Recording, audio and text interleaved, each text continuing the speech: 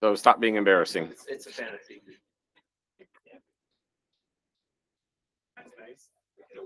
All right, here's our agenda. Um, it's not completely accurate because we've been, because we changed it.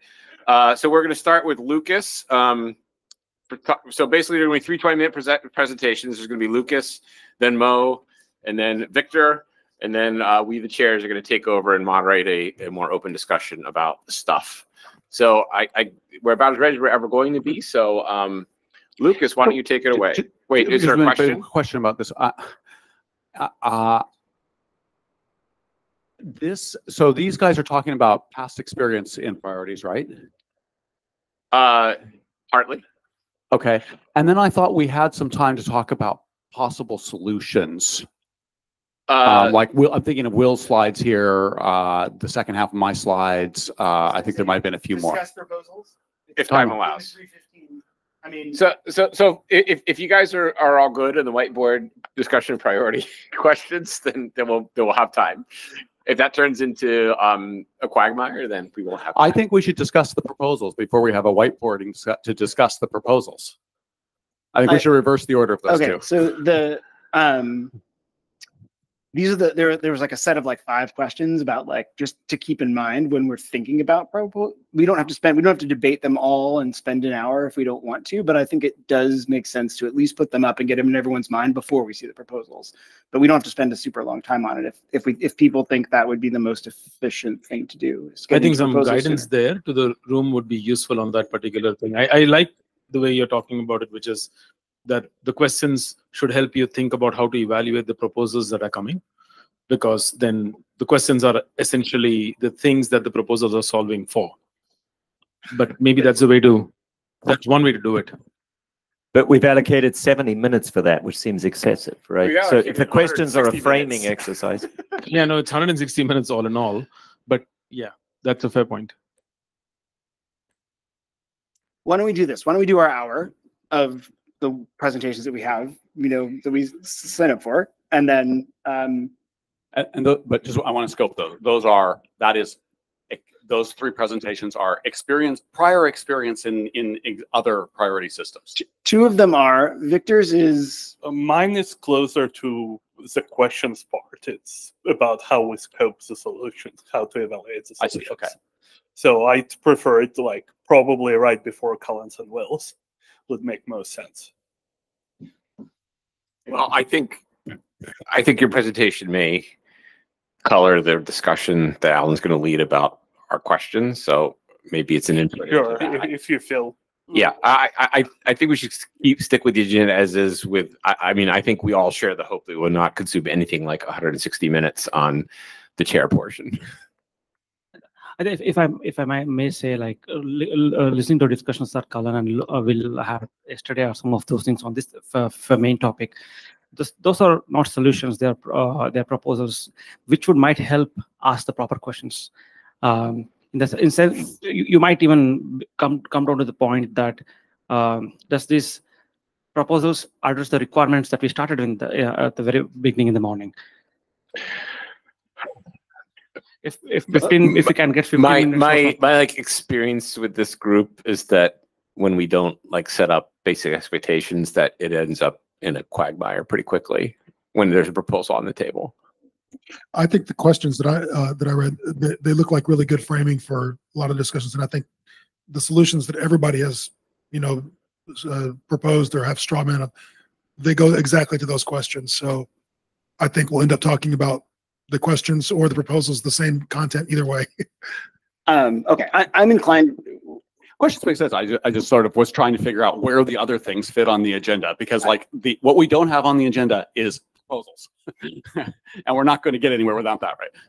by the way, nobody sent any emails to the chair saying, I have a proposal I would like to present. May I have agenda time? So, and no one said anything in the morning agenda back either. So, um, Totally fair comment. okay. Yeah, yeah, yeah. I mean, it, it, my, my vision is that like probably by like two thirty or three, we're looking at those things. Sound good? Okay. We're gonna aim for that. All right. Uh, now that we've used a bunch of time um, to discuss how to allocate time, uh, Lucas, why don't you take it away? I will stop sharing so you can do your thing.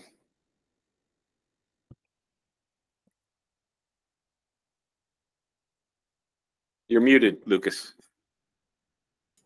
Or Yeah, are you still um, working on slides? Screen share is being a bit weird. Oh, neat. So, nope. Did that work? I'm recording. Thank you. Yes. Great. Okay. Um, I'll try and be brief. Um, which is hard for me. So just bear with me. Uh, Alan asked me to do a review, effectively, of of kind of where HTTP two priorities started, um, and where it went to, and where we deviated, and where we ended up, and maybe to take a look at where we are now and what we learned, what gaps there are, what opportunities there are. Um, MoQ is very different. I've been watching along um not as actively involved as some people but i've got opinions and i think some of the stuff i i'll talk about here is just focus on http this isn't to say that this is a proposal uh, for MoQ or anything. Um there are there are things that transfer obviously. Uh, but yeah just take this as a a review of of the old stuff as potentially some motivation. Um, what I've noticed a lot is that people are talking a lot about priorities. We have a whole meeting, a whole two days dedicated to the topic. Um, and in the end, uh, kind of my takeaway from talking about it a lot myself over the last few years is that it doesn't really matter. Uh, ultimately, you're gonna you're gonna do something. Your actions uh, are gonna pick how good or bad or ugly um, your implementation of whatever people said to do works. Uh, sometimes the the specs, the RFC for extensible priorities, for example, have to add so many words. It's still not entirely clear what uh, anyone is supposed to do. Um, and to, to kind of reiterate some of the points that Kristen was making um, this morning, I kind of agree that it's a lot of it's best effort. We just want to do something that's better than doing nothing or doing the worst possible thing. Um, quite often that's good enough. You know, it's this kind of exponentially difficult curve of optimization. Some use cases where you can control things a lot more. Um, you can fine tune down to the nth degree and get really, really good stuff. Uh, but on the internet, across different implementations, especially for HTTP, a different diversity of various things, um, a lot of this stuff just doesn't matter. And the hardest part is actually proving that anything works. Uh, despite your best intentions, you might implement the thing perfectly, um, and then someone in the network is just screwing with you, and you won't know. Um, and so a big part of this is how to measure this stuff, not in a lab. How do we measure for real? I don't have the answers to that, but I want to make sure that's in the back of people's minds about whatever we maybe come up with here or define longer term.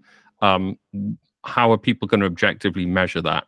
In four years' time, when you have a customer or you are a customer and you're complaining to somebody that something isn't uh, as good as it could be by some metric, um, how how can you report that so that they could reproduce this problem? Um, that's still something that plagues H2 and H3 to this day, not just about priorities, about in general. I think it's easier for someone like Alan, who controls client and server, um, in some ways, but generally, uh, my experience is that it's it's really tricky to get this stuff right, and it only matters where there's a bottleneck.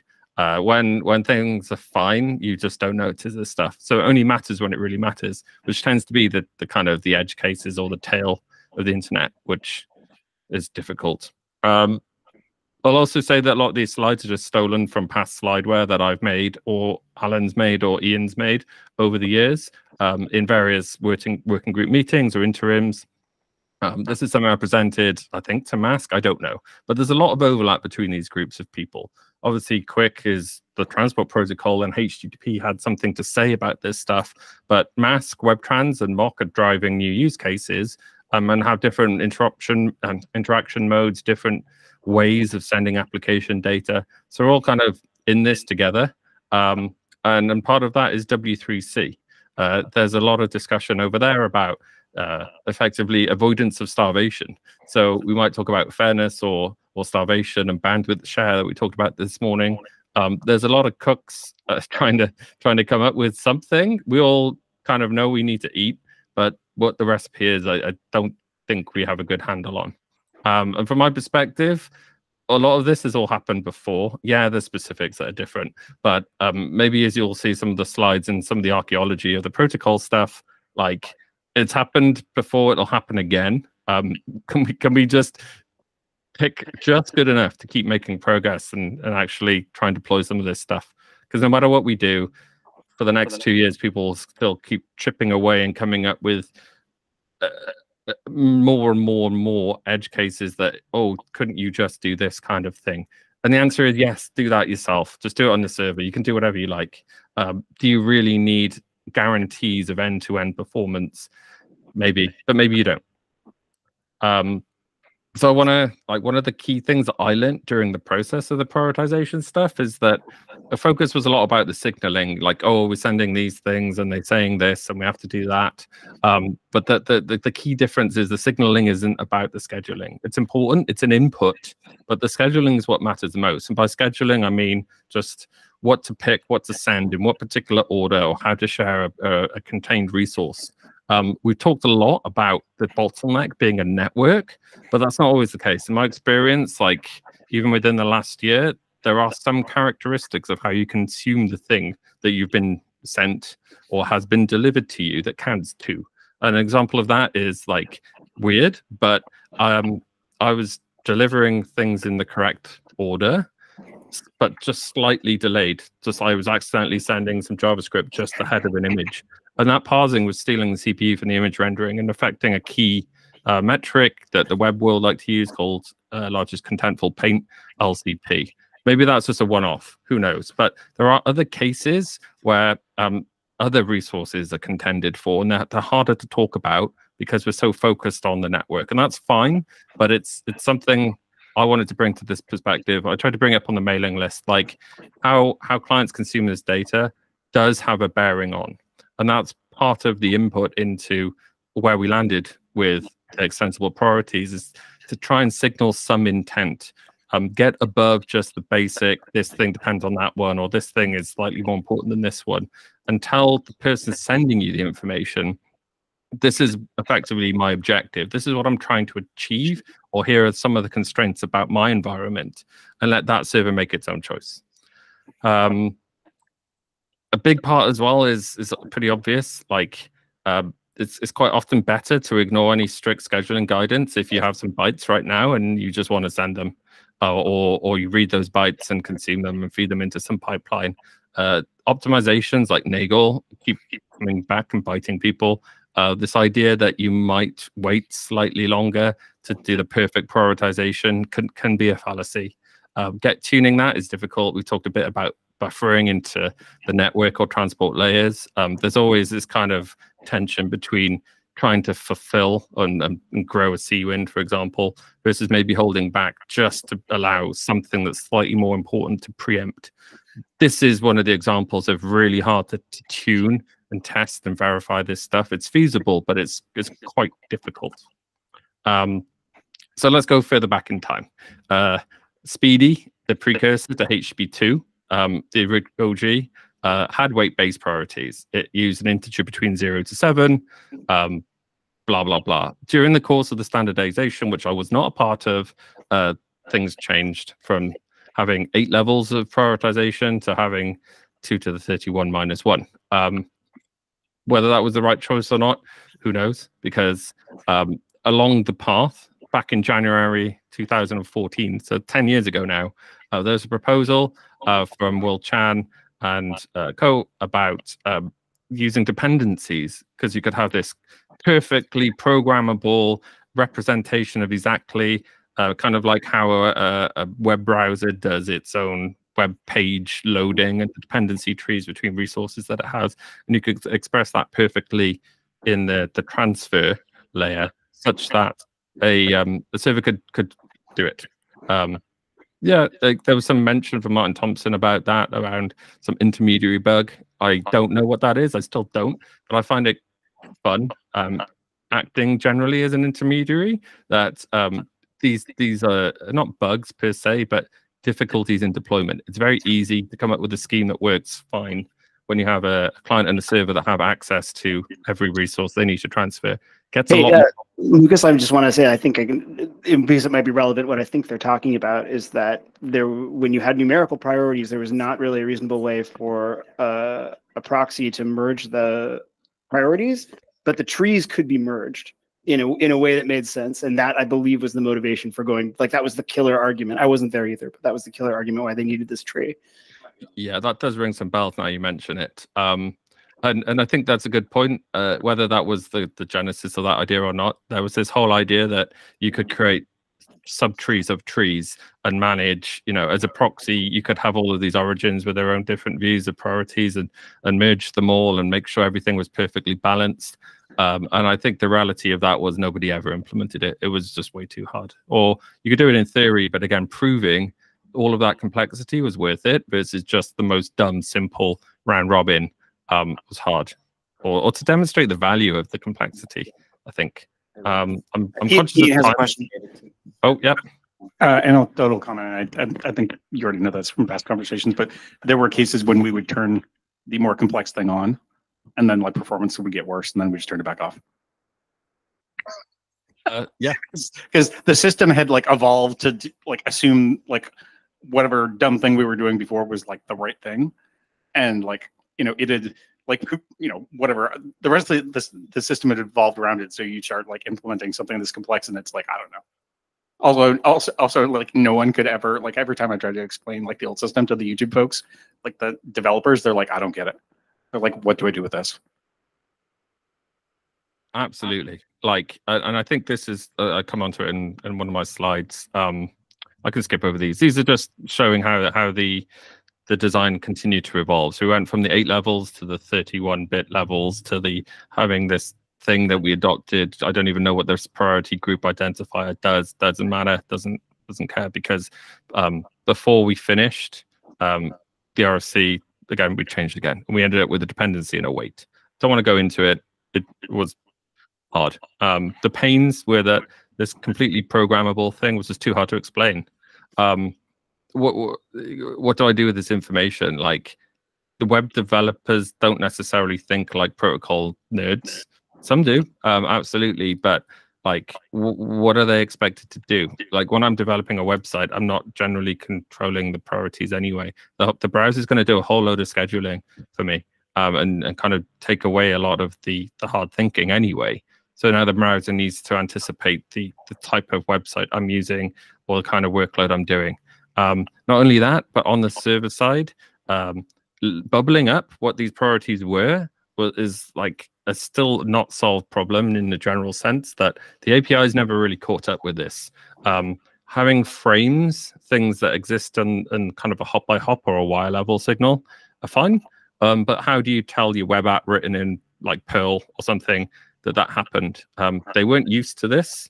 They they kind of schedule or uh, handle things more on an independent request by request basis. So um, did they need to know? Not necessarily, but it could help. Um, and so that was part of the motivation for one into it extensible priorities was this realization that H2 had all these features, but actually the the API, um, the the feedback signal to apps, or the way that apps could control this stuff, just never really materialized, and that it's a bit of a dead end. Um, to that end, some clients just picked a single strategy and just stuck with it. Um, some were bad. Uh, I'll show them on the next slide. Um, and the server just ignoring them was like objectively better. You could show this in some of the web performance metrics that we had. Um, again, like this stuff was hard to test. Um, I don't need to go back over that, but I'm most interested in like real user measurements, quality of experience measurements here. I'm bored with server side or synthetic benchmarks. They're good for proving your scheduler does what it's supposed to do under the, the conditions that it's designed for. Um, but it's the the weird part of the internet that does stuff like UI5 um, doing things um, is what, what what kind of annoys me. Um, and Ian touched on it, like brittle, the brittleness and the ossification. It's it- it's just too complex. Like there's just too many variables, even though there was only two fields, dependency and weights. And we ended up with this kind of crazy melange of things. Uh, this is directly stolen from some slides Ian gave uh, back at all, I think IETF 106. Yep, um, as output from a uh, priorities design team that we made when we finally got around to admitting that there was a problem, that we were going to come up with a solution.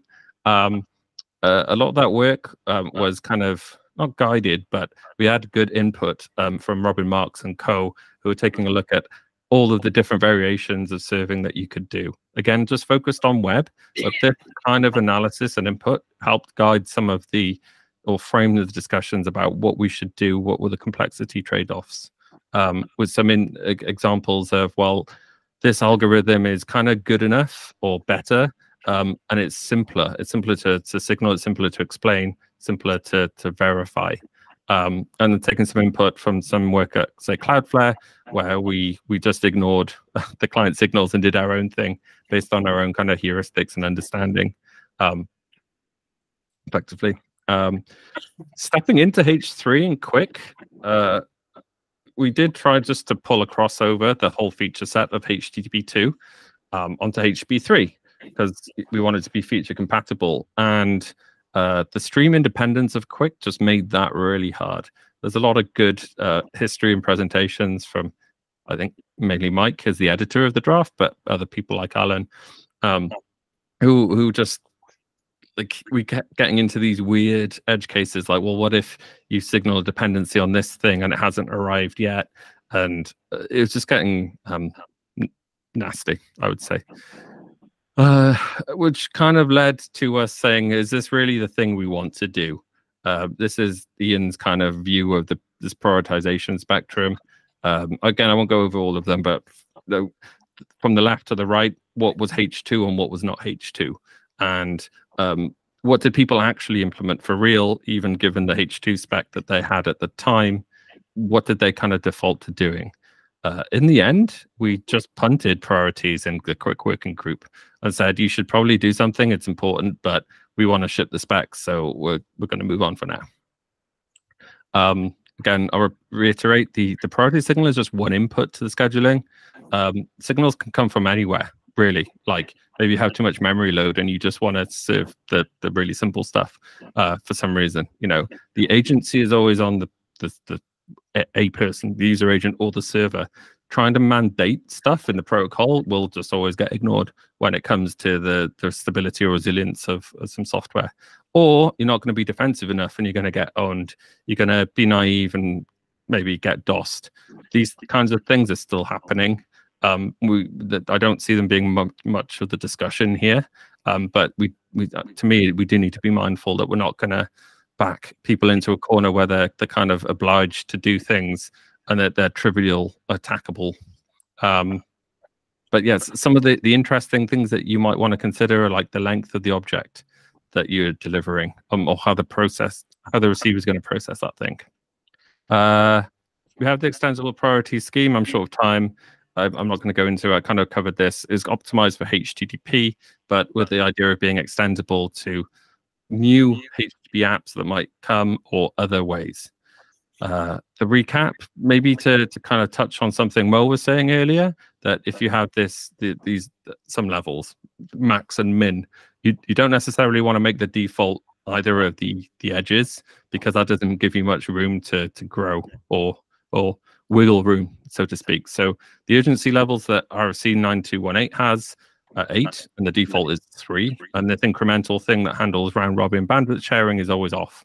So there's a strict linear in order uh, delivery, which maps pretty well to what a web page would need. There's a whole bunch of pages on the scheduling guidance, all recommendations, suggestions, and caveats and get outs to say, you know, don't do this because you could be starved. Uh, here's a visual example. Not going to go into it. Let's see how we did. Um, like I said, QUIC didn't didn't define any priority signaling, but pretty soon, like during the development, even before RFC, many QUIC implementations picked up that model or something inspired by it. Uh, you know, various levels of serving round robin. I think that's not because the scheme was so great, but that it's kind of obvious. It's an obvious way of doing things that is not too hard to implement. To Alan's point, that that bit's pretty trivial to write and test. Um, I say that, and um, actually some things weren't. But uh, we also saw deployments in web browsers um, and various servers. Uh, Apple's low latency HLS spec adopted this as a kind of a profile and mandated even more rigorous rules. That's something uh, uh, Pantos and I discussed a bit during the standardization. He wanted the guidance on scheduling to be stricter in the spec. Um, I pushed back because because of all the reasons I have. Um, and and ultimately they landed on what I think is the correct one, which is saying if you really want this particular use case to do really well, these are the things to do because we have good uh, objective measurements of, of success for a video streaming use case that is different. And if you follow these, you'll be able to test and measure them. Um, sending of the, the header as a signal is real easy. Um, but even validating how things work still is, is pretty tricky. I believe Robin Marx is, is working on some more studies of this, so keep your eyes out for that. Um, some of the Just gonna wrap this up in the next couple of minutes, please. Sure, absolutely. Um, some of the lessons learned uh, that uh, servers is going to do what it's going to do. Like it, it always has to make decisions whether the signals are good or bad. There's a lot of stuff around merging I didn't get to touch on here. That was a big discussion, and I think something that this group's going to need to solve between the publisher and the subscriber. Um, but we touched on reprioritization, and in my experience, that's sort of really not used too much. The latency is just the killer there. It's rare that it, it helps. Maybe if you're doing big, bulky downloads and you want to be able to kind of tune them down, but I haven't seen it in practice. Uh, some new use cases emerged. MASQUE came along and added datagrams. So we have connections that are multiplexing TCP and UDP based flows using streams and datagrams. Um, how to share the bandwidth appropriately between them is a bit of an open question. It resonates with the, the discussions in the Web Transport Working Group around avoidance of starvation between those two things. Again, there's no direct um, answer for that use case in particular. There was a way to extend the extensible priority scheme that I wrote up as a proposal, and it could work. For MoQ, I don't think that's appropriate, but maybe there's some things to share. Talked about, about a lot about send order. Um, that makes sense. Again, that's a proposal. That's something I implemented if we wanted to reuse extendable priorities. There are use cases even in HTTP land where send order could be valuable, um, and it's kind of just sat there doing nothing. Um, but there's also use cases for inter-object priority changes I'm aware of. So having, say, deliver this X bytes of a, a resource at the highest priority, and as soon as you've hit that, drop it back down. An example is a progressive image delivery uh, that we do at Cloudflare, but there are other things I'm aware of too, such as timeliness thresholds, etc. Um, and there we go. Yes. Donna has a question. Go. Uh, not a question, but a comment. Thanks, Lucas. First, um, I'll just say that on the reprioritization point, I think the one thing, and, and maybe more generally as well, one thing to keep in mind is that the experience here is very much web and HTTP, and uh, the use cases that this group is talking about are a little more specific, right? So when we're thinking about live streaming, for instance, reprioritization might actually be more useful than it has been for the general HTTP um, cases but with that, yeah, that's that's the one just one comment I had. Just to respond to that quickly, I think I I, I agree. Like, there's always a case we wouldn't have, have gone to the effort of uh, supporting reprioritization if we didn't think there were use cases. Part of the difficulty in in the actual deployment of this thing is that the signals that we have for what we call like the initial priority, whether that comes in a frame or a, or a, a header, um, and whether that comes back from the origin server and you've done the merging is now the client is giving like yet another signal about something and actually the origin might have said like, i don't i don't believe that the client could be trusted right now um, so what to do with a reprioritization signal um, is kind of an open question from my perspective um, and again uh, some of it depends on the speed of transfer like a, a MoQ object is going to be so large that that they will be bigger than a latency bound. I, I don't know. I don't know enough about the content domain to say. Yeah, I think that's exactly it. It's the latency of the signaling in relation to the extent to which that signal is the, ex, the amount of time for which the signal is actually used. I think that matters. But, but what I will say is that the ability to reprioritize was a it was a proven DOS factor for like HB2. Like you can just get into this churn state. And so what you'll find is maybe that uh, clients that reprioritize too much would, get put in a in a naughty list and uh, made more untrustworthy, say by some heuristics. Just just as an example. And maybe those heuristics are wrong because they were built around a different use case and a different client. But these are the kinds of things that people end up having to do because of how protocols are deployed in reality. Quick question, Lucas. Is there a browser API to change priorities? Uh, no. So so Let that's part of why nobody, why you don't see anyone using it.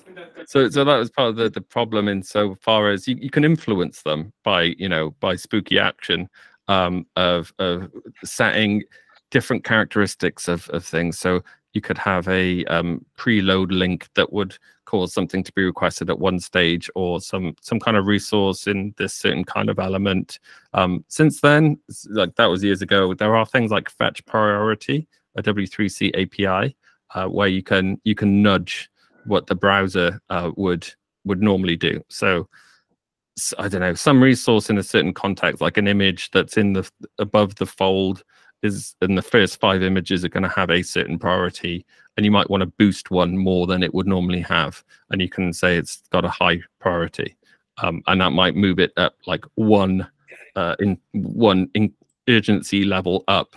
Uh, but again, even trying to understand that is incredibly complicated. There's a truth table somewhere published by Chrome devs, um, and it's even hard for me to figure out what's going on there. Closing the queue soon, Mo. So Lucas, this is from the perspective of here's H3, here's similarities that MoQ may or may not have on the requirements. Have you thought uh, at all, or would you have any guidance about coexistence of H3 flows with MoQ flows? And would a design in MoQ that mirrors H3 make it easier, or does it really, it doesn't really matter? They're independent and, and it wouldn't, wouldn't matter if they're similar enough. It's hard. Like when MoQ started, I would really want everyone to use the same thing because that makes my life easier as an implementer. Um, and, but in some ways, the the scheduling uh, strategy or whatever we, we end up calling it doesn't matter as long as maybe the the, the scheduling model i- aligns with what people have already implemented. Like it would be easier for me as a maintainer of a QUIC stack that I don't have to have two different branches of, of scheduling prioritization code. Um, that's partly why I did stuff like the send order extension to see if I could extend the scheduler. Um, and and it seemed to work. If it needs to be completely different, that's fine. Um, but I think given that there are deployments already of these things, um, asking people to do complete, you know, a duplicate amount of work might not get what we want. Um, it's hard though because a propagation of the signals. So I, I think that's mainly, you know, in web transport land, it's easy to prioritize the session creation request, but what do you do for uh, expressing the, the priority of a unidirectional stream originating from a publisher uh, carrying something? Um, do you stick it in the stream header? Maybe. Uh, and if so, do you really need an ASCII representation? Probably not. Um, so I think there's a lot of options, and I don't think we strictly have to make sure it's the same as HTTP, especially not if it's the right fit, uh, not if it's the wrong fit. Um, I'm not dogmatic with this stuff. All right, the queue is clear. Thank you, Lucas. Uh, I think next up is Mo. Lucas, can you stop sharing, please? Thank you.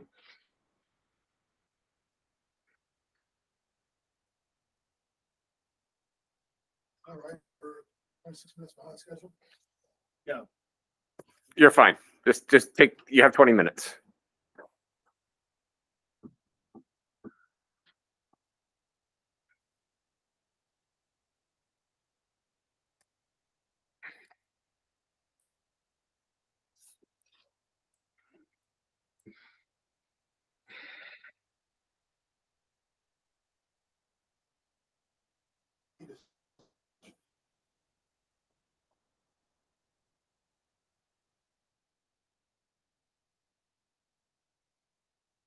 There you go.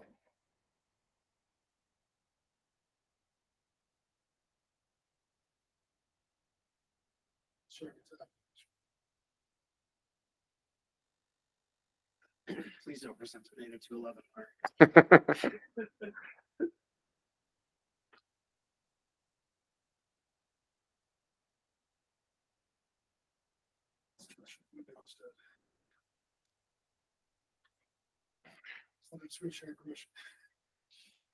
Do I, if you share the link, one of us can do it?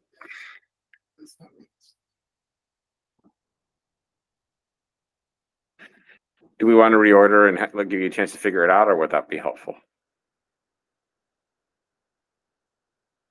Twenty-eight minutes. It's not a quick, simple thing in me to say, grant permission. Uh, Get, get, uh, device, uh, Oh, now it's advocating.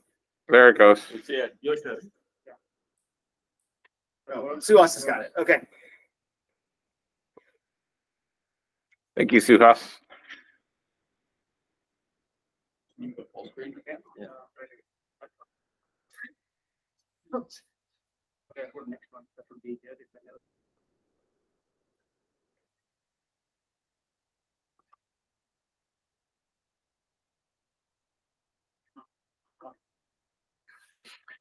Mo, why don't you start talking? Yeah, let's just take small screen if that's all. Go to the next slide. To the next slide, and I'll, I'll talk about some. You can look, you can hunt for maximization.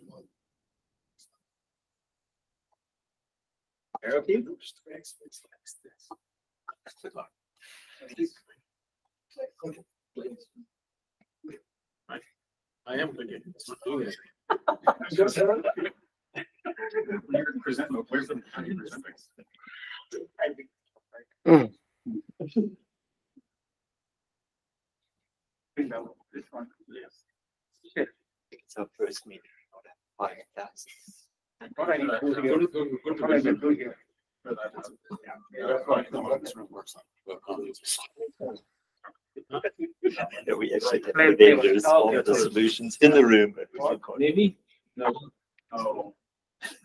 Any of you are here, welcome. WebRTC. I see that, that's what I did. Yes. Anyone understand how permissions work? We can't even figure out camera permissions. How we're gonna do priorities? We got a nice picture of Mo that's where. Racing you. Did you zoom in on it? I, I zoomed in. Oh, okay. So I wanted to put, put Mo in the hot seat. Uh, Mo left, the Mo left the s- meeting. I, I had to reload Chrome to, to other permissions. Wow. No, but I want to go to. Most people draw. Mo, you're back. Go to presentation. I find it open. And Okay, I think, I think, okay. on this thing, Oh, that's a win. Yeah. I'm gonna try. Hey, all right. Can you go to the next slide, Bill? Yeah. Yes. And so start off with, uh, uh, really old stuff. Mike, that Mike, work Incredibly, and I'll say. why. Microphone. Oh, did I, I need to turn off my, um, Turn off your laptop. do I need to turn You're off? muted. Meet? Okay. You're good. Um, so first, starting off from the really old stuff, which worked incredibly well, and I'll say why and why it's not used now. So back in 2000 and 2006, we had uh, this uh, voice and video priority um, infrastructure. Uh, so clients, devices, network elements, everything. Um, a lot of dedicated stuff just for prioritizing voice and video. They were on their own separate VLANs, uh, virtual LANs. There were different layer two markings and layer three DSCPs for all that there was admission policies uh, and policing of that traffic so that admission couldn't be gained. Um, but that required really, really well managed networks, uh, a lot of configuration and management overhead. Um, and that's why it's not really used very much today. Uh, going forward a few more years, uh, Cisco WebEx started using H264 SVC, which is uh, scalable video coding. And I mean true scalability, not, um, not just simulcasting and calling it SVC, but true dependent layers dependent spatial layers. Is this going out?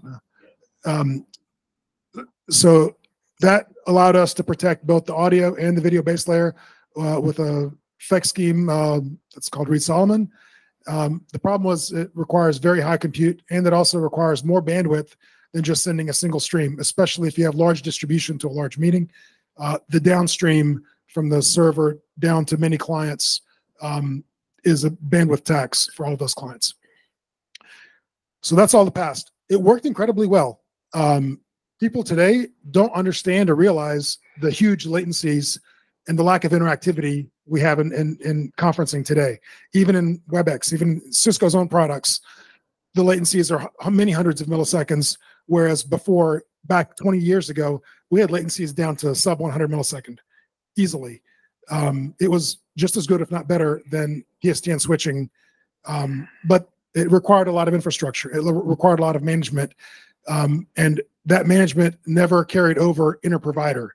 So unless you were building out your own inter-provider network um, and and SLAs, you wouldn't have this this management.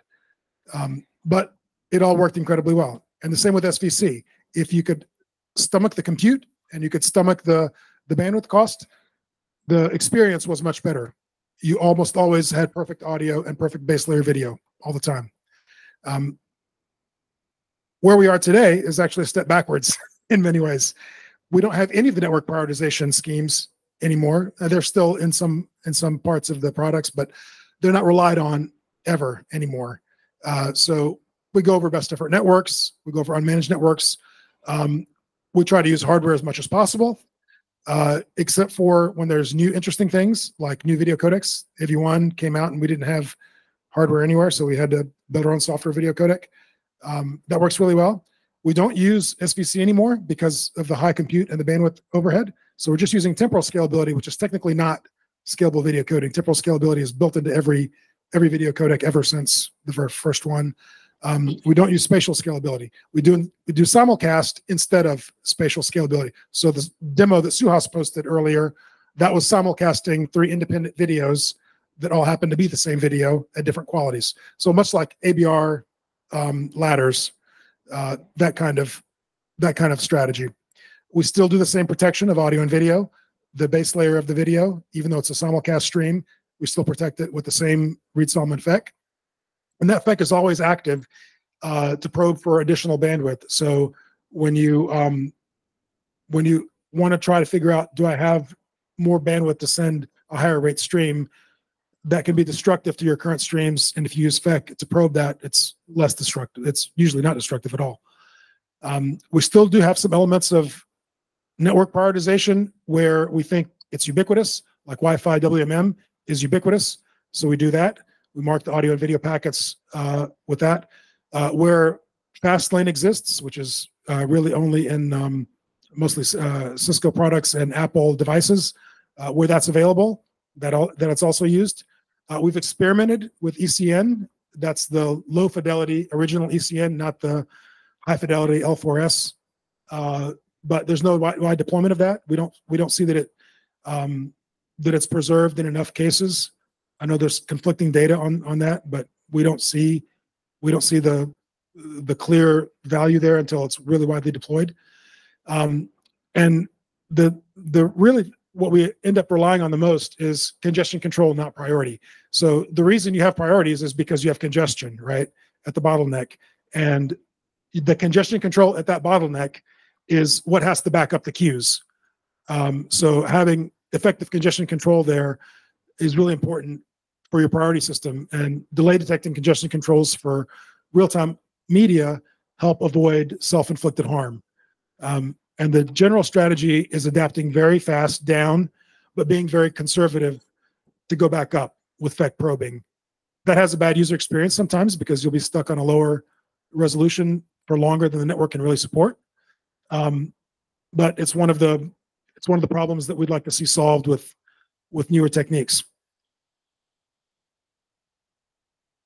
So when we talk about priority, um, the obvious thing that everybody should realize is that everybody will try to set everything to maximum priority pretty quickly.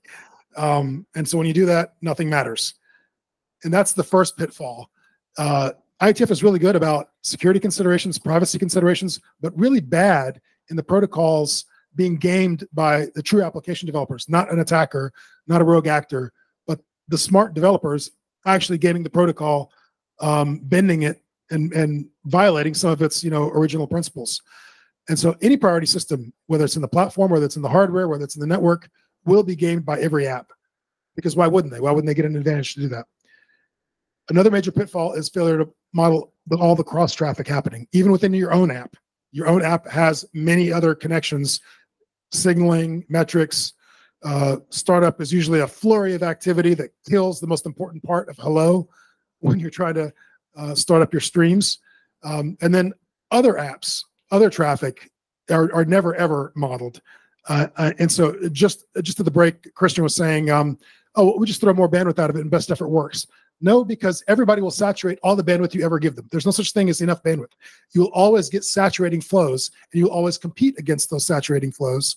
And so you need ways to deal with that. Um, do we want to pause for questions, or we're just flying It's through? up to you. Uh, let's just let's fly through real, real quick. Only two more minutes, and and we'll, we'll be done. Um, the failure to look at the lower layers underneath you. Um, so most QUIC stacks now are a little bit more tightly coupled with understanding what queues are in, in the Linux kernel, what queues are in the NIC itself. Um, not the NIC itself, but uh, some fancier techniques do know and understand what the NIC itself is is uh, is doing. Um, so not knowing those layers is is usually a pitfall. So that, like Alan said earlier, you queue up too much to those layers, and boom, you think all that stuff. It's technically in flight to you. It's not in the air, but it's in flight to you because you can't control it. So not knowing those layers is is always a problem. We need to fix that. And relying on priority to fix long-term persistent congestion is always a problem too. I know there's some designs here where people want to, and even some of our own demos want to just keep things building up queues in, in, in indefinitely. Um, so that's more like persistent congestion. The app should take immediate action when it detects that. So the role of priority is really for transient congestion at the bottleneck. That's when you want your priority mechanism to work. And the back off signals should come pretty fast within a round trip or two. And so your app makes a better decision about the long term rate to match the network rate. So we shouldn't, I don't think we should spend much time figuring out what's the ideal priority mechanism for long lived persistent congestion, because I think that's an app flaw, that's an app bug. Um, and also there's a lot of talk about strict priorities when we when we deployed the things that did do strict priorities like the voice VLAN stuff, the the voice EF stuff, the Wi-Fi WMM, uh, AC voice stuff. All of those are strict priority markings. The the problem with all of those is, like I said before, apps game them, and so you'll see all of the traffic shoved in the voice queue, um, and that quickly leads to killing the voice queue itself. And so you always have to have policers or rate limiters on those techniques that that use strict priority, or you end up adding having to add fairness mechanisms anyway to avoid unintended starvation. People are talking about strict priority because they want intended starvation of some less important flows, but there'll always be some unintended starvations or even priority inversions. You don't realize that this is depending on this and you've starved it. Um, so if we add a mechanism, I know strict priority sounds simple and, and easy, but we should keep in mind that almost every mechanism like that has had to do something more complex like policing or fairness added to it. And then finally, as implementation note, all of these data plane level priorities need to be mirrored or aligned with process and thread level priorities. We see a lot of experience with implementers that don't understand the, the, the coupling between their processing and their data plane markings. And so you can end up with starvation inversion of those. Okay, so sorry, Christian, go ahead. All right, at least 10 minutes for discussion. Yeah, since you put words in my mouth, I didn't say that best effort by itself solved the problem. I said a combination of best effort and adequate AQM does solve the problem. Agreed. So I, I really like this last slide, but I want to go back to your earlier statement that the WebEx of today is is not as good as the WebEx of 2007. And and but I would say today I, I can sit in an internet cafe in in Zambia and have a conversation with someone at home in Bangalore.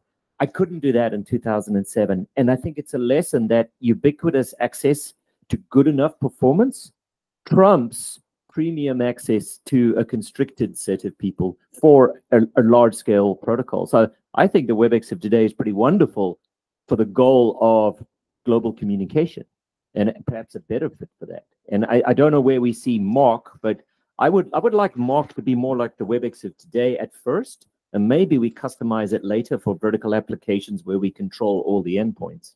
But we want it to work over the general internet. We want it to work globally, I would think and therefore maybe there's some lessons from that of the, the steps you've taken since 2007 might be appropriate for Mach 2. Ideally, we can address the very broad deployments as well as the very important focused, you know, high performing deployments. Hopefully we can address both in the protocol.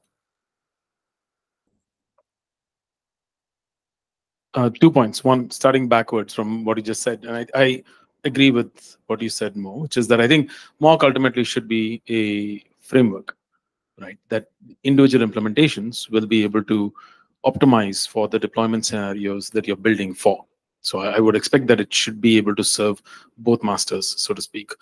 Um, uh, separately, Mo, thank you. This is great. I really enjoyed the entire presentation. Uh, you, uh, the last, I, I want to highlight this one that you pointed out because this this does keep coming up in various conversations about transient and persistent congestion. There is no solution for persistent congestion, but to stop sending into the network. That's what persistence means. If you keep sending into a persistent network, you build an infinite queue, theoretically speaking. Um, transient congestion is something where you can you can perhaps optimize. The problem, however, is that transient congestion co congestion is not predictable by definition. So if you use past history to predict what you're going to do, which means that you say, hey, you know, my congestion was I drop packets. So in the next round trip time, I'm going to assume that I'm going to continue dropping packets. That assumption doesn't necessarily hold true. That said, we're always going to make imperfect decisions here, and they're going to be wrong a lot of the time. But you work uh, with the information you have and with imperfect knowledge, so the answers can't be perfect and they won't be. But yeah, I, the separation between transient and persistent is one of timescales, and I think that's really important to remember because congestion control priorities operates in the small timescale uh, regime, and then you have like ABR algorithms and, and various other things that operate in the larger timescale regimes separating those two is very useful. Uh, thanks, Mo. Uh, I just wanted to add to what Jana said about uh, transient congestion. One thing that, uh, in general, we also need to think about uh, is the reaction to a transient congestion depends on the application that's being used. Like for in an interactive application, you want the detection and reaction to be in time scale much smaller than, say, WAD delivery for that matter. So what do we think about this, like we need to kind of uh, your point on how do we make this transient uh, transient condition work is more important than persistent uh, condition. And another factor there, all, all persistent congestion starts off as transient congestion. You don't know that it's persistent. You get to some point, right? And then you just you say, wow, this is not transient anymore.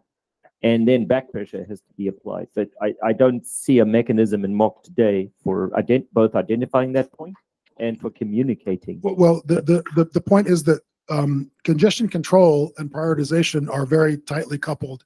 And your congestion controller in your sender is what would tell you that it's seeing congestion. And I, and I consider that persistent. If, even if it's if it's a few round trips or more, you need to take action. You're not going to just wait it out. You know, I'm going to wait another five seconds uh, and, and blast you. So the the sender is going to see the the send queue growing, right? And it's it's got its back pressure signal, but we're in the MoQ layer. We don't have a control message to go upstream to say, "Whoa, you're sending too much stuff at the moment." But but I think there's a contract between. Okay, but that's like brute force, right? We it's it's all or nothing. Is there some middle ground? Could we communicate the rate that we think we can sustain? Would that be more useful than simply unsubscribing? You you have the problem of uh, multicasting. I mean, when you go upstream, your your publisher is sending that stream of data to a million subscribers. If one of them doesn't receive fast enough, what do you do? Slow down all the other ones? That's an application. That's an application level strategy. So, you know, you, are right that, that MoQ is is is fan out, large fan out, but it doesn't mean identical bits fan out to everybody. Um, there could be application strategies for how that's managed. If you're doing scalable video, you could do two temporal layers with 60% of the bits in one and, and 40% in the other. And so you have a way to, to back off when you get a congestion signal from your congestion controller. So there could be application specific ways to, to handle it not forcing the publisher to change what it's what it's sending. Lucas. Hello, hello. Um, yeah, sorry, I just uh, we we kind of touched on it with the rate limiting discussion. Um, I know there's some stuff going on in SCONE as well. Um, but for me, like, what what is is rate limiting persistent congestion, or is it something different. Like when when the network decides to limit a, a particular flow between a client and a server, um, that can be uh, you know done as packet loss. Is is that the congestion we're talking about, or is it a different kind of thing? Even if it maybe manifests the same way, like are we going to try and use priorities to get around rate limits, or can we use other protocol tricks to get around the rate limits themselves? Or, or is this part of the SCONE discussion, which is those rate limits would be expressed and communicated into apps such that we don't need the priority to try and fix this this longer time frame issue than a, a momentary or transient thing? I think the answer is in the question that you're asking, and you're you're you're. I think you you have the answer there already. That you cannot do anything for persistent congestion with priorities. I mean, it's like trying to, I don't know, it's like trying to pave a road with a screwdriver. It doesn't work. Um, and so you can only do certain things for transient congestion. Priorities falls in that space. Congestion control falls mostly in that space. Persistent congestion, yes, one could say that uh, congestion control also falls in trying to address that space, but it's not addressing anything. It's really like figuring out what you can send at. Persistent, in my mind, just means something that's not going away. So it could happen because the network decided to rate limit you, or because there are other flows that started to go and they aren't leaving the network either. But I, like I said, to me, they're about time scales, not about anything else. Mo, can I um ask a question on the prior slide? Uh, so obviously different. Uh, oh no, two yes.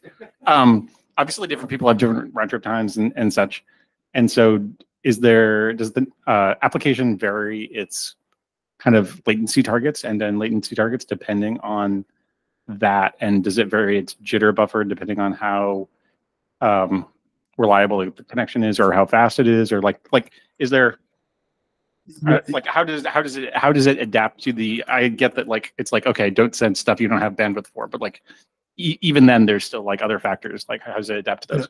Uh, so, so, um, it's a misfit for MoQ because, you know, the, the, the app servers are true servers, right? They have a lot of logic. They have a lot of business logic that a MoQ relay is never going to have. So our app servers can, you know, do all kinds of stream thinning and, and, and it knows the, the, the jitter buffer intolerances of the receivers. So th- there's, there's no, um, there's no restriction on all the stuff that it can do.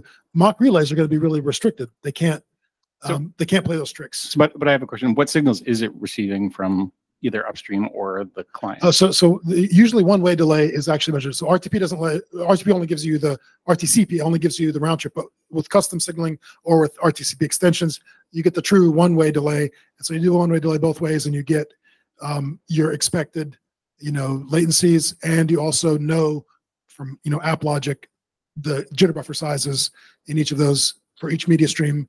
You know just from hard coding, you know what your clients are. Um, and, and, and and jitter buffers definitely do change sizes based on how much jitter they're seeing. And y- y- you know what I mean? Like you, you- you're looking at, yeah. yeah yeah that's what i was wondering I- It's not, it's not like fixed sort of zone. I didn't know if the client was communicating something like, "Hey, like I have a really janky connection," or is the server like looking at the one-way delay, going like, "Geez, that's pretty variable," or both? Both. Okay. I'm gonna close the queue soon. Okay, uh, Zahed. Um, so let me summarize this discussion. So we're talking about condition control and priority, and and literally that means two different things to me. So condition control is basically you get some kind of like queuing measurement on your the packets you're going to send and all these things, and then you do rate adapt. And then you have a budget, you can do rate adaptation. And when you do rate adaptation, you can actually maintain priority queues on your sender side. So you can pick what you want to set. So that's that's a different thing from me. Like, what is the congestion control reaction, um, and how do you what do you do when you have congestion? And in the MoQ case, it's even even kind of like a bit mystery to me because now what Cullen has showed us before, congestion can happen in different places. And you're very right, Mo, just saying like the, the here the MoQ relays are very restricted. They don't have much to play with. So my suggestion would be like let's have condition control as a bit different kind of thing uh, than the priority. Uh, don't solve the condition control with the priority thing. So that that would be my suggestion here. I agree with that. I think that's yeah, I agree. Um, the one thing I was uh, going to ask about more is in this case, I'm curious to understand how, um, when you say FEC is used for actively, actively used for probing for additional bandwidth, and you also have uh, delay detecting congestion controllers that are fast adapting down. Um, do you see interactions between those two, and like how do you work through them? Because with the FEC, I imagine you're sending more and more data, presumably, without actually having true real data to send. You're just like packing more and more data. But then at some point, you're going to hit like some uh, queue buildup, and you're going to have to ramp down. Can you say say just a bit more about that? I'm curious. Uh, yeah, so like I mentioned, there's delay detection. So if you're if you're building queue yourself based on what you're sending, um, you increase your send rate, your latency goes up, then you immediately know and you back you back off again. But the FEC only ramps up to the media rate, so you don't you don't just you don't just probe for infinite bandwidth. You don't probe the, the link speed is. You probe for your maximum me- media rate. So if your yeah if your maximum ladder is you know four megs, you're not going to probe above four megs. Um, so the FEC just helps to avoid the probes causing any damage to the actual streams. Uh, when we're curious about the uh, FEC, actually, Reed Solomon is pretty computationally expensive unless I'm Yes. like, Yes. do you ever have problems where the clients like their effective bandwidth drops not because they don't have enough like network, but because like the CPU just like crawls like basically like the Reed Solomon is like busting up your bandwidth measurements because like I don't know. I'm just curious. I mean, if you if you have the WebEx app locally and you look at the CPU, you won't be happy. Uh, no, we are still using Reed Solomon. The, the, the problem is we actually wrote a um, a much simpler draft in IETF for parity FEC, uh, two dimensional parity FEC that gives most of the benefits of Reed Solomon. You can do row and column, so you can handle burst burst wise. The benefit of Reed Solomon is you can handle a burst of loss. You can handle ten packets in a row, Oh, which yeah, no yeah. parity FEC is going to solve. But 2D parity FEC does solve that. Problem is though that it's statistically not as good as Reed Solomon. So if you have the compute, Reed Solomon is always much better. Uh, if you have the money, you can buy Raptor or some fountain codes that that are compu- computationally less than Reed Solomon, but uh, I mean, more we have expensive. if we haven't enough time, then we'll just wait for all the patents to expire. Well, I, I, I- I see Reed Solomon there. We're getting but close the- to that. The, the truth is that we are using we are using QUIC, and so the those typically you do Reed Solomon on an iframe because if you look the i- if you lo- lose the iframe, uh, you, you lose a lot of things. And if you do Reed Solomon on an iframe because they cannot be very large, you end up needing to have many levels of Reed Solomon. It's typically like seven or eight degrees of redundancy, and yeah, it's it's a lot of work. But in our case, we're using QUIC. So you cannot apply Reed Solomon directly to the iframe. You have to apply Reed Solomon within QUIC to the stream packets that are carrying the iframe. And that, that's a lot of architecture. I mean, that's Yeah, so that that is an open question. That's an open problem. How do we map FEC onto MoQ flows? Is it an application level flow? You could you can have a FEC track that protects things. So independent of you know anything in the QUIC layer, you could have a FEC track that operates on whatever source tracks you want to you want to protect. Um, but what you're talking about is more efficient if you could do uh, FEC at the QUIC level itself. There've been many proposals in the past, and they've all you know not gained traction for whatever reason. Always hear it's coming, it's coming, it's coming. Neil is very adamant about keeping it alive, but I haven't seen any traction that it would actually get into an RFC or, or implementation anytime soon. There's there's no demand, right? MOQ creates demand, right? I mean, yeah. I mean, I would argue that it's the last thing I'll say about this particular point because it, it is a rabbit hole. And I would argue that that architecturally it does not make sense to go all the way down into the QUIC level. QUIC is too low for something like this. You need a certain amount of agility. You need to be able to have fine control about exactly, as you were saying earlier, maybe use uh, Reed Solomon for the iframes and something else for the p frames and so on and so forth. You need a lot more control and, and, and agility and flexibility in how you do this thing.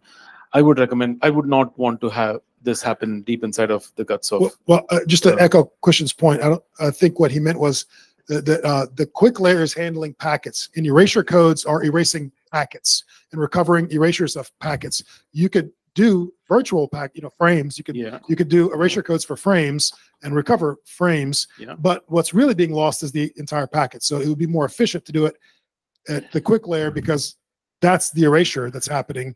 Um, but you could still do it as an application level construct it just is not quite as efficient. It's more flexible. When you're using but not datagrams, when you're using datagrams though, you are actually All right, we, we actually need to move on. I'm going to cut it, but uh, Lucas has been in the queue for a while. So Lucas, go ahead and we're going to move to the next presentation. Yeah, I- just want to say, as as a QUIC chair, we've had a number of requests from people to present about the FEC experiments that they've been doing, and they always get run out of time. I think Francois Michel was going to, uh, in particular, has done a lot on the media. Um, I think he wanted to present a MoQ one time and also ran out of time. Um, I'd encourage people to reach out to him um, and discuss some of this stuff. He will, I believe, be in Vancouver. So if anyone just wants to grab a coffee with him, like he did a whole PhD on on this topic. So um, I'm sure he's got some inputs on this stuff, very much to the point of recovering, you know, application data, not just the packets, as far as my very limited understanding goes. Okay, Mo, please stop sharing. Can you say, it, it was Francois, I mi- I I missed the name there. Say it again, Lucas. Francois Michel, but I'll type it in the the chat.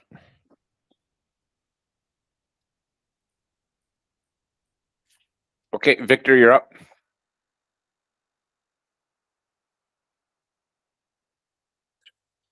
can't even spell my own name. I'm hoping I'll get the correct one here, but yeah, let's fix it up here.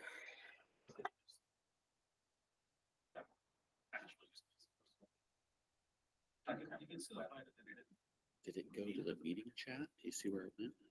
I think you could do the problem of being at the back end of the chair cameras is. That's a good idea. Yeah, no, I got it. It went to the meeting chat. Mm-hmm. I assume we get the That works really well. For anything that's, it, it was saying that at the pitch level, you're, you're, you're trying to figure out how to do it across all things. That's just. Oh, that was actually what. Thank you for fixing up on You're welcome. garbage. Yeah. I, I, yeah, I'm trying to type fast and I make spelling mistakes, so it's nice that someone. Does Victor have a mic? Yes, okay. I'm not doing it. Okay, Victor, you're up. Sure.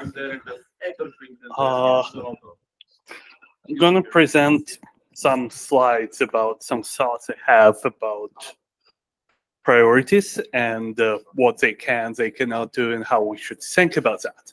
So uh, they're a bit rough because but mostly came up with them while flying here. So I'm sorry if they're a bit disorganized, but they mostly focused the, around uh, the like two counterexamples I have, and they relate to some. I say commonly held. I don't think they're actually that common or held, but uh, they still deserve uh, close examination. So in the first counterexample, uh, is that there is this idea that like newest first is in many cases optimal, and the cases when you don't want to newest first are the cases where like if you don't have video, you would just show a spinner wheel and buffer. But if you can skip video, you usually want newest first. So uh, the counterexample here is like you have a link that has three megabits of bitrate. You have videos that's two megabits, and your GOP size is five seconds, and your buffer is ten seconds. So this is a live video that has a fairly uh, like large buffer. And the important thing is the buffer is fits more than one GOP. So here's like assume that theoretically, like for some reason, your connection just went silent for for a while, and now you're in a situation where you only have two seconds worth of video the buffer, and then there's like a new GOP that you don't have at all. Uh, so this is a if you do something like uh, newest first, what you would do is instead of filling the GOPs that's like right next to you, uh, you would fill in a GOP in the future, and then you would try to fill in the first GOP. So this, this is, would be like the diagram at the bottom. And what would happen is you would fill the new GOP, and then there would be the time where you try to place the old GOP and you would not have it because you spent all of the time filling up the newest GOP. Uh, and the reason this is bad compared to something like oldest first, if you do oldest first, this will basically, as long as you have any buffers, this will work because remember in our settings, the bitrate is larger than the bitrate of your connection is larger than the video payload you're trying to send. So this is an example, like there are scenarios in which newest first is probably optimal. There are scenarios in which oldest first is probably optimal, and my general intuition is that's like uh newest first is more pessimistic. It's like I want to give up on some data in past because I, I think I would have trouble even getting data in future. Uh, so that's one of the motivating examples for what I'm going to talk. Uh, the second counterexample is a bit more complicated. So there is this idea that uh, uh, like you can express the priorities in some way, provide you with this really optimal scenario where you just order things from like the highest priority to lowest priority. Uh, and if you send them in this order, this will uh, be like provide you with some optimal experience given your link condition. And the reason this is not quite true is that if you have a lot of videos that you can send right now, this is probably to some extent true. But there are scenarios in which you don't necessarily immediately have the videos that you're going to send. So in my here hypothetical scenario, it's like I have AV stream of total two megabits. One of them is like there is a very tiny audio stream. There is one megabits based, and then there is a one megabits enhancement layer. And like, let's assume our link is like about 1.4, so it's like somewhere awkwardly where it can send full base, but it can send full base plus enhancement. Uh, and what happens often is you're in a Wi-Fi link, and Wi-Fi links aggregate traffic, and uh, your audio frame, since they're small Wi-Fi links, like I'm not going to wake up radio to send that, so I'll sleep and bundle them together. Uh, so there are scenarios where like you don't have any audio arriving and then you look at what you're going to send and you're like oh i sent all audio i have i sent all the base layer i have let me try sending enhancement layer because that's the next thing i have that has the highest priority because i sent everything like with even higher priority so that's the next thing and now i send this and now audio arrives and I ran out of my congestion window because uh, I, I sent the, the enhancement layer instead of waiting for audio. So th this is like priorities let you trade off sending A and B, but uh, this is about sending A versus not sending anything and waiting for more data arrive from publisher. So this is another uh, scenario that I believe is common more in the more lower latency you target because the lower latency you target the less your buffer from publisher to uh so yeah okay so can i ask is the is the answer here that i want always want to send a little bit of audio and then prioritize my audio and my video with what's left well, I don't have an answer for this scenario. Like one thing you could potentially do, if you know the bitrate of your audio is like 64 kilobits per second, one thing you could do is, okay, I have congestion controller that gives me 1.4 megabits.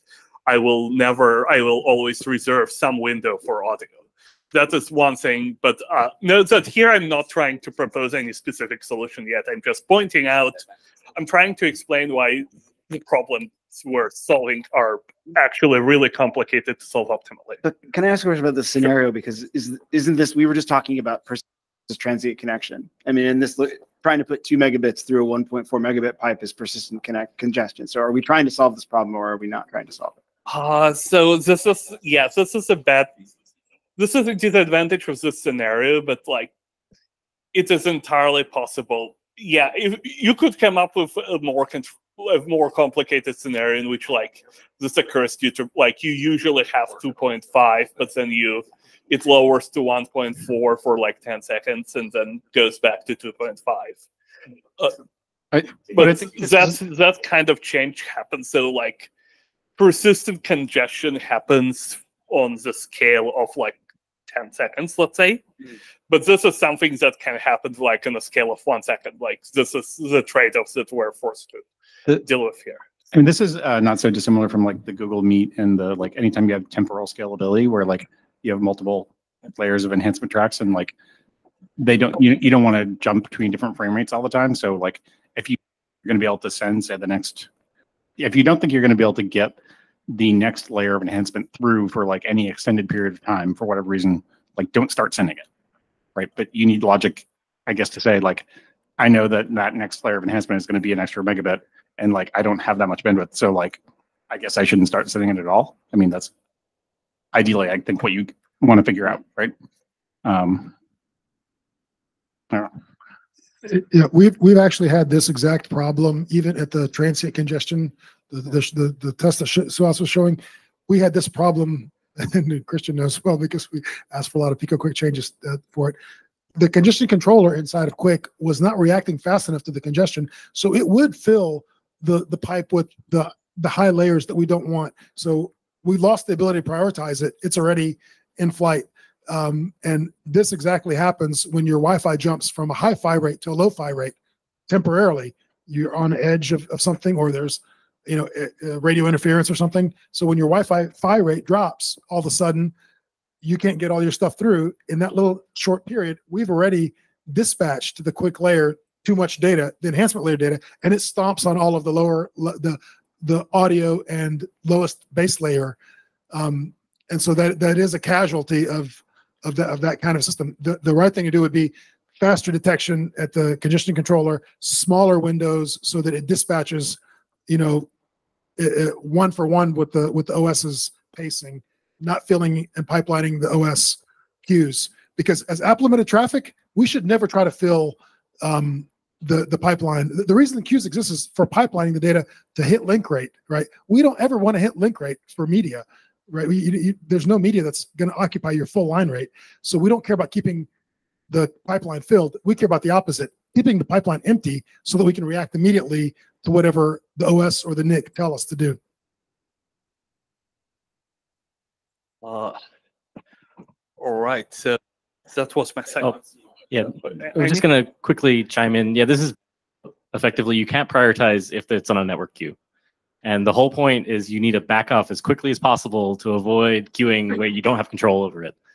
Um, there's ways around it, but not really. I mean, some of it's fundamental to the internet. Like most saying, you could reserve some headroom. Theoretically, you could use half the available network, but that also has a user impact, right? Now you have a lower quality stream. It, it, do- it doesn't work because when you have one of those Wi-Fi issues, you're losing 90% of the bandwidth. Yeah. So, so I think this is kind of fundamental in that we will have cases of buffer bloat where you will accidentally deliver the wrong data because you just couldn't react fast enough. The, the, the other reason is that it takes two RTT to detect actual congestion. So basically, when you are making a decision, a scheduling decision based on congestion control, you are making a, de- a scheduling decision based on the state of the network two RTTs ago. And so you are going to have this fill up for two RTT if you don't do something else. Now, there are some, as Mo said, there are something else that could be done. For example, before sending every packet, you could do a system call to go sense the state of the queues in front of the Wi-Fi driver. You, you could do that. Problem is, it's bloody expensive. Then you are going to bump your CPU. So there are all there are all, all, all kinds of all kinds of trade-offs. Yeah, I think my point is like prioritization in general is best effort. I don't see this as a problem per se. It's just a reality. Like you're you're just not going to be able to prioritize as well as you want. So, I mean, I agree there's a limit to what you can do in anything. I mean, y- you know, this gets back to, you know, you can't put six pounds of shit in five pound, pound bale unless you have really good surface tension.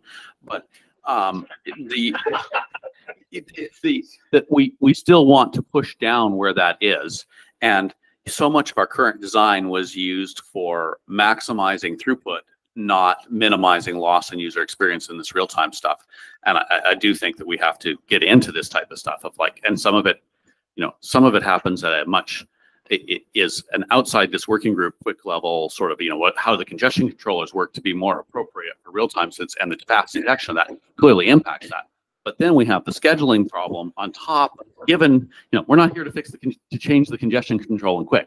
We're, that happens too, but it's giving us some signals that we're using to try and figure out how to deal with like these types of use cases. And, and I agree, this is a, this is a use case you do run into and you can work around without changes in the underlying systems, but you can improve, work around even better with underlying changes. Do, do people have a lot more on the slide or should we let Victor keep going? Sure. So Well, make it quick, John, and we'll go on. I just want to say that.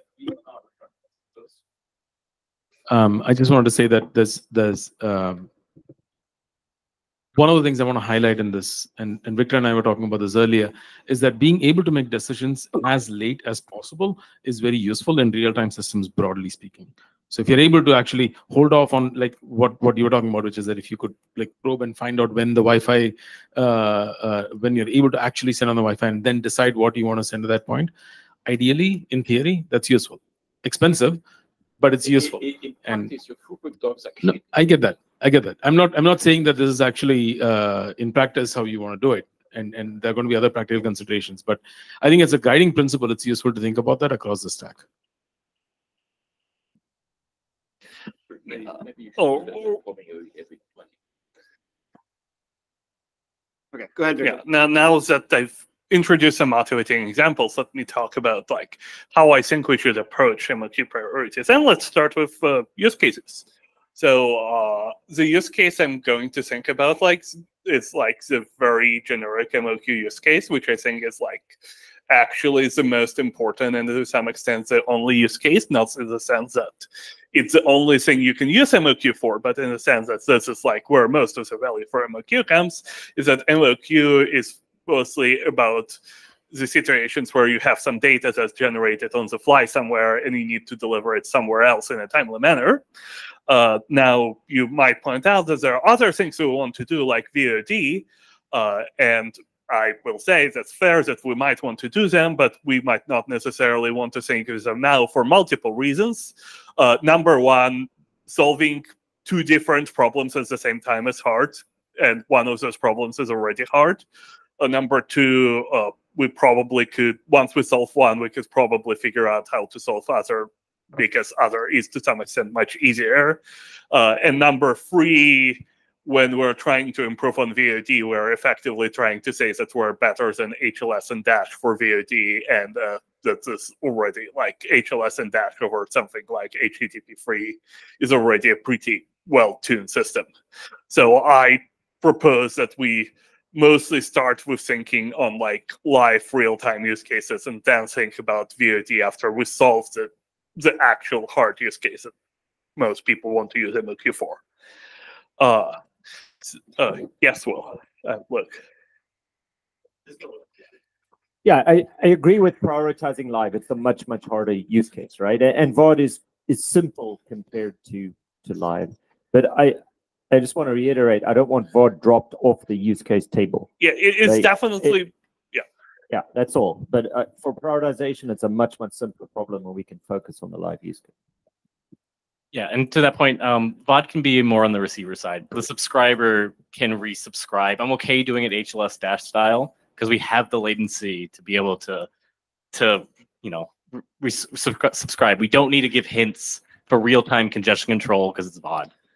But um, yeah, just just make sure we can deliver VOD data over MoQ in order, please. Um, that's it. That's about it. yeah so to elaborate but like those use cases are like so the two hard things that makes it this timely manner is we want data to be delivered that when it's relevant and we don't want to be it delivered when it's irrelevant and that hard because the networks are unpredictable and on the fly is the part where it's generated in an unpredictable manner so that's another uh, things that makes it complicated. And there are many cases in which we target like latency ranges, types of networks, types of payloads, and those also factor into this. Uh, but so uh, I think now my general observation about what kinds of proposals we've uh, like discussed at this point, and this includes things like delivery timeouts, that was my thing, uh, is that generally we try to construct them in the following way. Like there is some bit of information that someone, sender or publisher, someone from the application puts onto the payload, and then the relay just reads it and it treats it as an extraction to do exactly and we spec what we say and we specify a bunch of those methods. And we hope that like we will specify more and more of those. And as we specify a lot of them we will eventually arrive to something that works and will produce optimal experience. Uh, and i in generally going to call it like a kitchen sink approach because well you you you have some tools and you hope that you would be able to cook something up with some tools but like you're not necessarily thinking of what you're trying to cook. You're just trying to like stock your kitchen but you never have you it's kind of like if i want to went to buy some tools for kitchen but i never cooked in my life before Um, Victor, you're you're at 18 of your allotted 20 minutes. You can run over a bit, but given how many slides you have, you need to go a little faster. Thanks. Okay, sure. Uh, so what's the preter- uh, alternative I'm proposing? Okay, let's step back about what's like what's the fundamental problems that MOQ tries to solve when this like, like trying to figure out uh, how to solve the network performance. And the fundamental problem here is, okay, I have some data. I need to figure out which of the data I should send and possibly when and if I should send it at all. Uh, and notice that this is actually like a very hard problem. It's both to some extent both priorities problem, but it's also this is very much like the congestion control, which where it's a congestion control, just typically tells you when you should send next. So this is in some sense a superset of that. Uh, so like uh, the way I would like any abstract MOQ sender can be represented like uh, with this simple diagram where you like you have a bunch of things from send subscriber, publisher, and network, and look at what's earlier, just telling like that like this, this in terms of syncing of of signals, then they feed into some algorithms and the algorithm figure out what to send next. Uh, and this algorithm like has a bunch of inputs and outputs. So generally outputs, like the most general output is like the decision of what to send exactly and when. And like if you call it this algorithm repeatedly, this is the most general solution. Uh, so like priorities, for instance, like the way we typically things that there are like MOQ sendings, there would be like free control loops. There is like the priorities loop, which decides what to send. Then under it, there is like congestion control loop that decides how much you send. And then above it, there is also like ABRs that may or may not be even like on the same party in the connection. And you have this free con- control loops interacting they i don't believe that like they necessarily should it's definitely the most general way to structure it. uh but uh like there there is no reason to always separate them and there have been some research projects for video sending in which all three of those were basically solved at the same time uh, but in some cases you do have to like reduce yourself to whatever api you have available like if you're doing web transport you have to do web transport priorities uh, I, I was just going to say we're, we're we're we're reduced by scope in this working group to more or less what you're suggesting here, right? Like we're not trying to solve all three of those together, right? Uh, by the charter of the working group. yeah. Uh, so the other part is the inputs, and the inputs are like what exactly information we're giving and how. So in like old proposals, that would be like delivery times. That would be like a very specific number with specific, but we in general just should think about inputs. And then there is some algorithm. And so the first claim I'm going to make, which might be controversial, is that I don't think that in the wild we will see the one way well, like that all MOQ relays approach it. We can see this, but like with things like congestion control, we've been trying to solve problems like congestion control for like 40 years, and we come up with new and new things every five years. So I expect to see like a lot of more development here. And part of this development would have to happen on senders because the senders are like the entities that are closest to decisions decisions being made. Uh, Victor? uh, Yeah, yeah. Um, I just want to comment one thing on the previous slide about we're limited potentially by the APIs that we're dealing with. Yeah. Kind of, but because you can basically just re-implement the entire priority sc- scheme in user space and only supply data to the stream when like you decide it should be written to the wire.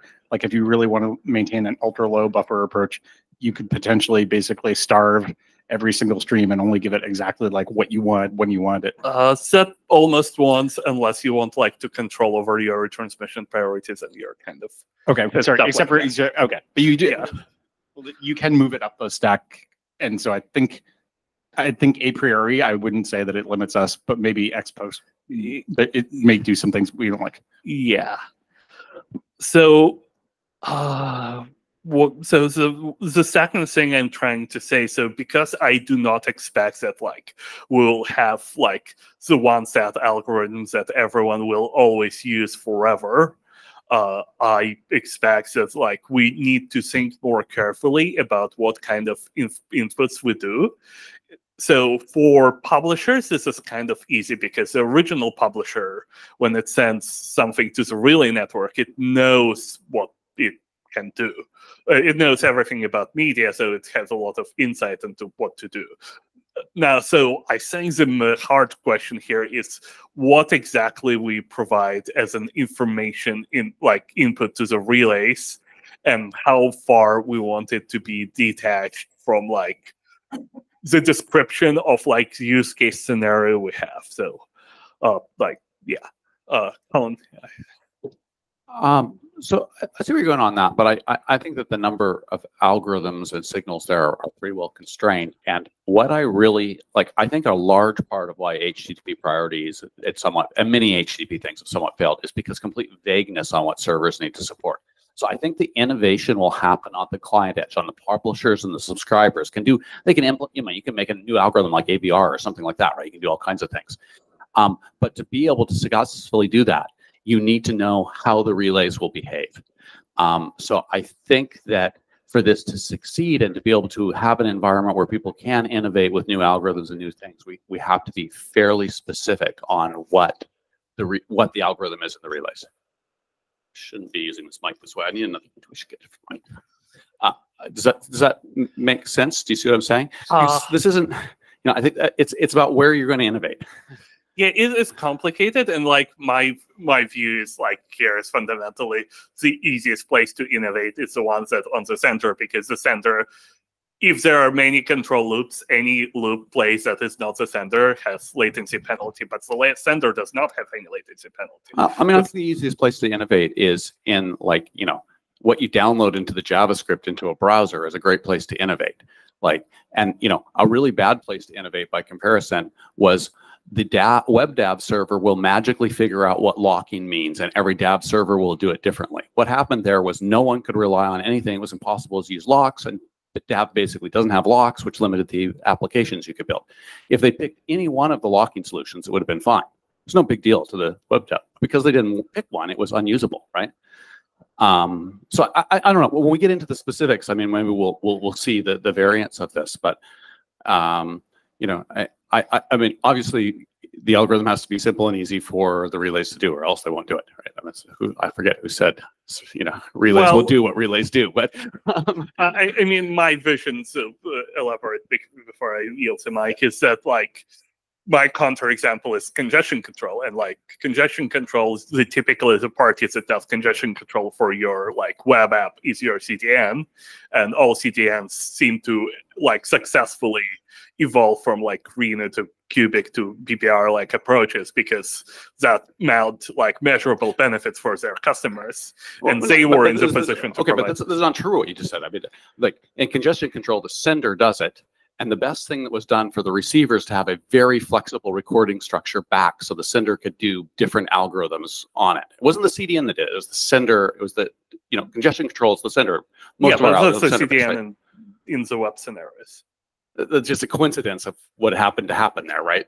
It's not that the CDN was a better place to do it. It was that doing it, specifying it at one end, and then allowing the other end to be defined in advance to send the information back that was needed to adapt the algorithms at the one place was the winning design, which is was the C. I mean, you're right, CDN in that case, but you know, s nailing down one end and leaving the other end flexible is often a good internet level architectural sort of way to allow migration versus ossification.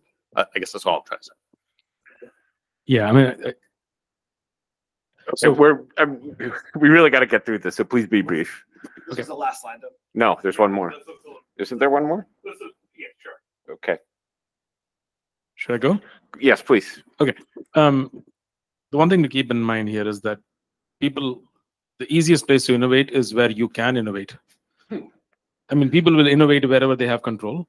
If you can't push JavaScript into the client, you're not going to innovate there. If you can, if if all you do is own routers, that's where you're going to innovate.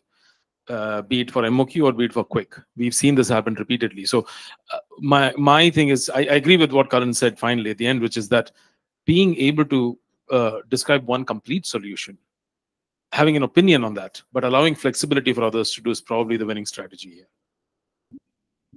Um, I, I just want to second uh, Jana on that one. E- even though we have three different congestion control algorithms, at least the, ones that we use today in QUIC, they're all well specified. They're not open-ended and say you do whatever you want. So specifying at least one algorithm that uh, defines how uh, a given relay uh, who wants to kind of implement that would be useful. And then also like right now we are into the proposal side of the sections and from again i'm looking at what the discussions i had Cullen and others were had uh, and will were had yesterday i think the number of inputs are not that many and through these years we a couple of years of this one we have come we have, we have a fair understanding of what use cases we need to support and what those use cases need. And probably thinking about on proposals and see uh, if we can come up with something simple and deterministic uh, relay can uh, implement would be good good for us to go forward. Lucas Yeah, I, I just wanted to respond to the we have to define something and everyone has to follow it. Like, as somebody who works at a, a, a CDN that has broad uses for different origins, different clients, basically everyone is an adversary. Like, whether whether they mean to or not, they have a way to basically break the entire operation for everybody else. So there has like we have to do policing and we have to uh, basically ignore musts where we have to. Like it, uh, that's part of why the HP priorities was very suggestive, but ultimately acknowledge ag- acknowledgement that like I will ignore you if if it comes to deciding whether to do something that's the perfect solution or something that's good enough. Because if you if you embed this and ingrain it too much it becomes not as gamed but completely easily like monoculture that there's this, this horrible way to break everyone by just setting this flag. And we don't want that. Um, we we do want some expectations and we do want to to generally understand oh this is the best way or this is a good way of doing it and generally it kind of work roughly that way. Um, but uh, yeah I, i'm very much against this strict this is exactly how it must be. Because the, the success of congestion control is it's sender driven and the receiver doesn't really know yes it gives signals sure but like there isn't you know there, there isn't a, a well-defined definition of what congestion control algorithms are. There's extensions there's tuning there's parameters there's buffers there's all sorts of other factors that go into it that ultimately don't really matter to the receiver. Christian are you in the queue? Okay. Victor uh any closing remarks? Yeah, uh, I, I mean, I think we'll just like this is the principle. Like, I, I, I hope that like we'll try to make inputs more flexible in terms of what we do, so that if at some point really decides to experiment with an alternative algorithm, we we can, and like do not like specify values that like do not are not useful in other cases and expect them to always work. So, so that's my basically proposal. Thank you. okay thank you victor please stop sharing um i think it's oh, I was just gonna ask maybe because we have so we have an afternoon. Where do we want to stick the break? I guess is my question. Um, I, I, we've been at this for about an hour thirty. I, I think maybe we want to go for another forty-five minutes or so, and then do a break. If people are okay with that. Toilet. Do we need that now? Maybe just run for five and get back here in like five minutes. Okay. Yes. Be back in five. Five minutes. Go pee if you're not. How far can you get, John? How far from here?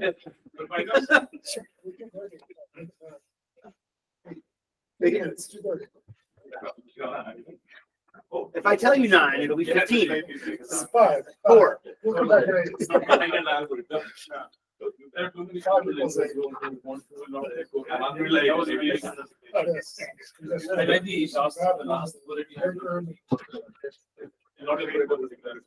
Yeah, I think, I think that, yeah, that was actually was we I like the, I that, yeah. I think is the. You give the flexibility to do something, actually, I burned my finger. when we. It's a, it's a working group that defined an algorithm, which is actually have three algorithms. Uh, and only one. does Right. it. Because I'm talking to a word. Sorry. Oh, okay. Yeah, in the beginning. Oh, that's we were right. trying- Like, hey, just work on this thing now, and then the servers decide what algorithm they should run. And I think we should do the same thing. We turn the information and then let's just, yeah. It depends, on being on the side of trying to make an RGB relay. Uh, it's very application specific. Yeah, of a sudden. exactly. Let, let- let- me- let me offer you a service called S three. It might store your files, it might change your files, it might deliver half of your files. Is that a useful service for you? And basically the answer is no. No. And but so we, there's a, there's, no, so there's some level where it's just gone too far, right? Yeah. And there's some level where it's like, yeah, you need to be able to do things. And like the point about like policing, you can't like, like, we need to like get rid of bad things and stuff, right? Like, yeah, of course, but I think most of that just say close connection. So, so, so, so, I mean, the, the, the service description, I think that, that could be one thing to actually, you, you have this minimum level of service description. That lets you do whatever the algorithm you choose to do, but I want to deliver this minimum service requirement. Uh, that, that should be the. Yeah, and like, some- some of this would be just policy. I mean, like, some people may say, you know, I mean, there may be, and there's lots of CDNs that say our max size object is X. Others that say Y, right? Like, that doesn't, like, that's just like, but it's like, you still can decide services. Yes, I have that buffer. I think, I think it's hard because you can't think of the data. That's, that's the issue, like when you, uh, have multiple viewers and you send it upstream. That's like this. Oh, it is, that's, it's done for like two people. So it's only for last mile prioritization. Yeah, it, it's like uh, buffer reports. It's like, hey, it, it's basically the problem I'm trying to solve. It's like, or remember where I mentioned that like you need to like have some models that want here I don't, buffer. I don't, like I don't, there's just- hate you. I just kind of wish we didn't have that information, because it is last. Right, I mean, the first mile will do something bespoke. And any, any in between. Yeah, but I. I mean, the first file is identical to the last file, except this is inverted. Oh, but So you don't have have a buffer. You'd have to have like, you know, service create like reset. Well, seconds. it's not just like you type of shoot for templates, you just have a It's, it's the problem is like when you find like an SLA, let's say an SLA, like after two seconds, drop something. Yeah. For the first file, you kind of have to be the most aggressive possible, right? You have to say the SLA is two hundred milliseconds because a viewer might request two hundred milliseconds. Otherwise, you're gonna be sending old data. And that's kind of the problem, like when you do like a buffer size, it's a race to the bottom. It, it really is like, you end up having. Is that the tomorrow? Guys, yeah, tomorrow. I think it's the buffer size. Because if you have a case where a viewer says, I Wait, want But why, you, you can have like one second of one points of view or uh, five seconds. of suggestion. Well, it gets Already to the microchip Scenario where you get, uh, those necessarily, well, for experience. No, not for everybody, but if you're dying I'm just, just running back. Case where you actually expire the content on the viewer side well before the sender. I think it's okay in the prioritization side. I think that's like. Way we should like, please, just with only What time did we start the break? It's just hard. like, I- I- 223 or 222. You know, it's gonna take more than five minutes. Find it all. Okay, that works in the one that just gets to the- That's just- No, no. Gotten more, uh, gender diversity crowd. I would never pick it, but I'll never try to. Hmm? More gender diversity, we can paralyze back. Yeah. I went upstairs just to like reduce the log jam That's, uh, when you. and with the microcation. Or whatever. Um, And I guess it's the long term. You couldn't deal with like. So my point is to just throw up the questions. Yeah. And walk through them. Okay, we'll see what Sort of as, not like at light speed, but. Let's see where, let's see if it gets anywhere. I mean, I, I mean, are you gonna? Yeah, well, I mean, like, I don't know if if we can, con- I would say that we can converge quickly on answers to those questions. That's, that's worthwhile.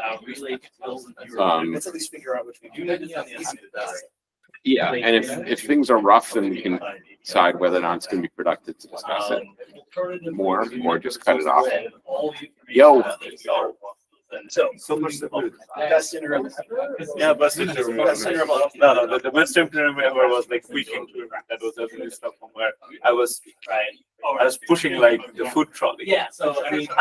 Because at that day, there was, that was a government house. It's a holiday, yeah. And me and Magnus was pushing like food trolley for you. I don't know, Paris in June was kind of, was not, was not a bad interim either. Uh, Just a question, like, do you think that we should this gear shift and talk about the solutions? Well, we'll see. We're gonna time box this. I don't think we're gonna let it drag on, but I mean, if we can't reach agreement, if we We can't, been discussing the problem, right? if, if we can't reach agreement on these questions, then it's, I think we're doomed.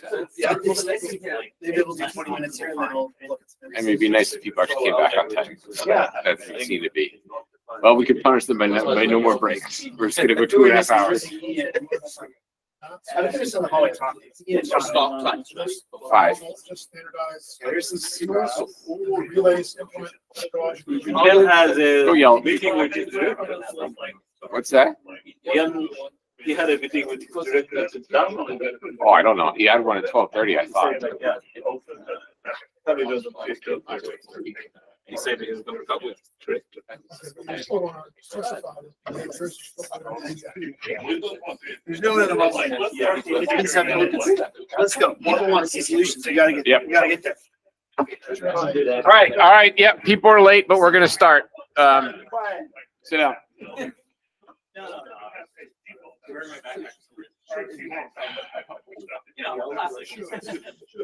Oh, okay. So, hello, please sit down and stop talking. Um, Cullen's going to give us like two minutes on logistics for tomorrow. So if you don't want to be wandering the streets of Seattle and banging on Cisco's office, pay attention. Okay, real, real, really simple, and I'll be quick. Um, well, so, uh, the Cisco office, if you Google it, you'll get the correct address, nine oh one. It's at the corner of Broad and Third Avenue. It's, a- the building takes a whole block with the doors at that end. You want to go to the door at Broad and Third. And, um, the, the door to the building, there'll be somebody there, one of the Cisco people, um, who will help let, will, will let people in. Um, and, uh, we'll send you up to the, the right floor. There's no NDAs, there'll be no badges. We're just gonna head in and trash the place. Um, it's, uh. And, and at what time will there be So, to let us know? uh, I think what we said is arrive between nine and nine thirty, be there before nine thirty, is that fair? We'll start, Fair? it. try to start at nine thirty. Yeah. Okay, so, and we'll, there will be somebody there at the doors by nine, okay, to to let you in. Um, we'll probably, my cell phone number there is probably the best way to get a hold if something's going totally wrong. Get a, get a hold of me. Is that a four or a nine? Uh, sorry, 408 421 9990. First one's. And, um, uh, there will be probably donuts and coffee there in the morning. And there will be some sort of lunches there at lunchtime, probably sandwiches or something, and we can decide whether we're gonna eat those or go out or do whatever. we want. There's Fair number of places around there. Um, someone who knows Seattle better than me would need to like pick a location. It's right over by the Space Needle if you're trying to figure out where it is, basically right there. Um, let's see, any other, if, if you, if you arrive after lunch, I don't even know, if we're gonna let you in. who knows, somebody will have to come and open the door for you. Um, Is there going to be caffeine or should we make other arrangements? I. There will be water with caffeine in it, definitely, there, because otherwise I freak out. Are you referring to black coffee? But it may be, it may remind you of gas station coffee, I don't know. Oh, that's fine. No, no, no objections to that. Okay. Like, there- there will be, warm liquid that caffeinates you. If you want a cappuccino, like forget it. Then get lots of coffee. Well, I mean, I, I mean, I, I would seriously stop at Starbucks and get a box of black coffee if that's I, I think that'll be there along with the. excellent. Thank you. Uh, anything else I can tell anyone? Okay, that's it. Okay. Oh, uh, we're gonna be in a, oh, yeah, actually, no, one more thing. We're, we're, we're gonna be in a cozy little meeting room because we need to get more physical about getting consensus on this stuff. This is way too much space in this room. And we're gonna have a Google, we'll have Google Meet on the board, so we can use Google Meet. All right. Every hour we can move to a smaller conference room. And finally we're in a phone booth. Turn off the oxygen. Bring your COVID mask. Yeah. All right. Thank you, Cullen. I'm going to hand it off to my uh, co-chair here. and we will If I can find. Start going. Uh, just today. That one? Huzzah. Okay, so this was some of the stuff that we put up uh, last week or week and a half ago for people to sort of think about before we jump into solutions. And maybe we can just quickly see and get a sense of what people think about some of these. If there's a lot of consensus, then that will really help us understand that we're at least all on the same page. So um, the first one we came up with is like, what is what is the scope of priority? I, it sounds like people feel like that the scope of priority is kind of is about what choosing to send next. I've heard that over and over again. It, about prioritizing things on the band uh, the bottleneck link. Does anybody else want to offer any like things about what they think priority is supposed to do that hasn't been covered? What? What you got? Yeah. Uh, Uh, I, I think that we have to separate maybe the QUIC priorities, which is basically what is passed through the QUIC API, and the relative prioritization done by the relay or, or the station, the application level. My, my thought model is that the application level will look at the various tracks that it has to send and the various streams and whatever. And then it has to have enough information about those tracks and, and various streams to pass information to the QUIC layer saying, treat that as pi 5 and this one as pi 3. So it doesn't mean that we have to have the number 5 and 3 at the uh, application layer. At the application layer, we have to have enough information so that the relay decides what goes before what. Okay. I, I think that makes sense. Um, the second one, I don't know, does anybody else want to say anything about scope? Maybe not. Um, so uh, I don't know that we're going to necessarily, if this is a good time to like answer the question about what about priority models, but I just there, you know, even today we talked about systems that have at least three different like mental models of like how you build these, what the queue looks like at the sender side. Um, and so that's something we just need to think about when we're looking at what a solution is. Um, but I don't know that we want to dwell on it other than I really don't want to, uh, other than I really don't want to do a tree. Lucas. Yeah, I, I was going to say, can we just veto tree? Like, th- I, c- I don't think anyone really wants that. And if they do, I'll take them aside and have a chat. I mean, the problem with HTTP2 priority tree is that it really should have been a DAG. Um, Like, really? Luke. I'm not going in the notes. We're just skipping. Luke, did you want to say? Yeah, I just want to say one thing about priorities. Um, optimization problem. It's impossible to get the uh, optimal solution, so we should really focus on something that's good enough, do the use cases we want. Otherwise, we're just going to rabbit hole forever because there's always going to be the next bit that could be higher priority to send or more important, but it just gets increasingly difficult to express it on the wire. And I think that's the problem with the trees. It's like you get a lot of complexity for some benefit in theory, but it's just a never-ending pit of Th- better that was meant to be an example of what I meant by the word model and not a recommendation. It was just to get people thinking. Um, Victor, Uh, ideally, we would want something that you can communicate to the WebTransport API, because we, we do have that in Charter, and we kind of adopted some API. And if you if you want to change it, you should do that now. Very, very soon. Suhas? Uh, I think just adding uh, some clarification on what is the scope of the priority. It's a decision that needs to be made when you have multiple things to send, which one you pick next. Not about what might come in the future. It's about I have few things to send. Which one should I pick next? That should be the scope. Yeah. Okay. Uh, I was actually, um, one thing that we haven't done yet, but is, was kind of implicit, I think, in some of the presentations is, uh, and maybe this is like a whiteboard thing, is like, can we write down all the inputs that products that actually have been built today, WebEx, what, you know, Luke's, like, what are the inputs from which direction that people are using? Just to like, just have a list of like, here are signals that like people are using today, just so we like can see the space in one spot. I don't know. That'd be useful for me. Like I'm I'm still not sure like exactly what signals WebEx like sends from the client to the server and from maybe the original. I don't like I don't know I don't know what those are.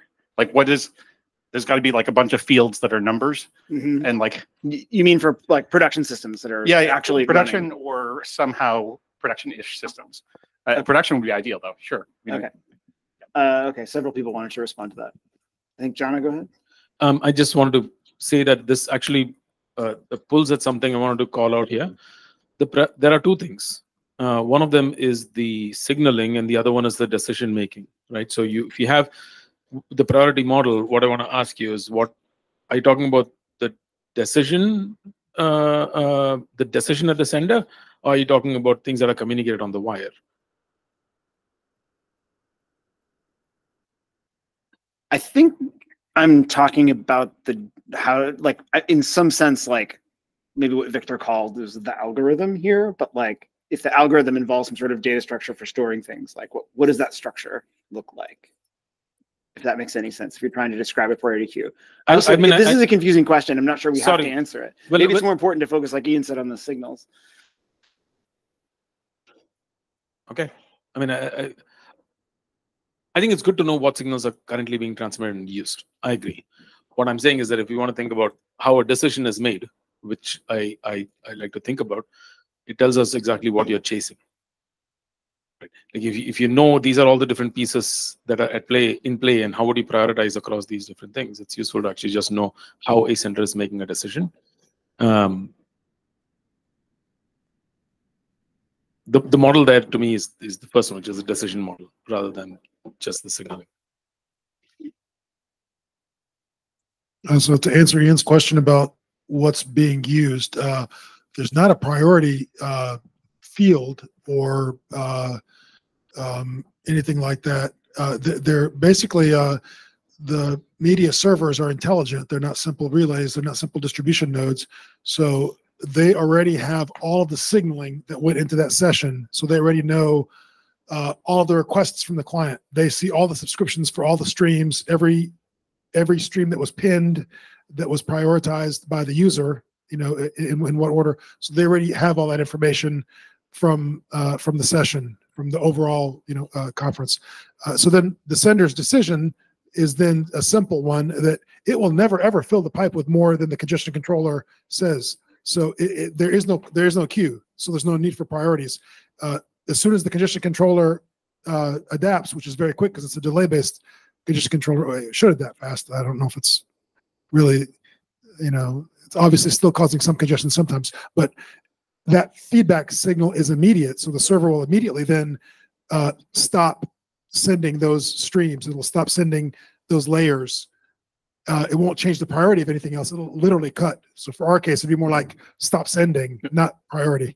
Okay, so let me, then let me ask you a, a question. Do you, I assume you have a model of the uh, subscribers, as, it- we'll call it in this context, uh, buffer depth or something? Like on the server side, do you, either do they communicate that to you explicitly or do you just kind of like It's keep not track of it? It's not communicated, to, but it's known. you know, that It's okay. Okay. Well, you know, we, we know by client, you know, fingerprint, what every single client is, what the device is, what the user agent is. We, we, we know what our apps are and what our devices are. So we just know what our WebEx I, I- I- I just- are. I was, that was one of the things I was wondering about, because I know like, I think at least in some cases, YouTube does communicate that, but part of it's because I think we don't trust that I don't know, it's one peer isn't lying or something to us. Um, okay, so, so you do a calculation, I guess that, um, in, you want to slightly underfill the pipe. And so you do a calculation of like, kind of like, what is the highest quality I can get that will underfill the pipe? And so this is very, yes. right. And so this is not so dissimilar from, to bring it back to one conversation, SCONE Pro, where SCONE Pro, like, you know, you say like, don't send media bitrate more than like X megabits. And then you're like, okay, my 720p is below X, I'll, I'll send 720p. So it's, it's similar to that. Okay, that's awesome. But obviously, there's nobody telling you what that is. It's the local congestion controller telling you. Sure, yeah, yeah, Not yeah. a remote signal. But it, it- but it's more along the, the lines of like that type of ABR. Um, and the word prioritization is, I can see what you're saying. It's not really prioritization, but it kind of is because you're trying to say like, you have an objective function, I guess. And I'll just add that the, the congestion controller gets a lot of deep uh, congestion signals feedback from the from the subscribers. So it's it's you know more feedback than you would typically get in RTP. Uh, it's one you know one way delay and uh, very fine level feedback. Lucas. Yeah, so um two things. One was like, yes, this idea that we might do um user agent sniffing, say, and and make a a, validated decision based on past experiences of what works or what not without any other explicit on wire signal or at least one that the client didn't realize that we were factoring into our decision making process like that's an input we we do consider um, mainly for the H2 stuff because it was broken. With the new extensible one, the, the kind of jury's out, more data needed. Um, but another signal that we consider that isn't on the wire um, is effectively the class of customer that is using us. So, you know, it's fa- it's fine for us to have service discrimination based on um, how much somebody is willing to pay. Um, you know, Alan touched on this in the chat with the market's going to dictate some things. Like if you tell me I'm not allowed to um, provide something that's not quite good enough because I'm giving it for free, um, because an RFC said I can't do that, I'm going to ignore it. And I think potentially customers would too, because they're getting a service, they're getting good value um, for something that's good enough. Luke.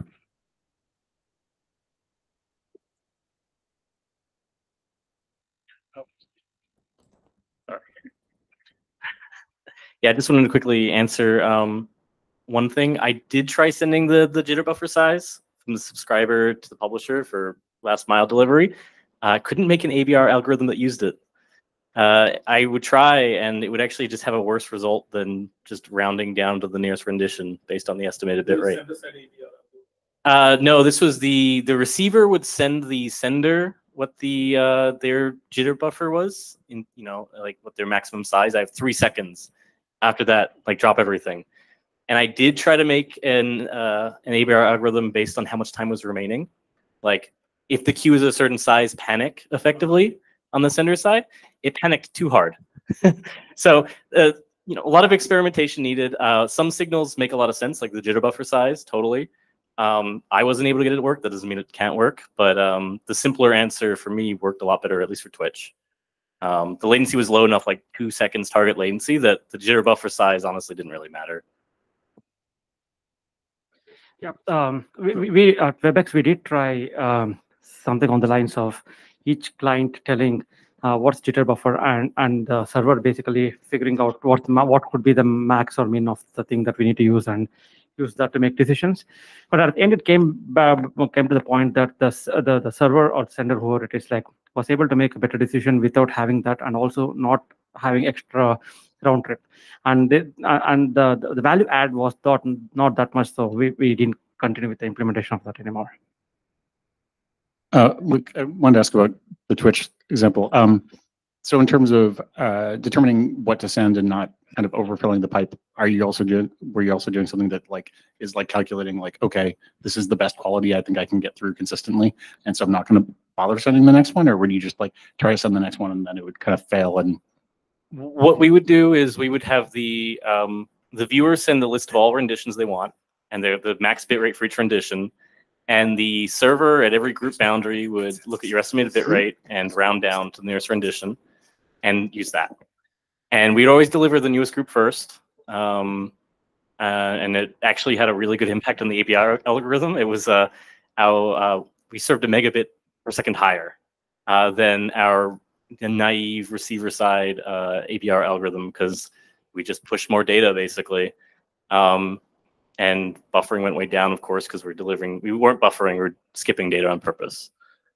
Um, anyway, jury's out. Like, there's a lot of different approaches. Um, but for me, we wanted to get around the head-of-line blocking of HLS, which fundamentally just means we deliver what you can, newest newest please. Um, and I think to Victor's previous slide, like delivering older data makes sense, but you have less time to deliver the old data because it's only useful for another like 200 milliseconds. Whereas you start delivering the newest I-frame, yeah, it's like two seconds in the future, but it's going to be very useful and you have a lot of time to deliver it and you can account for congestion that way. hold on a sec. I'm just going to kind of try to come back. So I- as far as I understood, we like we didn't really talk so much about model other than model we don't want. Maybe it's like a decision, but I'm not sure that that's something that we can like. It'll we might need to sort of punt on that.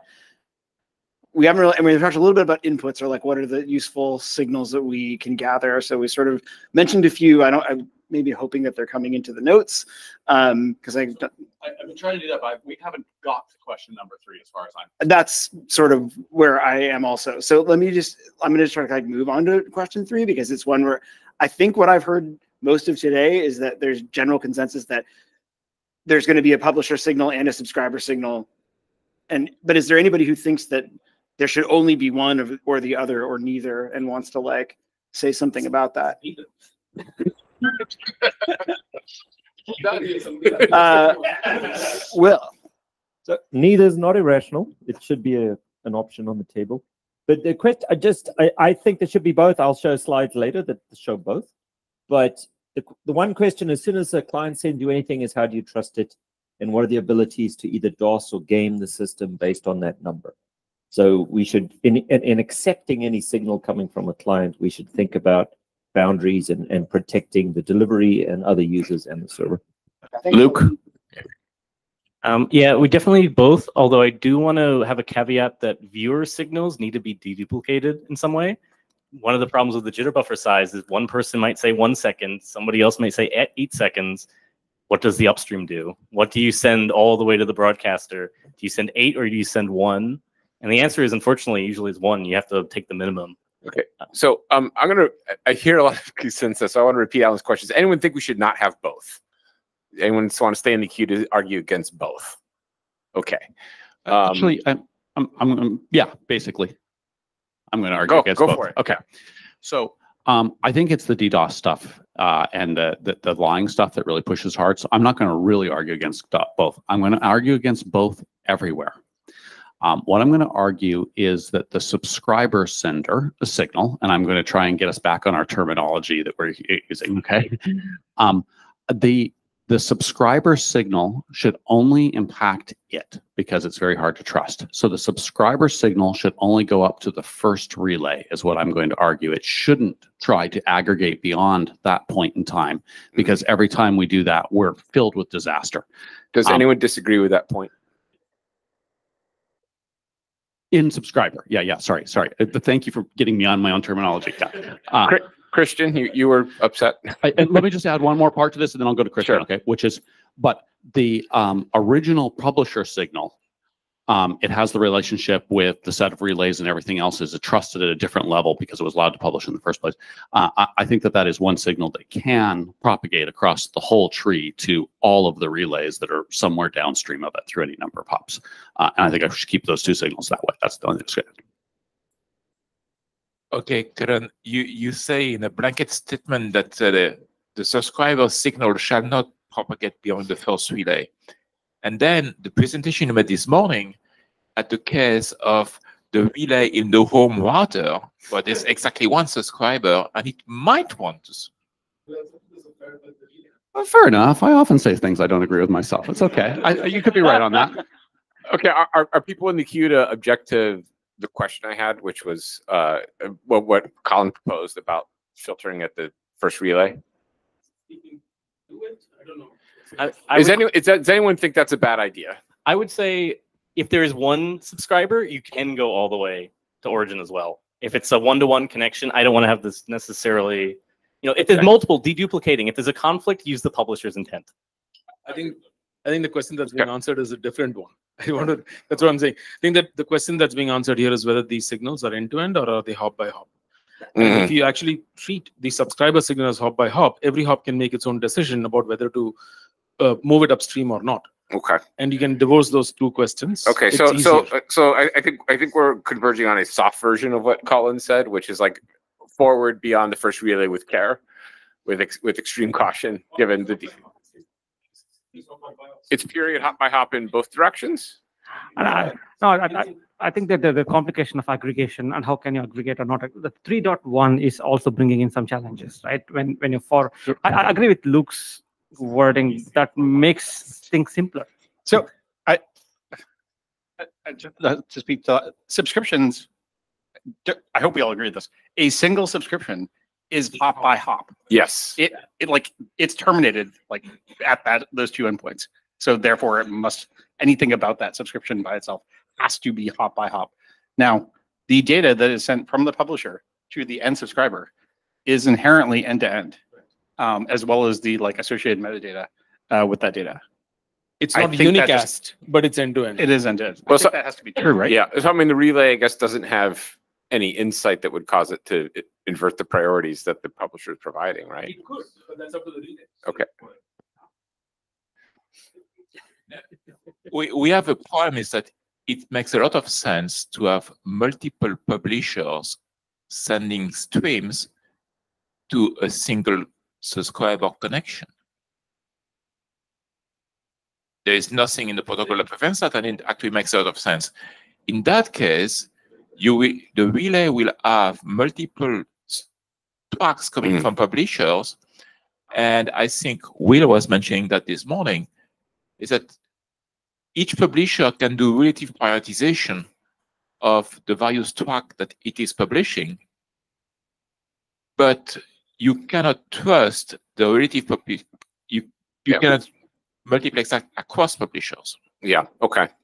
Uh, I- I'm going to continue to struggle to like come up with a formulation people can agree with. So hop by hop, in terms of like aggregating stuff, particularly in the upstream direction, like exercise extreme caution due to security concerns. No, it's not just security cons- concerns, it's also scalability concerns. Okay, Bec- sure. The thing is that any aggregation function, uh, it, it, it- it's like, what is up, if the, like going back to Luke's point, right? If there's one subscriber, it does not matter. If for same track, multiple subscribers come and they all come with uh, various things, I think only thing we should say is that uh, follow the publisher signal. So I don't see how this. So let, let me try to articulate this uh, clearly. I think it is fundamentally hop by hop in both directions. Here's why. Um, if a relay has to make a decision, it is a hop by hop signal. If the relay is not doing anything at all, then it's an end to end signal. Now, if we are merging multiple uh, publisher streams at a relay, you've got a hop by hop decision to make there. If you've got multiple subscribers coming into a stream and that gets aggregated on the way back uh, upstream, it's a hop by hop signal there. So unless the relay is completely oblivious of the signaling, it is hop by hop. Okay. Uh, uh, uh, I want to clarify terminology.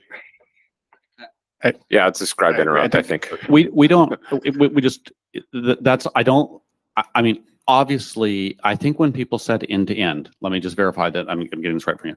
They that, that meant the information flowed through hops, hop by hop. Okay, like let, uh, let's get away from this hop by hop and end to end terminology. I think it's going to kill us. I mean, so I, I think the question is is the publisher the signal from the publisher flows to every relay it goes through, right? Or, so, so, so in the in yeah original publisher whatever information it puts in there flows to every relay can act on that information is one of the signals every relay gets. Yes. Yeah okay. Yes. and calling that hop by hop or in by end is going to get confusing let's just be very specific they can all they all get that information yeah I was going to say, I think about it is the signal from the original publisher is end to end, but the decisions are inherently hop by hop, just because that's how prioritization works. Okay. Okay. Uh, Lucas has been waiting for a while. Yeah, so like HTTP has a lot of this too. Um, although we might think about, for example, a, a frame coming in and being forwarded on, So a headers frame on H2 or H3 comes in, and I'm going to forward that up to the origin because you know I'm I'm a proxy in the middle. Um, it's not. It's the same frame more or less, but I've consumed it and I've reconstituted something that's almost identical. Um, and I think that's fine. That that makes sense. So, to, like the example I could think of, uh, very different, but you know, uh, if a client sends us uh, like X real IP header, we don't trust that. We we remove it and we add a new one based on the information that we have, and who whoever is upstream of us uh, maybe trusts us or not um, to have done that verification. Like that model is fine. I think it could be adopted here. Like we ignore it. I'm not talking about headers themselves, but the fact that um, things can consume stuff and add them and manipulate them. Um, if you don't want that, then you need to provide some better, like actual probable things in there, because otherwise people will do it anyway. Victor and then Luke. Are you out in queue anymore? Okay, Victor, then Christian. Yeah, uh, I think I, I agree with Cullen's proposals that like generally we will have data flow from things would only propagate from publisher original publisher to end subscriber and end subscriber can affect it but it's only as help and one thing i wanted to say is that uh, it's true and sometimes in relays you would even have to ignore what end subscriber says so for instance if like i'm asking for a buffer size of five minutes a relay can say I, I don't even have that much ram go, go away 30 seconds it is uh,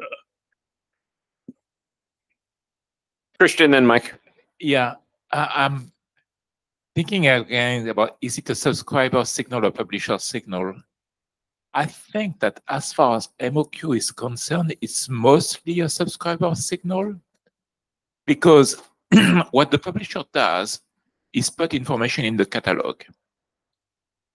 That information in the catalog is expressed whichever way the catalog is built, but is understood by the subscribers. Based on that, the subscribers will do things like I want that I want to subscribe to this particular track. We let the subscriber choose which track they subscribe to. They're not subscribing to the set of track that is somehow passed to the relays. And so the, the subscriber is already making the decision to subscribe to particular tracks. It may want to only subscribe to the HD track in a simulcasting because that's what they do. Okay, it's it could do that. So de facto, the subscriber is deciding what it wants to receive. So it makes sense to have those signals be subscriber mostly. Because yeah, I think it makes sense. Mike, then Suhas.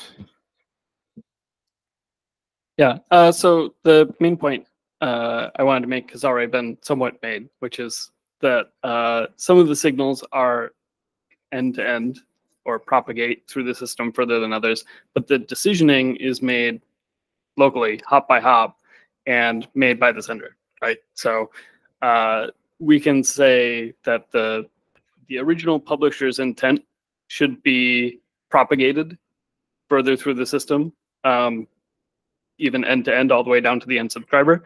Um, but maybe we want to be more cautious about how we propagate signals from the end subscriber back up the chain. Um, Yeah. Um, does anyone disagree that this is like advisory to the sender and that there's ever like a mandatory requirement on the sender imposed by these? Oh. I I think that the most successfully designed systems to be able to build things then that actually work in the real world are where when you ask for something that's not possible to do, you get a clear signal that that wasn't done, including that can be just closing your connection, right? But if you ask a relay to do something that's not going to do for you and it implies you're not it, like that's all fine, right? That's that's how you end up into very broken systems. I mean, we have you know countless examples of that. HTTP based systems are one of the worst offenders of that, but that's because they had to evolve from where they were into something more. Okay, so I think there's some level of that. The queue's piling up. All right. Um, uh, all right. Well, I, that was a try that didn't work. So relays have to do everything they're asked to do? Mike. You don't have a mic. So I'm not, obviously a relay can decide whatever it's going to do and not do whatever it doesn't want to do. But we have to be clear between what types of requests were an optional behavior, we don't care what the relay does, and which things are, I need an error if you're not going to do this or some sort of notification you're going to do it. You really need those in systems, right? Does, does anyone object to that statement? What Cullen just said, like that, that, that there are certain cases where there will be a priority request to a sender, that sender will, a relay typically, that they will not fulfill it, and there should be some explicit notification that it will not be fulfilled, rather than just sort of silently ignored. And this was particularly in the con, specifically in the context of subscribe, in, in subscriber, sorry.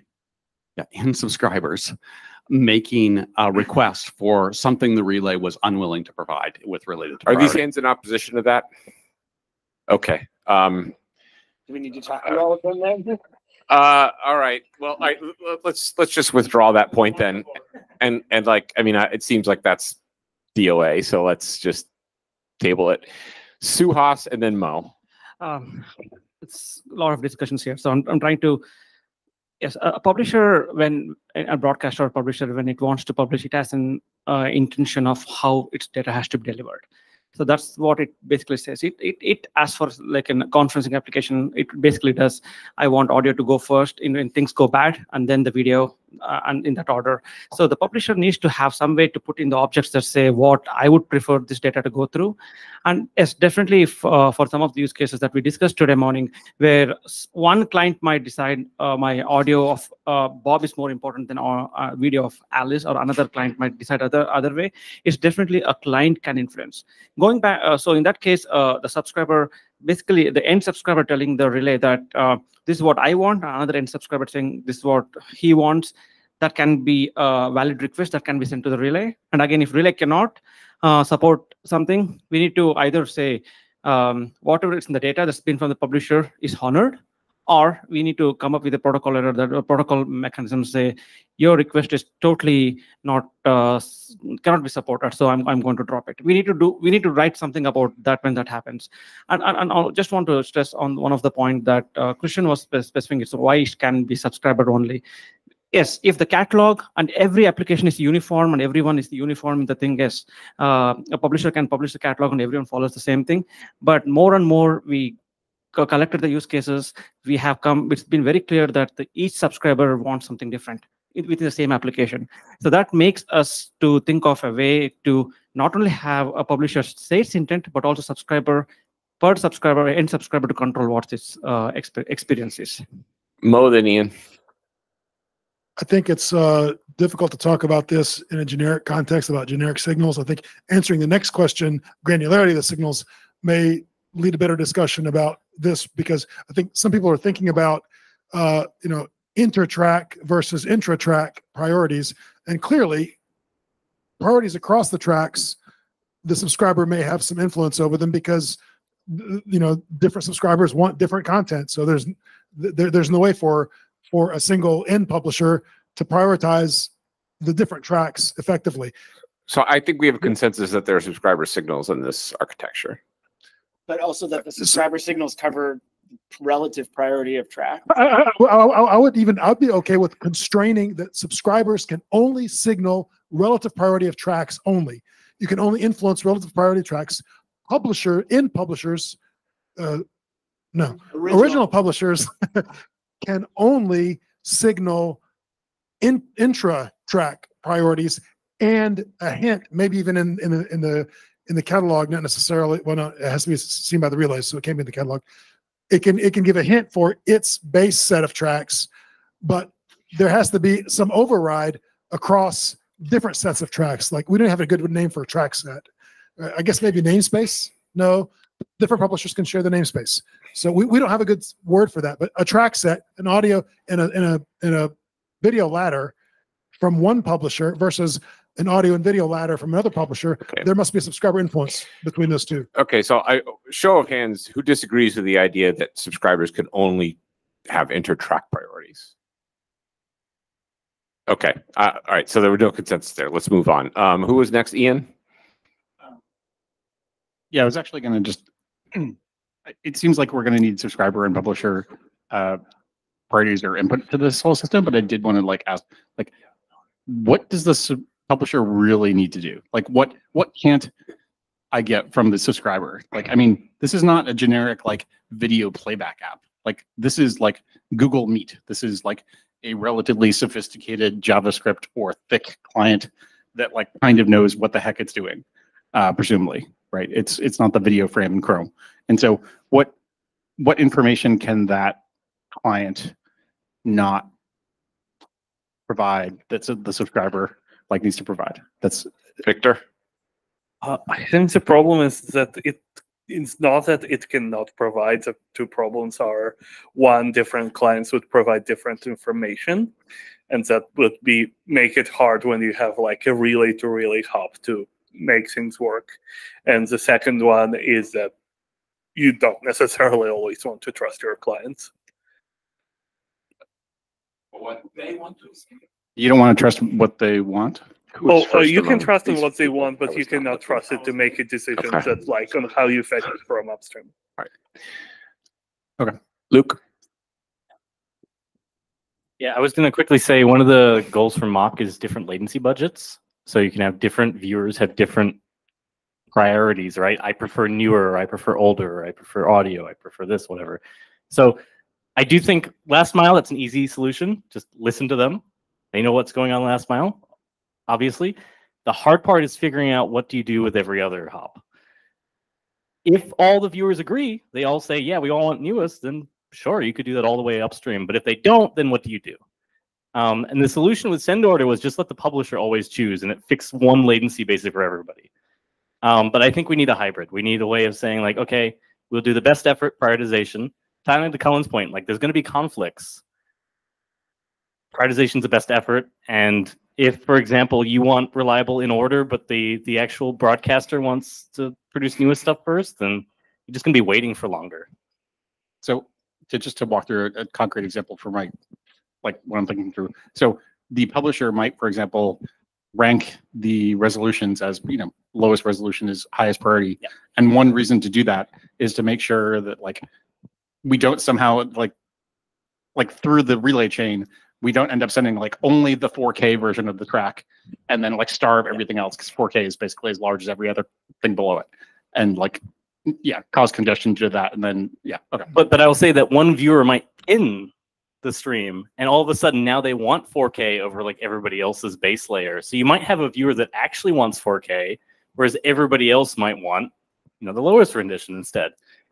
But but if you let the uh, publisher set the priority, that actually would work out because what would happen is they would try to up switch to 4K. Their bandwidth would be crap because like all the way through the rest of the relay chain, like the lower qualities would still be prioritized. And so the emergent behavior would be they just wouldn't get to switch to 4K if for some reason the cache fill hierarchy um, was congested. Okay, I think you've convinced me at least in that case. Yes, the sub- the publisher has very very good reason to want to. Can we just okay? So we we at least for three. Okay, so publisher and subscriber both. So then we were talking a little bit about sort of well, I'll use hop by hop and end to end. We were talking about that. Sounds like there's not quite consensus there and exactly where that's going. I think we understand that. We I can, you I can, I can, I can articulate that and see if we can. Okay, I John opposed the question and everyone vote yes. So I mean, everyone vote. Just on this one, I, I'd say that you want you want subscribers to also send signals because use cases, right? Different use cases and different video. It's not all exactly one use case. And if you're watching cricket, for example, you can give me 340 resolution of you know 640 by 3, whatever it is, 320, and it's not going to be very useful because my ball is tiny. But that's that's you know that's it. That's a cricket problem. Switch to talk, basketball. Talk to, the, talk to the talk to the fucking billion people who want to use this for cricket. But um, um, on the on the question of uh, uh, um, articulating hop by hop versus end to end, I think what we had agreement on was that the signal can be end to end. In the subscriber case, the the publisher to the subscriber is an end to end signal. Decisions are hop by hop, are done at every hop. The subscriber signal is hop by hop that you do not have to relay it and you might actually not want to relay it uh, all the way to the publisher Okay, and everyone, do, do people? Try to recover that. Okay. Yeah. Just given- Yes. And publisher signal flows um, across all the relays. Can someone mic him? That's the relay description. Original publisher. Original publisher, thank you. Original publisher flows, um, the in subscriber signal flows.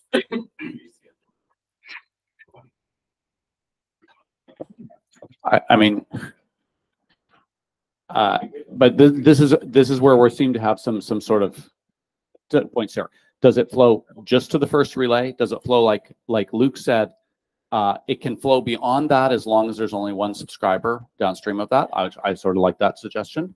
But it doesn't flow up beyond that. We're not trying to figure out.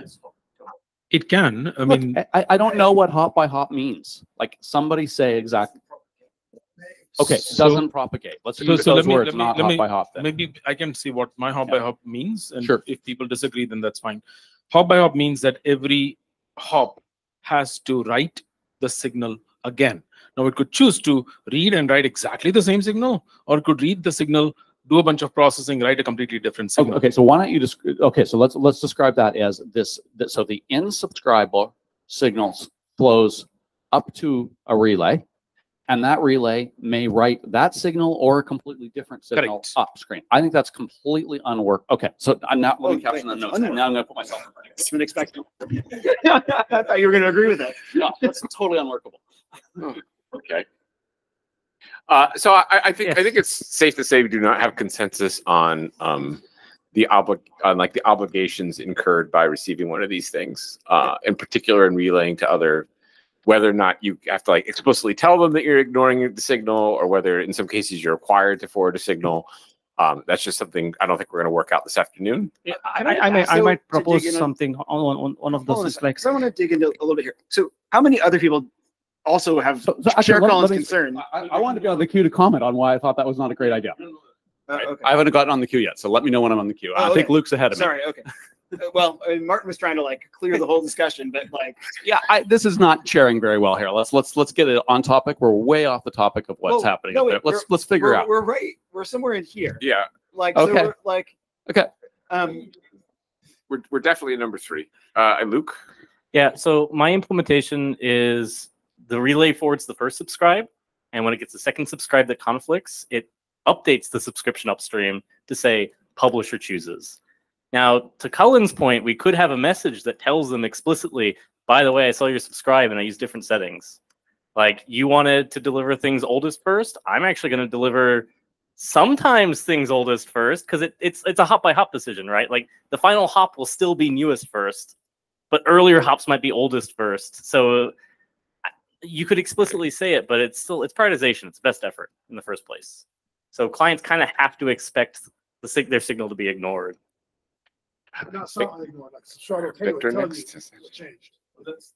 Changed at some hops, right, is part of the problem. It's last mile is still going to be exactly what you said, but first mile could be something else. okay, Victor. Oh, sorry, so, so we'll get you next.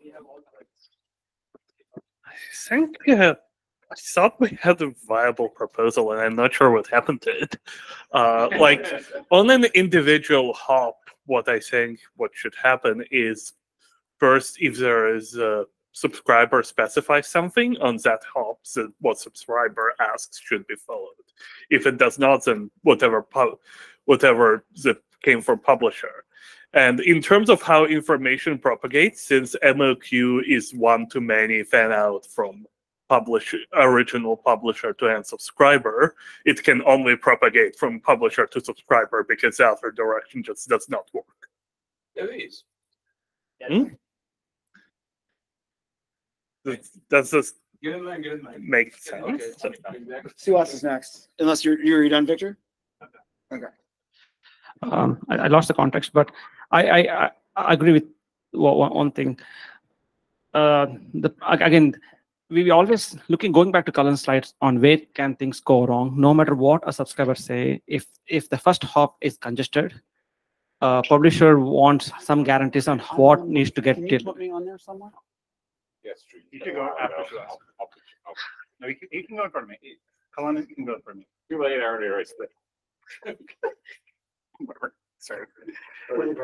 Okay, I'm sorry. I was just trying, trying to say is that like, uh, yes, if everything goes fine, um, if all the uh, data that publisher is publishing it's coming through the the last re- relay and each subscriber has a different because of their experience needs uh, request something different in different order yes they'll get get through it uh, regardless of what uh, the order the publisher send but we, we should always also think about like if the publisher has a first mile congestion or something goes wrong in there then definitely at the end the publisher wants an experience that a broadcaster wants an experience that he wants to give to the subscribers. Uh, he does not know how far the subscribers are where they are but he wants if worst case if nothing goes through my audio should go through. So that's where the publisher is basically saying this is my priority. Please do your best effort to get through the relay system. And at the end yes in, in, in even in webex we have a lot of use cases where you can change the layouts where some become small some becomes big yeah there's a lot of ways to solve that one and that is per subscriber decision and we usually ad- uh, apply that to the the fu- in, in our case it's the sfu or in this case would be the last mile relay Okay, I, I had one, one comment, that- which is I don't, I don't think I understand, um, ex- yeah, I don't think I understand what Relay would do with a client-driven, like, end subscriber, uh, priority, like, up the chain. Like, it seems like, like, as a person who runs like a proxy in in front of a proxy in front of a proxy, like, there's no way I'm like relaying your client-driven priority to like my L3 load balancer. You must be nuts. Um, I have no idea what, what we'll do, but I'm pretty sure request smuggling in- is involved. Um, but the, um, the other thing I was going to say is I, I know prioritization, there's some amount of like server's going to do what server's going to do, but if, if one hop starts sending like oldest first and the other one starts sending newest first, and you like go through a few of those, like I have no idea what's going to happen, but I'm pretty sure it's going to be bad.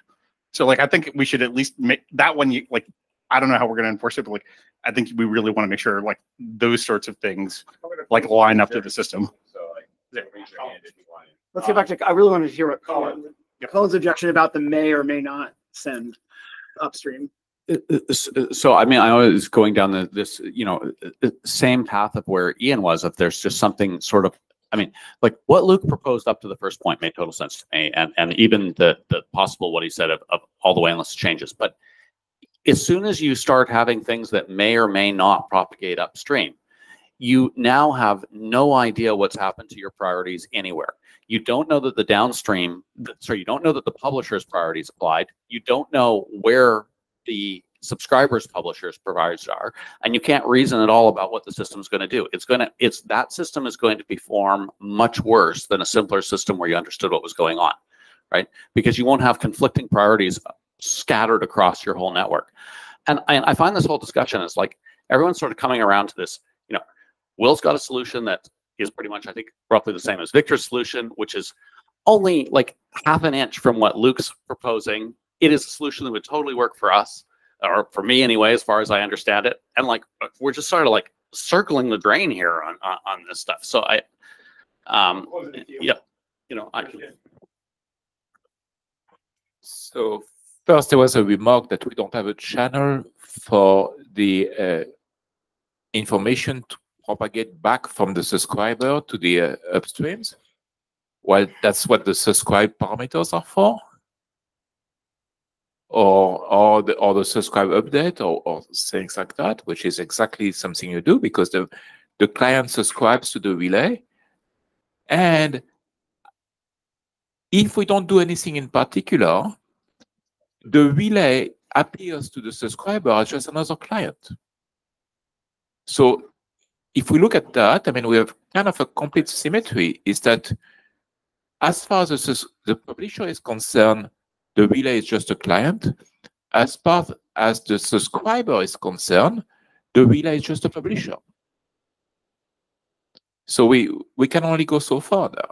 Okay, the, the system, the architecture we have is symmetric.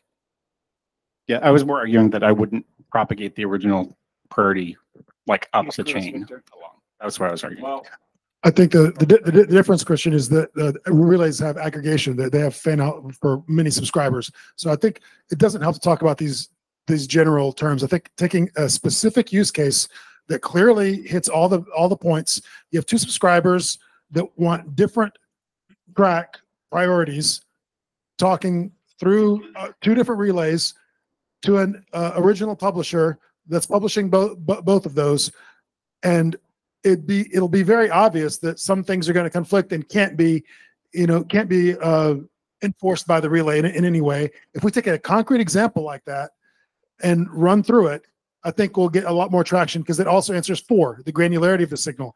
We're talking about track priorities or object priorities. Uh, here's a modest proposal, and if this is a terrible idea, like please shot me down. Mo, do you want to create a canonical model for this for tomorrow that you can present in like 15 minutes or less? I think I can do it now. Ten of those and sitting in the room on slides that everybody wants to present. Okay. All right.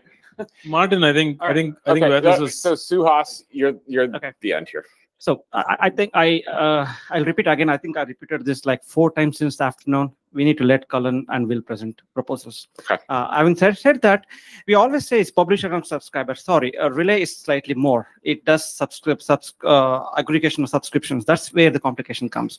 When you aggregate subscribes, you cannot aggregate all the signals. Some like when uh, you cannot. Uh, I'll give an uh, example where this can really fail. Right, where a client comes and asks for oldest first and a subscribe goes all the way and everything comes oldest first. Second client comes and asks for newest first. Okay i I do an upgrade up, uh, update upstream. Now we'll get the newest first. Wow, so the first client is thinking like like I said. my total order changed all of a sudden. And next the third client comes i says i want newest oldest first again. You go and upgrade. So every time each client have a terrible experience and more and more signals we add that uh is closed. that is per subscriber uh it, it just makes makes the aggregation much more complicated. I i, I would say a relay or the first mile relay is, uh, would should be something which is doing the aggregation function should basically uh is is that subscriber's experience so should limit the signals right there and not aggregate upstream. And instead um, if there's a conflicting signals it'll get whatever the publisher sent and for each subscriber it, it based on his queues it sends in the order the subscriber asked for. Okay. So the queue's closed. I, I think I'm going to just repeat what I said like five, ten minutes ago, which is that I think we have consensus that that the answer to this question is both, and we have no consensus on the obligations that these priority signals contain. And we just sort of reiterated that that that lack of consensus over the last five to ten minutes. I also the lack of consensus is is what exactly obligations a priority signal imposes on you. Mar- No, Martin, Martin, I, I don't. We didn't discuss. We didn't can I, can that I, all. can did I say something here? So I, I think it's too early to decide we have a consensus or not. Well, we Because I- don't. I'm saying we don't. Yeah, I mean, uh, uh, even even that because I haven't heard anything that that gives me a proper idea what is the solution could be. I mean, I think it would be. We have consensus that there's publisher and subscriber priorities. Nobody's objecting. Yes, no, no, that, that, that's, part we that's have fine. cons- as I said, this that is end-to-end and true. hop by hop thing, But- I think. but- We have consensus on three I. How are conflicting signals merged? No one has said merge them. Everyone has said they can't be merged. They're conflicting. Well, no, we, we don't, well, no, I've heard people say that, um, they, they must be forwarded under certain circumstances. I've heard people say, Conflicting. There's no, there's- by definition, you can't merge the conflicting signals, right? well, I, I, I don't think, I think we're over indexing on the word merged, but the point is when you get, when you get a signal from, for instance, a subscriber, like, does the relay have to do anything? Does the, does it have to forward something? Does it have to acknowledge it in some way or reject it explicitly? Yes, Christian. I think that Mike. I, I'm hearing this uh, question of, I mean, we have one thing which is clear, which is a delivery order.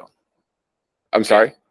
One thing which is clear is having the subscriber state to the relay. Yes. It's Yes. order of preference. That part we have achieved consensus on, I, I think, where we're. Now, So and, I would, I wanted if- to- I, I, I don't, we haven't discussed that, and I don't know what that means on the delivery order, and I Wait, do wait, not wait. think it is a Wait, thing wait. that we have I- agreement I'm- on. I'm sorry, you object to subscribers sending priority messages to relays? He said delivery order. Oh, not pardon I'm me, sorry, okay. my, my tongue forked. My tongue slipped. I mean, I'm sorry. All right. I think a delivery order is where they send the earliest Okay, version yeah, of the no, older. uh, was- he I- withdraws yeah, the okay. point. Let's I, move I forward. meant priority. Okay, because the, I okay, do want to highlight. I other know thing I'm, the everybody other wants thing I'm hearing is that we want to move on to the priority things, and like it seems like what I'm what I'm suggesting is that I think this particular question of like what you have to do or don't have to do when you receive a priority message, that we take it to the chat, we take it to email, we take it to dinner, and we move on. No, that's why we came to And, this and meeting. then the next question is that to say, All right. if we have conflicting requirements, and the, the typical conflict is client A wants it older first, client B wants it younger first. Then the relay cannot really aggregate that because they are conflicting. And the option for the relay is to do two different subscribe to the publisher. That's all. Okay, I want to. I, I do want to highlight real quick though. Can I- the- the- I- I wanna- I problem wanna with priorities is also with the mode for object mode forwarding as well. If, if we, we have the same exact issue, so whatever the solution is for pri- uh, priorities and who sends it and how you do merges needs to be addressed also for the transport or for the actual object forwarding mode. Can I propose? Can't influence object. Can I propose a way forward? Uh, I was going to propose one, but if you. But you're the chair. You get to do it. Um, I think my proposal was uh, I've heard people want to present their solutions. Yeah. So um, I was optimistic that if we, that I thought that maybe having concrete, we'll we'll see if having a concrete proposal makes it easier or not than having agreement on general principles, um, which we don't. Um, the three questions we didn't talk about, two of them are yes or no. So I'm just going to ask you to raise your hand. I'm going to ask, do you think? mm, I'm going to ask this two different ways. I'm going to split five and two. Raise your hand if you think the publisher can change priorities over the life of a track. Not for an already published object. Okay. Oh, it's okay. Let me. Can you change the? Can the publisher change the priority of a published object? Already published object? Yes. What if somebody asks for it again later? to cer- Okay. So most people seem to think no. Um, can a subscriber change it- the priority of a request? Yes. If- if- Raise your hand. if Yes. If you can, you've requested something, you can change it. Okay. Anyone lying down on the road for no? How are you guys are tracking the? The people on. By the way, I, I, I didn't catch any of those. So it just- it just occurred to me that's really important, so my apologies. In any case, I mean, the subscriber can cancel a subscribe and set up a new one. Okay. So of course it can change the priorities. Okay, I, that's fine. We're just trying to establish what people think here. So, um, uh, people feel free to, um, plus one in the, in the chat and we'll Yeah, try to you can raise capture those. Or, or, yeah, raise your hand and meet. Okay, so, uh, what I have heard is that people think, uh, once the publisher sets a publisher priority on an object, it cannot ever change it. It seems like people seem to think that's true. Uh, a subscriber, if it asks for some kind of priority, is welcome to change it either by canceling the subscription and issuing a new one, or potentially by subscribe update. But that is not permanent. So it sounds like five. There's at least in the room general consensus that that is how priorities can change over Uh, time. Again, Victor wants to object about one of those things. No, it's, it's, it's, There, Okay. there is a bit of weird things in this that it presupposes that every individual object has priority. Uh, we skipped over granularity, so we just have to live with that. Because it, it wasn't a yes or no question that you could raise a hand to. Um, okay, so uh, raise your hand if you think that the signals should be extensible, and by extensible, I'm thinking of RFC 9218, where the RFC defines a couple parameters, and you're free to define more and experiment with them if you feel like there would be more signal in that. Do people want that kind of what you're raising? Yes. How would you prevent that? Yeah. Sorry, I mean, I'm not- Well, right now we don't have any fields that you can convey them in. Oh. Think about PR labs. I think we should park that until we figure out. Well, I'm, I'm asking you now. Raise your hand if you think they should be extensible. Looks Just like a second. No, no, no, just a minute. Let, let me rephrase a question that might be a little bit different. Um, whether the base spec should have a flexible, flexible mechanism for loading a variety of type of extensible mechanisms into it, I think is what you were getting at. And then a different question is, could future specs extend this one? I mean, you, you can't stop that. The answer is obviously yes to that. So, um, I mean, like, who was it was talking about the other day? Web eBPF? Was some, Victor, uh, web BPF. Hey, should this have web BPF? Lucas? Uh, so the extensible priority scheme, RFC 9218, is effectively made extensible because we chose to limit the scope uh, more than some people would like. So, for example, having only eight urgency levels, that wasn't acceptable to some people. Uh, but what we said is the, the extension mechanism could extend that model. So, for example, you could add another um, flag that could effectively extend that urgency range in another dimension. So you convert eight into 100 and five thousand in some way or the other, um, which seemed to appease most people. Um, but the extension wasn't like, oh, uh, we can completely uh, change the meaning of these things entirely. Uh, and and we the reason we chose that is because that I think that's getting into the territory of well, this is impossible to rationalize about now because this this is just a header and it's a string in a field and anyone could set some flag and it works on their own private deployment and it doesn't work elsewhere um, and maybe it's breaking stuff. So I think the should things be extendable really depends on the scope of of what we're trying to define in the first place and that maybe it's the escape valve to let us make some progress in the short term because we can say to people look you have the means to be able to go and fiddle around and and go on do that and you write your extension in your own time um, and see. And as somebody who's gone and written two different extensions that nobody seems interested in yet um, y- you know i think i wouldn't I, I wouldn't invest much effort into the extension scheme unless there's people who say they really want to, because it's just going to be a waste of time and it'll be something that ends up not being used and ossified. Yeah. All right. I, I think I know there's people may want to respond, but I think I'm just going to say like the, I was just trying to get a quick read on this before we moved on, and I have the quick read, which is that it's a bigger topic and there's not strong consensus right now, one way or the other. Okay. All right. Who's who's first? Who wants to go first? queue? First? Jump up and down if you're presenting priorities. Okay, Will, go. You're the man. How much time are we giving them? I don't know. How much time do you need, Will? So I- uh, I- here's, I here's, could gi- I here's, could give here's you my, an hour. here's my suggestions. Why don't we only do clarifying questions on understanding Will's thing, not pros and cons of whether this is the right one? See them all, and then we can go debate pros and cons over beer or something like that. I think that sounds like a Does that lovely idea. Okay. Yeah. Okay. Fifteen minutes at most. Why do I have to be friendly to Bill? Lovely. You're friendly to anybody else, so I'll be friendly to you. You don't have to be. He deserves it. Yeah. Do people need another break before we start? Do we want another five minute bathroom break? Okay, we're gonna take five minutes while Will gathers his thoughts and slides. Uh, and we will resume at three thirty-nine. Please do not be late. Just quick one, like, We'll have fifteen minutes each, that's planned. Next thirty minutes would be two presentations. W- So Will, um, Will said he needed about fifteen. I, I, I think I'll cut him off if we're getting past like twenty-five or so. Um, can, I, I don't know. Who, who has a presentation? Slides, so. You have one. Is there another one out there? It's just the two? Victor, do you have one? Okay, so, I mean, do all you right, want- let's do you have one allocate. You do on the whiteboard or like? No, probably not today. Okay. I don't see anyone going to the bathroom, so I'm not sure what to do with this here. But I'll give you both a half hour, then we can be done by about four thirty. Great, excellent.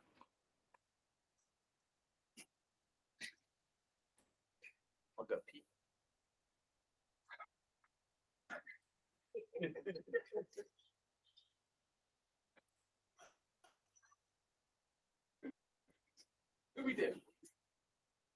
I'm frustrated. We're like, we need to get through proposals and let me talk for fifteen minutes about this argument that we're having now.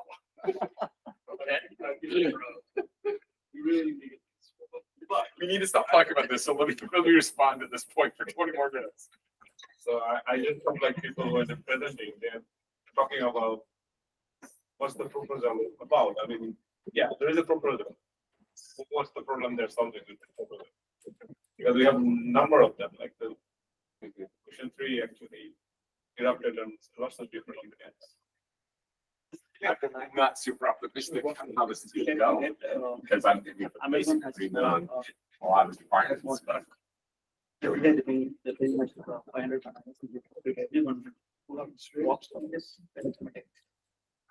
No bananas. But you you get eat during the lunch, so you have so much energy. Amazon gave free banana on the street. They have a truck. What's up? Amazon has a truck where they load bananas every morning. Whoever is walking by, they can pick a banana. It's right, like, right, like, uh, banana trains. Eat the monkeys. Yes, I got one.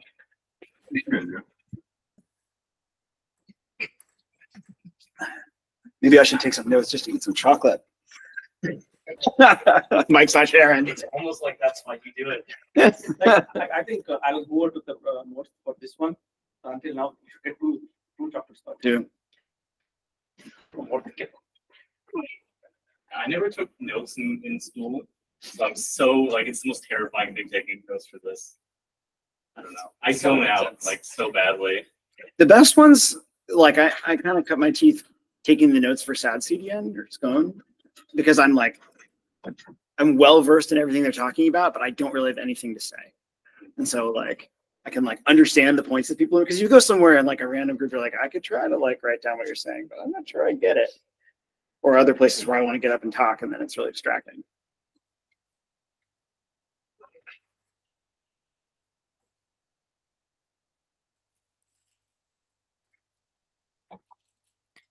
Yeah, I to see things more than blockchain. That makes coding pull back. There you go. Yeah, while you guys were ju- arguing about it, I finished it. Yeah. Here, let me show the code. I just wrote this. Doesn't work. I'm act- it's actually, so your, your relay is open source, right? Yeah. And Suhas, is your relay open source? Let me check. once. You check you so. I thought like we made everything open source, but uh. Quick not really. open source, but Not yeah. really, but we can open source. I mean, the reason I asked is just because I think Ew, I think just some people speak better in code. It might be able to go read somebody else's relay implementation if you want to know what they think MOQ is all about. I mean, I made a mistake with it for us, so. I'm really basic sorry. Stuff is not easy to read. Easy to write, not really easy to read. Guys, I'm learning a lot. I think it's uh, a- Yeah. pessimist. I'm like reinventing, like oh, inventing new synchronization primitives and stuff like that. Because async Rust is an experiment. So-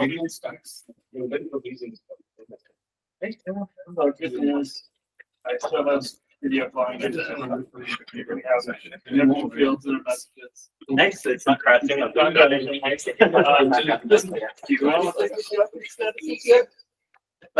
Can we have an open agenda tomorrow? I feel good. Yeah, we've got lots of time to work this out. Um, I'd like to propose a consensus that like MOQ stands for media real quick and see how many people yell at me. Okay, it is three thirty-nine. Uh, let us begin. What we're missing. Tough cookies. We want our priority solutions. Well, you can wait about the I think, I think, I I should have a few years left to get it. I don't know the, the MoQ chat. Uh, Sorry, Alan's, Alan's. Don't call it that. It's Alan, what, sorry? Alan's chat is not an approved name. That's not Alan But it's approved. in perpetuity. I don't, I don't, it's on all my stuff. Did we adopt MoQ, MoQ chat? Is that a? It's is that MoQ chat. Oh, okay. We adopted it? What do you mean? We, ad- oh, do we adopt that draft? It doesn't need to be adopted. It's the only RC we're gonna produce. it's MoQ chat? Otherwise, It's Alan's chat, right? No, no, why do people call it that? It's not like they call it John's QUIC. Like, We, we, we should, we should reject all the other drafts, just publish that as our only RC. Yeah. Now a chat with the they already have one. It's called Mimi. I'm just debugging the. That's a good point. Is Maybe stuff also- Is Mimi applicable here? Cullen thinks this is better Yeah. than Mimi. I don't pay much attention.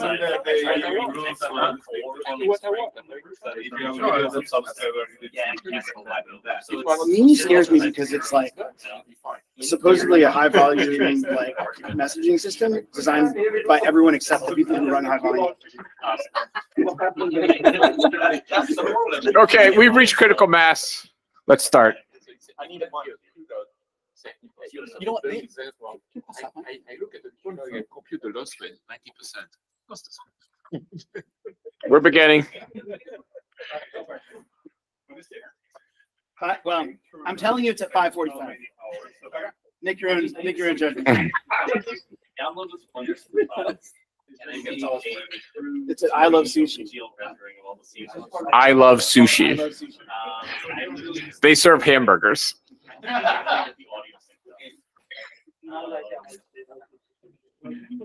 Okay. Can we start talking, Will?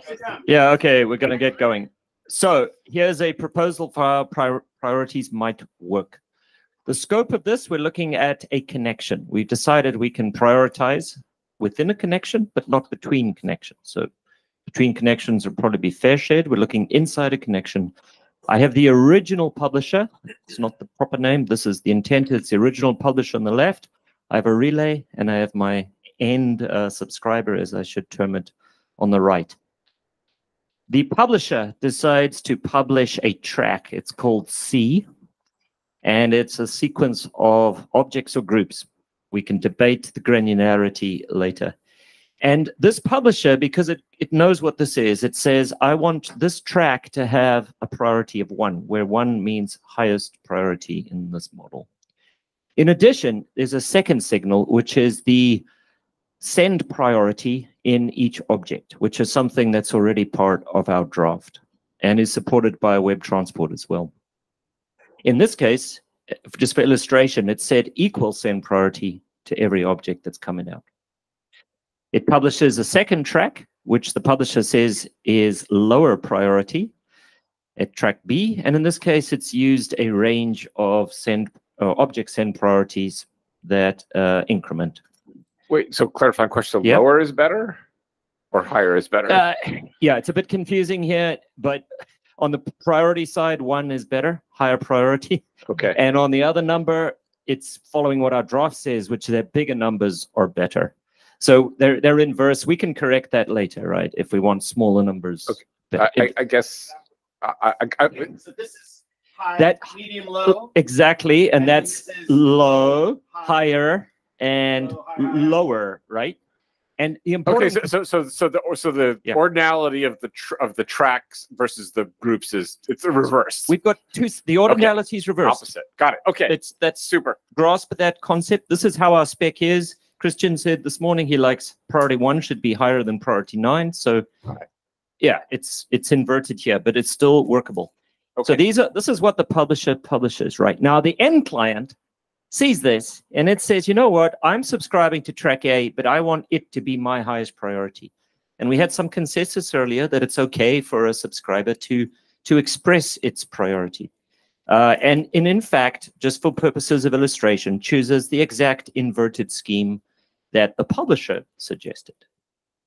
Um, now, this is the, the stage. Now we move, I've stored it here so you can reference it.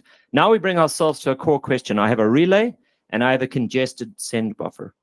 And this, this buffer is an application buffer, right? We haven't written these to the wire, so we can change how we drain this buffer.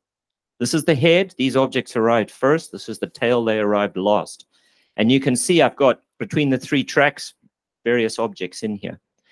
But now we can apply some rules, right? So our first rule is that we're going to follow the send order, which is this number in here, where it's it's within the scope of a namespace, so it's consistent. So 59 is higher than 52. Um, but it doesn't necessarily mean that 59 is higher than 9 because 9 is in a separate track. And this subscriber, so the first thing the relay does is it honors the subscriber's request. So this subscriber says track A has the highest priority. So it's going to pick a dark blue object and it's going to pick the dark blue object with the highest send order, which is 8 in its buffer, right? That's one client. Imagine we have another client which has send order, but it said my subs- my priorities are equal. Okay, I don't I don't have a preference. In this case, it's going to choose eight again because the subscribe priorities. Oh wait, hold on. Is that right? Yeah, I messed up my model. Anyway, send order with equal subscribes. Then I'm going to honor the public. Oh no, this is right. Sorry, I it. This should be one. Yeah, this eight. Excuse that. Send order with no client priority preference should be one as well because it honors what the publisher has set. And if neither the client nor the publisher expresses a preference, then we're going to drain our FIFO queue. So we're just going to take the object at the head and start draining it. And we keep applying this model.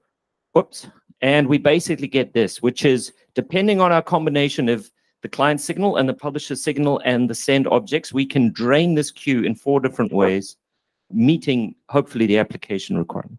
Yeah. Mike. Sorry, Mike. Clarification question. Um, uh, oh, why is it eight, seven, six instead of six, seven, eight? because it's okay and this is something we need to solve because it said one is my highest priority so it's going to send all the all the track a's that it has it's yep the client says i'm going to send all my track a's then i'm going to send all my track b's then i'm going to send you all my track c's to this client right another Right. client could have inverted that but they would get what they asked for But I thought six was a lower. There's two different. there's two different priority schemes you have to Oh, juggle oh. that in your head the, yeah these are these numbers are higher which is how our draft is Okay, thank you. okay Uh, clarification question, Well, Yeah. So the, the, the third one uh, is a case where uh, the subscriber did not, uh, the end subscriber did not ask in, ask a particular order. Yes. So you follow publisher. I order. follow the publisher in this Publisher case. It's it's in all the all the C's, then all the B's, and then all the A's. Got it. And another thing is that, like, just as a, a point of note in the draft, the draft does not say uh, new group send order means most important. It does not say anything there. Just just wanted to, to say We- because that the section that you're referring to is Okay, so perhaps I misinterpreted it. So we should we should decide and clarify that. Uh, Will, I don't understand what you mean by uh, relay here. Is it an entire relay network?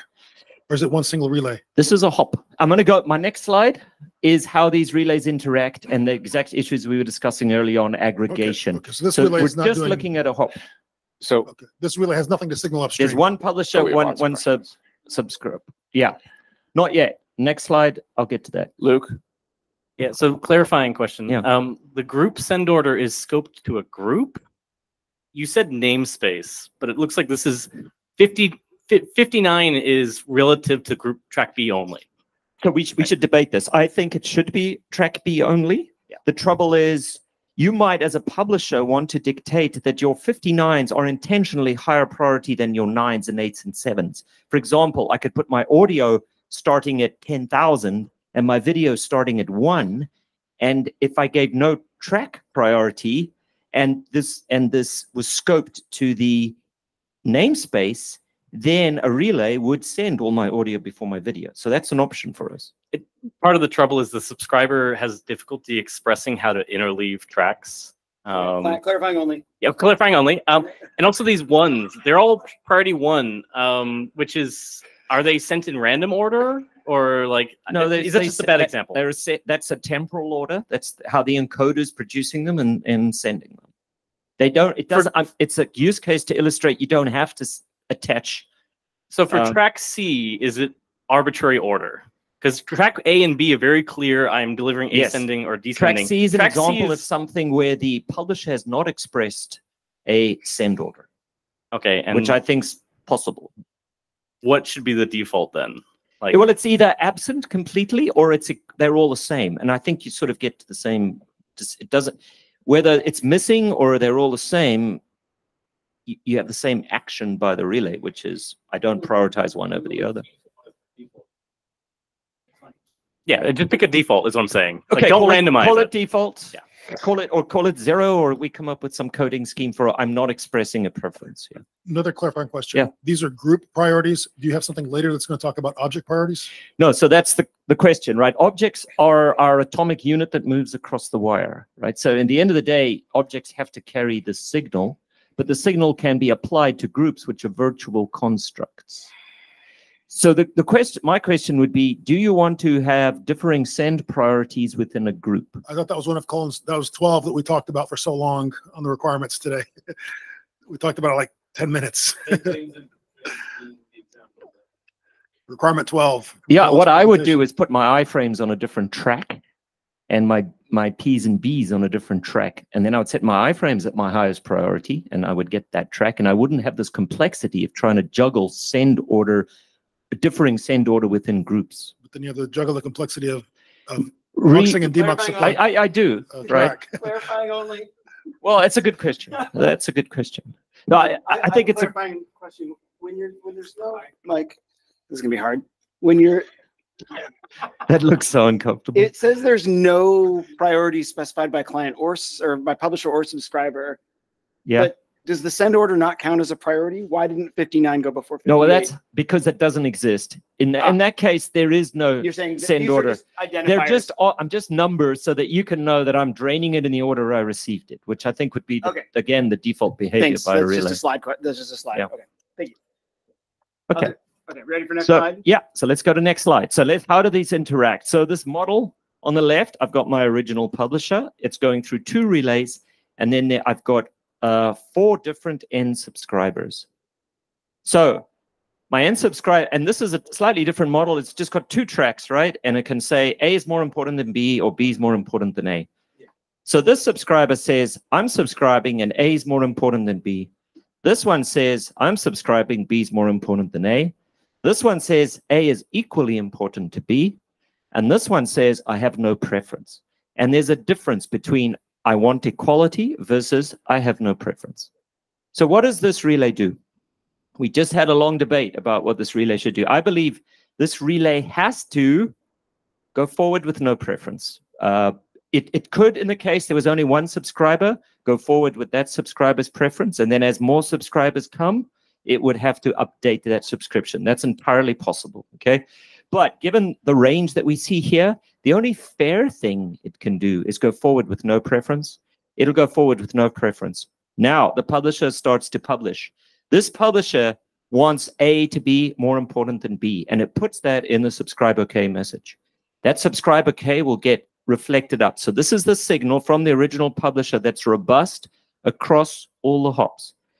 So for this hop, A would be greater than B for priority. Same for this hop, because in this case, the subscribers both said I have no preference. So we honor the original publisher preference. At this relay, which is fanning out, we now here A is greater than B because that's what the subscriber asked for. Here, B is greater than A. It's the inverse of this, but this is what you get because you asked for it. Here, A equals B. And here, since no pref, we honor the original publisher and we give A greater than B. Okay, I see three clarifying questions. I didn't see the order they went up. Yeah, just to clarify, this would also be in track info, not just subscribe. Okay. Yes. I see four now. Okay, let's just go around. Suhas? Um, I, I like the idea, but I'm not sure if should if should be if the publisher's intent of A is greater than B should be in, in any of the um, subscribe OK or control messages because publisher's intent will be communicated in, in the catalog. And second thing is that it will be carried in the object. So I don't think so we need to have. But other than that, No, it's not carried in an object. We can't carry relative preferences in an object. You can't, okay. I'm Yeah. So you and in fact, these you don't carry A greater than B. You carry a priority number. Okay. that and number that can be in and that number reflects that it A is greater than B. You don't put that's how you put the numbers. The right? only one that you do A B is someone who's received two numbers and then they rank them. Okay. We don't put a matrix of what. Can you explain the order in this? Because I, I did I didn't understand. The subscribe OKs are are held off until you get the prior until you get the first original publisher subscribe OK. I thought we agreed that subscribe, OKs come immediately. You don't have to wait for the original publisher to to to send your subscribe OK. The, each relay would inde- independently do subscribe OK without going all the way to P1, right? Uh, and not in my model. No. I don't see how you can do that. Didn't we have didn't we have consensus No, on that? I before? thought that you you go back to I thought we had consensus. You go back to P1 and uh, you you basically you don't do subscribe OK until you know what the the the latest group is, and then you go back to your subscriber.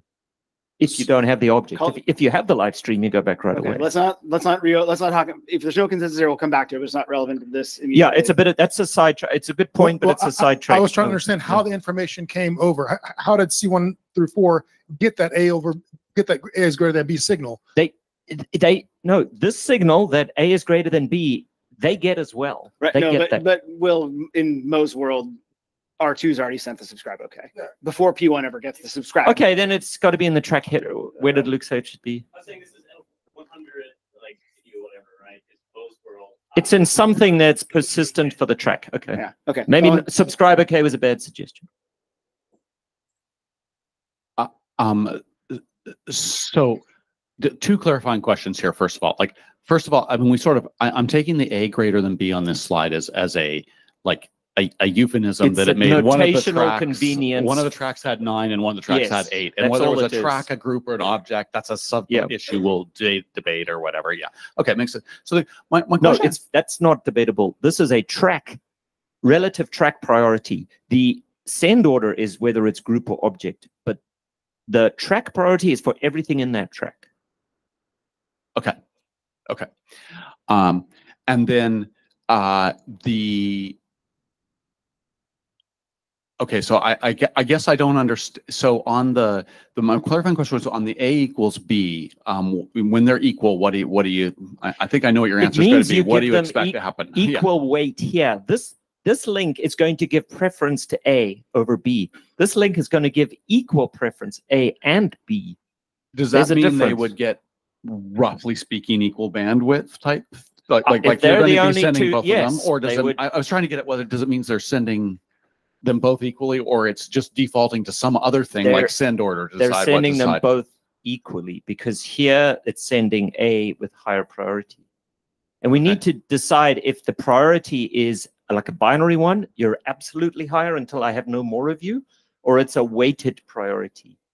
I want you to send f- four times as much of this as this, but I still want a little bit of this other thing. That's important, and it's not expressed in this slide. Yeah, and I'm a weighted fan. Just Uh, I, I just to clarify on this one, it's there'll be two subscriptions sent by C1, C2, and C3, C4 because subscriptions per track.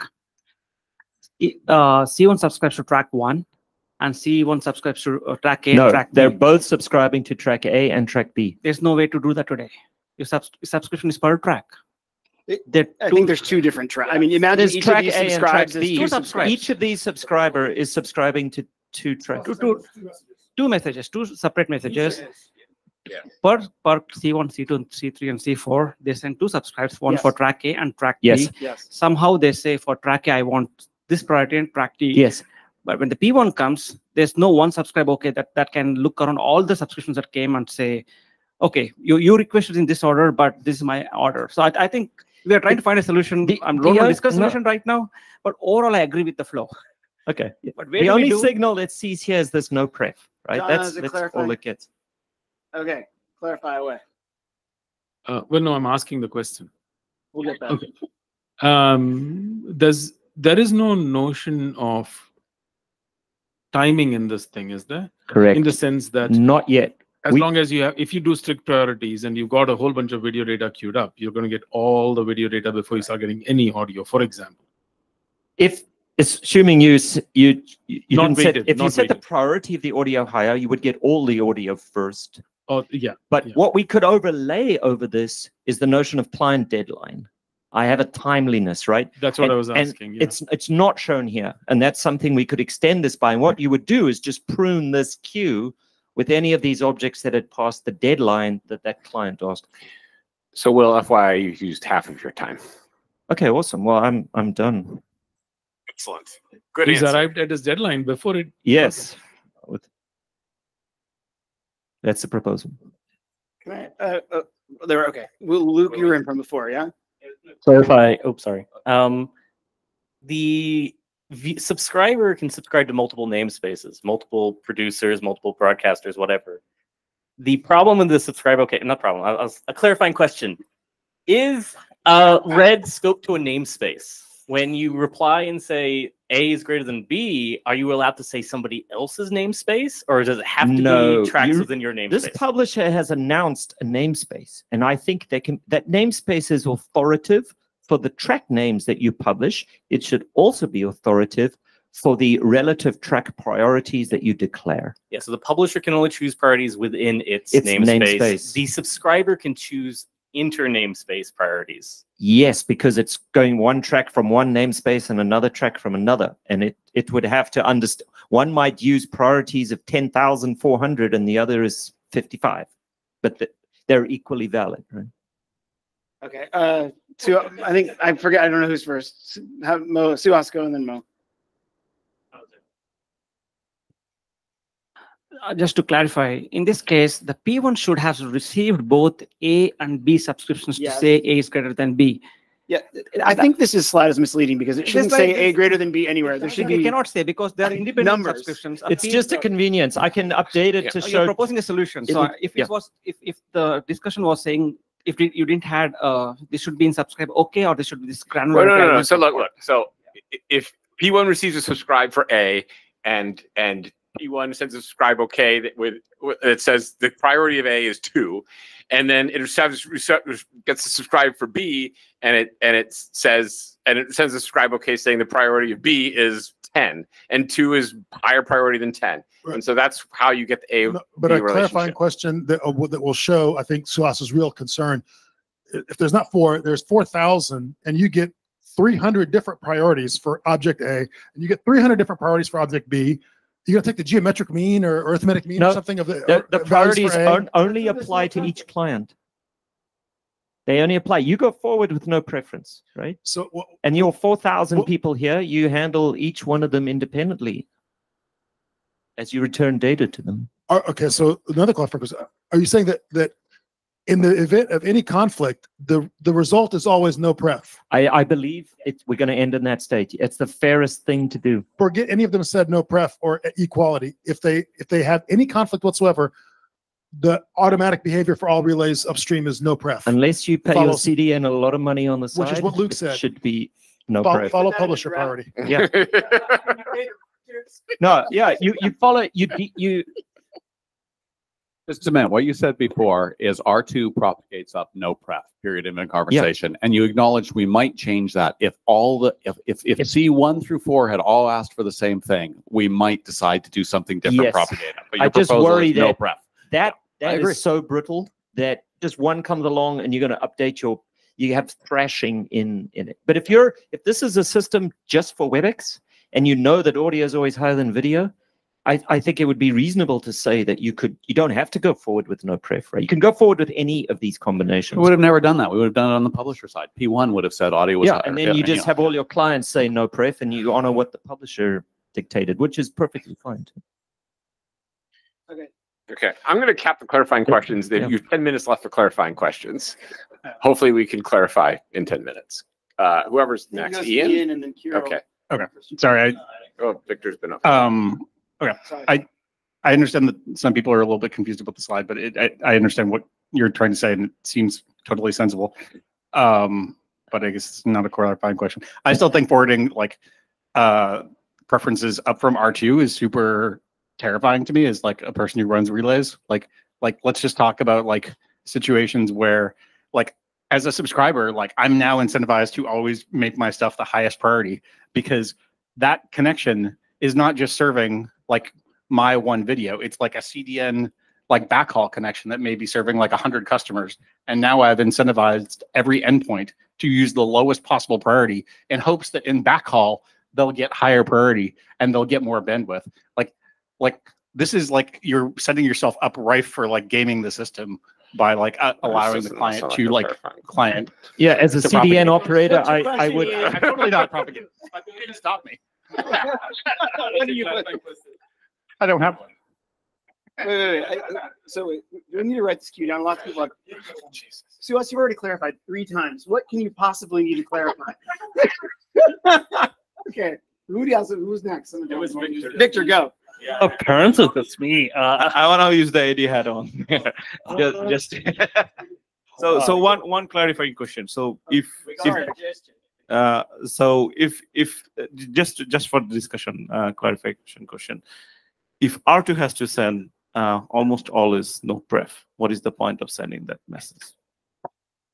because it's it there is there's not much point in a distribution relay your first job is to be fair between flows so it's just we're using the mechanism where the preference really exists is out here in this last mile Yeah, exactly. So to so, accommodate that. So basically, I mean, my understanding is like one of the latecomer can come and say like, okay, now you, the relay has to say like no pref, right? So any, I mean, there is no order of coming them. So if if one, one of the subscribers C4 comes um, like half an hour later saying like, hey, I wanna no pref, um, I wanna have A equals to B, yeah, and then you you need to update because rest of the clients are saying like A greater than Yeah. B. Now somebody says say A equals to B. Now you have to propagate all the information to the um to So, the original publisher, I, right? I agree. So you could do what Jana said, which is you take a majority vote. That's one way to solve that problem.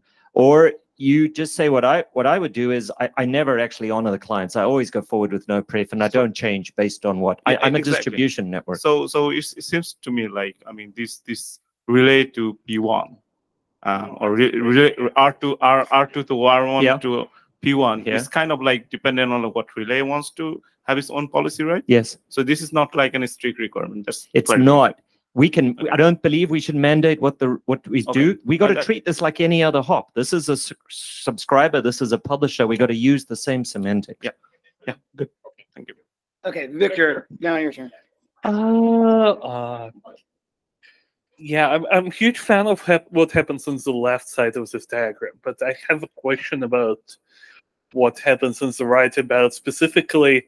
So I'm trying to think how I would actually implement this. And the way I would probably like naively implement this is I would have a triple priorities and no pref is zero. Uh, and I would uh, have a tuple where you have the subscriber priority is the first number and then the publisher priority. Is there a clarifying question here? It is. It is. Okay. Expressed as You a know design listen. point. Yeah. Uh, so I would implement the way I would implement it. It would be like a tuple, and like the first would be subscriber, and the second would be publisher. But the the problem with that is that it does it actually conveys the semantics of the top two arrows well and the bottom arrow well, but it doesn't. A equals B is kind of really annoying to implement if you think about it this way. Like, because the alternative way is like I could try to reconcile the number space on the publisher size and the number space on the send subscriber size and figure out how do I like recover ordering between those two. And that's really annoying. so like Okay. I don't believe you have to do that. This clarifying question sounds like this is really annoying. What are you going to do about it? That's not a clarifying question. Yes. Yeah, the question is like, do we actually need A equals? B? Okay. Do, do we need A equals B? That's a clarifying question. Okay. Please keep I- your clarifying questions brief. I believe we do need A equals B. And these are separate connections. Bear that in mind, right? Can- Each can one is a just- separate Can you just say just a little more? Can, uh, uh, can you say a little bit more about why we need A equals B in a single connection? Right, because, Because- that's where the A equal B. A equals B means I, as a subscriber, I want these two tracks to have equal priority with what you're sending me. I want one packet of one, one of another, or however you choose to allocate it. Maybe like split screen. I'm watching two videos at the same time. Yeah. Good example. And and it's it's overriding the original publisher preference. That's the difference. You could say, well, if they're equal, I don't need to express anything. The default should be that they're equal. But no, the default should be that I have no preference, in which case the original publisher preference is used. But if I want them to be equal, I must explicitly ask for equality. Oh, awesome. Um, good question. So in practice, I assume that you're always gonna forward first subscription all the way down, and then the very next is gonna just override it with no pref, right? Can you clarify your clarification? Sorry, yes. Uh, so we, like Cullen originally planned, I think Luke proposed Yeah. that the, if there's one subscriber, right, so Yeah. that signal go propagates all the way up, right? So that in practice, that's what's gonna happen, right? So there's gonna be, someone gonna be first. Yeah. All right, so the very next, like microsecond next subscription will cause the relay to update the subscription upstream. That's why, again, as a CDN operator, I would always go forward with no pref, and I would ignore the preference in my last mile. But that's for a CDN. If you have a private network and you're building on this, you might want to honor that first client because maybe all the clients are likely to be the same. So it's purely an operational decision. I don't believe we mandate this in our MoQ transport. And I think if CDNs want to do something different, they'll do something different. And as Alan said, the market will correct their errors. We're hard stopping this discussion in five minutes. So, Okay. Christian. Two clarifying questions. First, you have only a P1 on that diagram. What if there is a P2? If there is a P2, then so This use case is showing a flow in a namespace, right? They, because it's going back to this publisher. I- if there was a I- P2, it'd be a different I, namespace. I understand that there will be a different namespace, but the connection between R1 and R2, yeah, R2 might have a single connection to R1, and in the single connection to R1, do subscribe to Twaxom P1 and Twaxom P2. right? I think R2 and R1 have to establish independent connections per namespace in order to implement priorities. Really? Otherwise, we have to mix them, and then we have this problem of of of mixing. Yeah. Okay, that's a clarification. Uh, the second clarification is what if the relay is forwarding fractions of objects? Fractions of objects. It would still forward the fraction with the priority level associated with the object. Okay. Um, I had same uh, clarification as Christian's first one. Just to reiterate, this is only applying to a namespace, and between namespaces, we're not we're not doing any of this. Because they can. Because between namespaces, they can use different numbers to represent priority, and then therefore the higher number always wins. So you start gaming it, everyone's using the max int. So I think it has to be within a namespace. And the consequence that you then have to to preserve prioritization between nodes, you have to run new connections. I think is is it's a consequence. I'd like to avoid it, but then I've also had debates in the WebTransport world where we spoke about this, and they said the overhead of actually carrying multiple WebTransport connections, it's just more frames. Like it's not actually that bad. So I think as a CDN, we we may have thousands of connections between R2 and R1, each representing a different namespace. Yes. Um, a namespace can have more than one publisher, and I don't think so. This this this model will break. Um, we can make it work.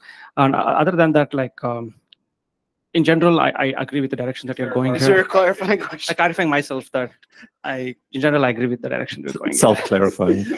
Suhas, do I agree with this question? Yeah. yes, I yes I do. I may have misunderstood or misheard you, but I thought you originally were specifying some relay behavior. But what I think I heard recently now is that there is no relay anything. It's just subscriber can pick its preference, period. And it doesn't matter if the subscriber's a in subscriber or a relay.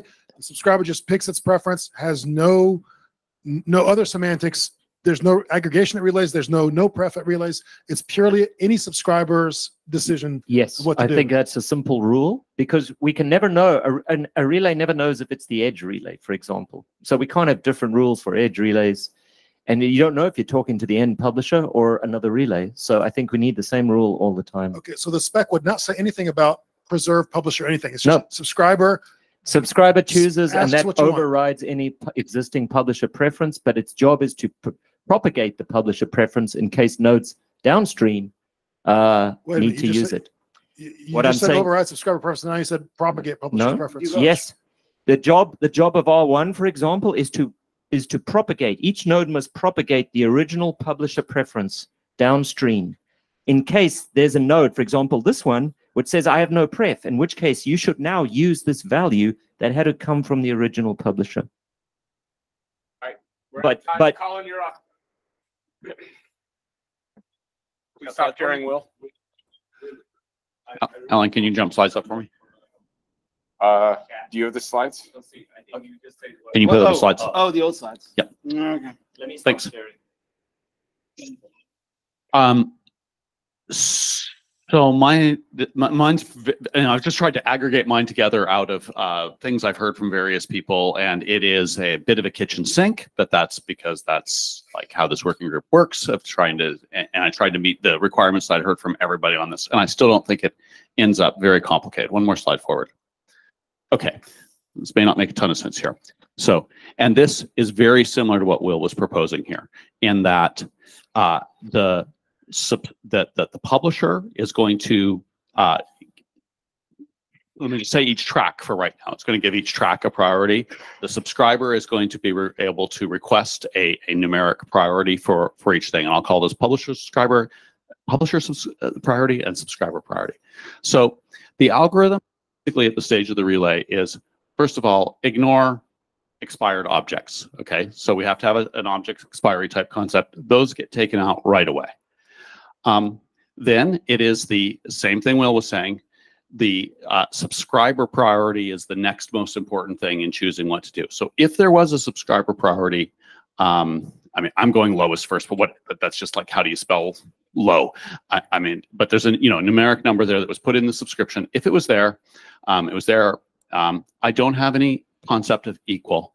And the reason I don't have any concept of equal is as soon as we start trying to say that two different streams are supposed to, or two different flows of information are supposed to get equal priority, we're going to get into making leaky buckets and all the usual queuing problems of doing that. It's quite complicated in a relay. I don't think we have use cases that need it for real-time systems because let's just say you're doing two screen sharing and you want both screens. Um, you, the question you need to ask is if you can't get both of them, would you rather have them both fail or would you have one of them work and the other one fail? And the answer in these types of systems is always you'd rather have one of them work than both of them fail. And so you don't do things equal. You put one of them above the other. Um, and that gets us out of needing to implement all of these leaky bucket or queuing or sort of fair sharing algorithms between priorities that are equal. Um, then we have the sender priority or the publisher priority is the next thing that you um, go on. This last point, I don't know if we know this or not. If all of those things being equal, then you could choose to do it on basically um, a last in, first out, or a FIFO sort of, which one goes next. Uh, I think we only need um, FIFO. That's that's my take.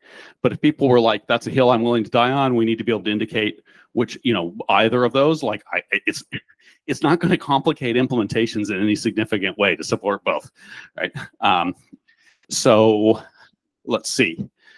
Uh, okay, this point, subscriber order and subscriber delivery preference. That's the LIFO FIFO thing.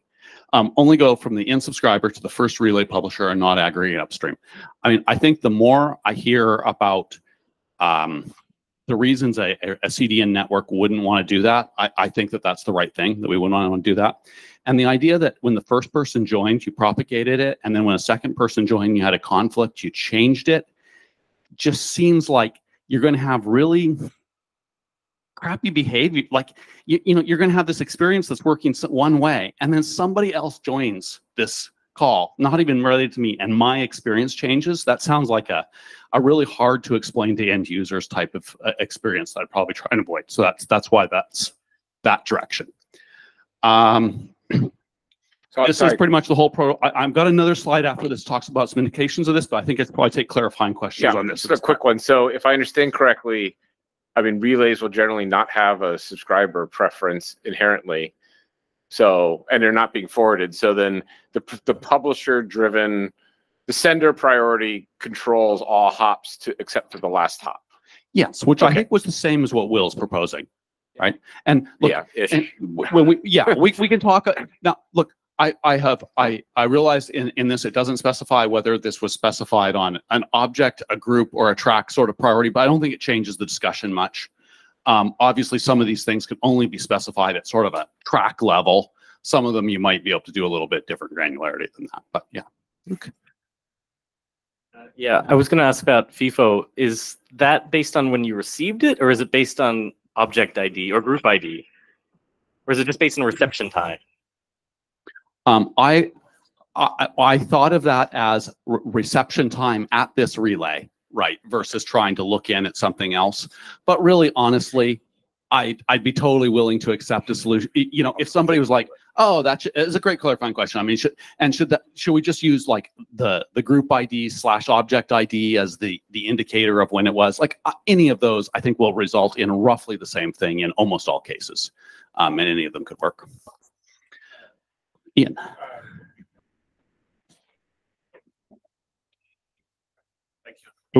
It's fine. Um, by sender priority, just to clarify, you mean publisher priority, right? I, it's not trying to nitpick. I Oh, just yeah, yeah, sure. no, Okay, that's, yeah. cool. Uh, the original publisher priority is what I mean by that. Cool. And by subscriber priority, I'm, or or subscriber order and subscriber priority, I mean the in subscriber priority and order. Okay, and then the other clarifying question, which is a build off on that one, which is, um, if an object expires, um, does that mean that all objects that are earlier than it should automatically be expired, even if they arrive later? marginally a priority question. I guess, or maybe this is I- I- really. it's, it's, it's, it's, it's a reasonable question in the what object do you send, how expiry relates to what object you send next. Because it probably means that like basically you just got like network reordering or something and like really like the like the one that expired, like, you know, basically you lost a packet and this this object arrived later than it should have. And and so I'm I'm just I, I, I mean, my have to be view of way. that is each, like, like I logically think about that as each object has its own expiry time and they might be different. So it's completely possible to have situations where a later object expired before an earlier object. But like, that seems like not a hill worth there dying on. And I think in, if you're an application that doesn't want to do that, you're not going to do that. You're going to set the, s- the, the, the expiry time is the same on all of your things. Did I say something completely backwards? Oh, I, sorry. I, I assumed that for some reason the expiry time. I uh, wrote it on there instead of putting it in the chat so that I wouldn't be on YouTube. What's it get for standing in front of it? It's no big deal. It's on my drafts too. It's not a real I was, secret. I was for some reason assuming the objects had a uniform expiry time, but you're, I guess that's a detail that, okay, maybe you'll get. I mean, I think in mo- no, I wasn't. That's, I'm not a detail I was going to talk more about. I mean, I think that for the uh, use cases like a video or audio track, they probably almost certainly do have a uniform expiry time. But if you start moving to something like catalogs or other things, I can easily imagine use cases where we might want to move out of that space a little bit. So my the algorithms just like, you know, how our objects expire is how they expire, and like we don't send them. They're they're not considered on the forwarding. That's that's the only. And I think this fits in very much to Victor's sort of like what are the signals, uh, the time that it, that that made this, you know, the subscribe the the, the in subscriber, the in publisher information, um, and then the other signal that's sort of implicitly here but not really described is the connection you're ready going to send on has to say I am ready to send something, and as soon as that happens, you run this algorithm and decide what to do. That's Yep, that's pretty simple. Out set of signals. It seems like in general the direction we're going, but yeah. Um, so two things, uh, just understanding. Um, uh, first one is you. Did I hear you correctly when you said? So I thought you said that the sender is always going to have uh, non unequal priorities across tracks. But do I understand correctly here that the subscriber can have equal priorities across tracks? Because otherwise, you never go in past. Basically- Exactly, exactly right. If, if- Okay. if, if that was not, yeah, if it wasn't equal, you'd never even go into Correct. that. Yeah, That's- yeah, you're, you're, you're, Okay. you're hearing this correctly. Okay. Yeah. And I'm not saying that the publisher might not even put equal priorities between tracks. That's legal for it to do. It's just sort of, you know, then it's going to fall down to other things to choose what to do. But I don't. I mean, in this case, you're you are still assuming that it does get. Oh, I see. So, so, so if if it puts equal priorities for tracks, then the object priority is the one that breaks the tie effectively. right. Right. then The it becomes FIFO, FIFO. Objects Yeah. just go Yeah, yeah. out the way they do. Right. So Okay. if, if my if audio, understand, yeah, yeah, yeah. The second question I had is is is in terms of again the same question I'd asked well earlier about deadlines and so on.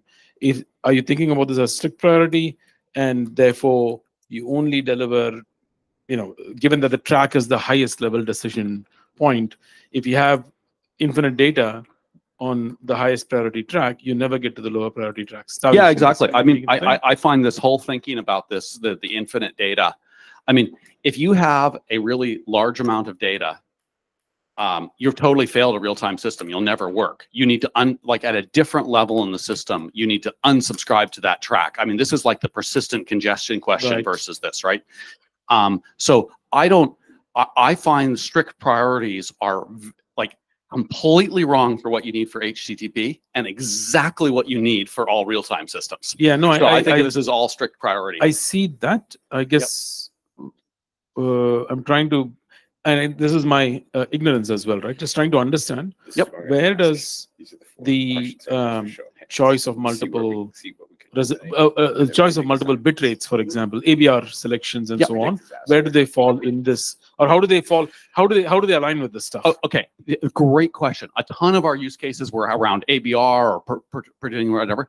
The the client is always going to be running clever algorithms that are like, I'm subscribing to this track or I'm unsubscribing from this track, or maybe we'll have a way to pause a track or whatever. But I mean, basically, the the client, the, the in subscriber needs to control deeply which things it's subscribed to. And that's how things like ABR works, how, how things like, um, and, and it can update those on the fly, right? It might say, it might initially have a subscribe where Alice had a higher subscriber priority, and then later it changes it to Bob to have a higher subscriber priority or what, right? So those, those are dynamically changed by the clients and they, those are needed to hit the use cases we did. This is just what the algorithm, the relay needs to run, given the things that are subscribed to. So the, the relay isn't trying to do ABR, the end client does ABR. Okay, hold on. Every, do you have a queue? Uh, So. I've been, I'm, I know, I Yes. know that Mike and Will and Mike, And then you said Will. I, I think Mo, Mo, who else? Just going around the room. I mean, I, I have a I'm not taking any clarified questions from Suhas. I know how his stuff goes. Should I just work around the room and then we'll form a Uh, new queue? sure. Okay. They're just clarifying questions. So Mo. why not? Right? Um, so the the the subscribe the the original as worded, this is not really a relay algorithm. This is just every publisher does this. Yes. This happens to be a relay is publishing. Every even the original publisher would run this exact same logic. And the way that uh, can this support the use case of I want um, the newest data first for the audio and then the video. Let's say there's only one video. So there's not even multiple. There's, there's I want the I want the latest latest group first for the audio and then the video. Would it support this use case? Is, is it, I, I think your question is, it, it- it's the latest group for both, for both of those. And then after that, the second latest group. For audio and then for- for video. Audio, then video. Yeah. Um, no, I don't think it does. I think that what you would end up doing is you would say, I want audio ahead of video, and that, that this only gives you a way, you would get all the outstanding audio groups before you had any outstanding video groups. So I don't think it supports that use case, but I also think that that's a, you, you know, I, actually, I, I'll, let me backtrack on that a little bit. M- Depending, if you allow each group to have, um, a different uh, sender priority, publisher priority put in it, then you can do the type of thing that Luke originally had in Warp. So in that sense, it might slightly support it, but it, it's not great support. Another that. clarifying question. So there are there are no priorities in any of this, right? This is this is there's a track priority, which is like a track info field, but there's not object or group level priorities. I, I, I, I've been vague and, and, and, and so on the, when I say that there's a sender priority, okay, that sender priority, I, I was totally vague on whether that's set per track, per group, or per object. Okay, so it could Right. be finer Yeah. granularity. Yeah. Okay.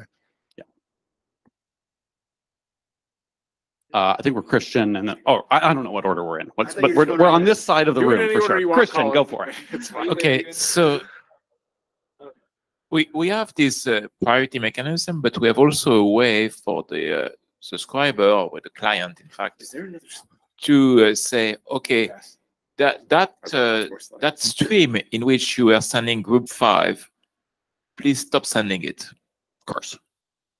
So how does that play there? It's just gets out of the load, or Th- th- that's not really part of the algorithm. At the point that you've unsubscribed from that stream, the relay is no longer. you have longer. not unsubscribed from the stream.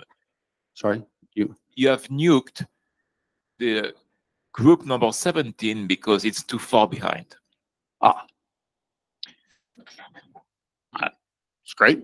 Yeah. So Don't Cullen, Cullen, you have, fif- you have 15 minutes remaining. Okay. Yeah. Will? Okay, hold on. It's Will and then Mike Mike. and then. And, and then you can have a new queue, but Will and Mike get to go here before anyone else gets in. So I think my I had two questions clarifying. The first was that in your third bullet point, did you actually even pick the object with the lowest sender priority? Because you didn't mention the the, the object priorities that we have in the draft today. And then you, you clarified it and I, said I don't know what object priorities we have in the draft today. we have a field. We have a part marked non-consensus. This, Okay. this- I think that's what I call sender priority is Right, that but it's field. Yeah, object, not per track. So that's why I wanted clarification. I see. Okay. Okay. That's a mistake on my part. Yeah. Okay, and then the, can you clarify again you, the case where A equals B, and you said this is complex to implement. Hmm. What if the pu- original publisher expresses no priority difference between tracks, or there's no send order and the client has no preference. How do you send the objects now? And isn't that equivalent eventually to A equals B? So for for me here, it would be just FIFO at the bottom is how it would land. And so you wouldn't be fair sharing between them in any way. You'd just be whatever order the objects came in in, you'd be sending them out.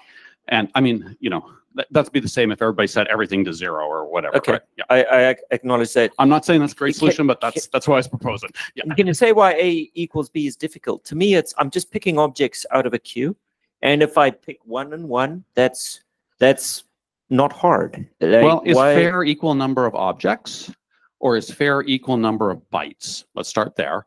And then you move in quickly to you have to remember what you'd sent previously, right? If I just sent 10,000 objects from stream A, now I have no no objects in my queue at all, and an object and an object from track B comes, I should, should probably send it.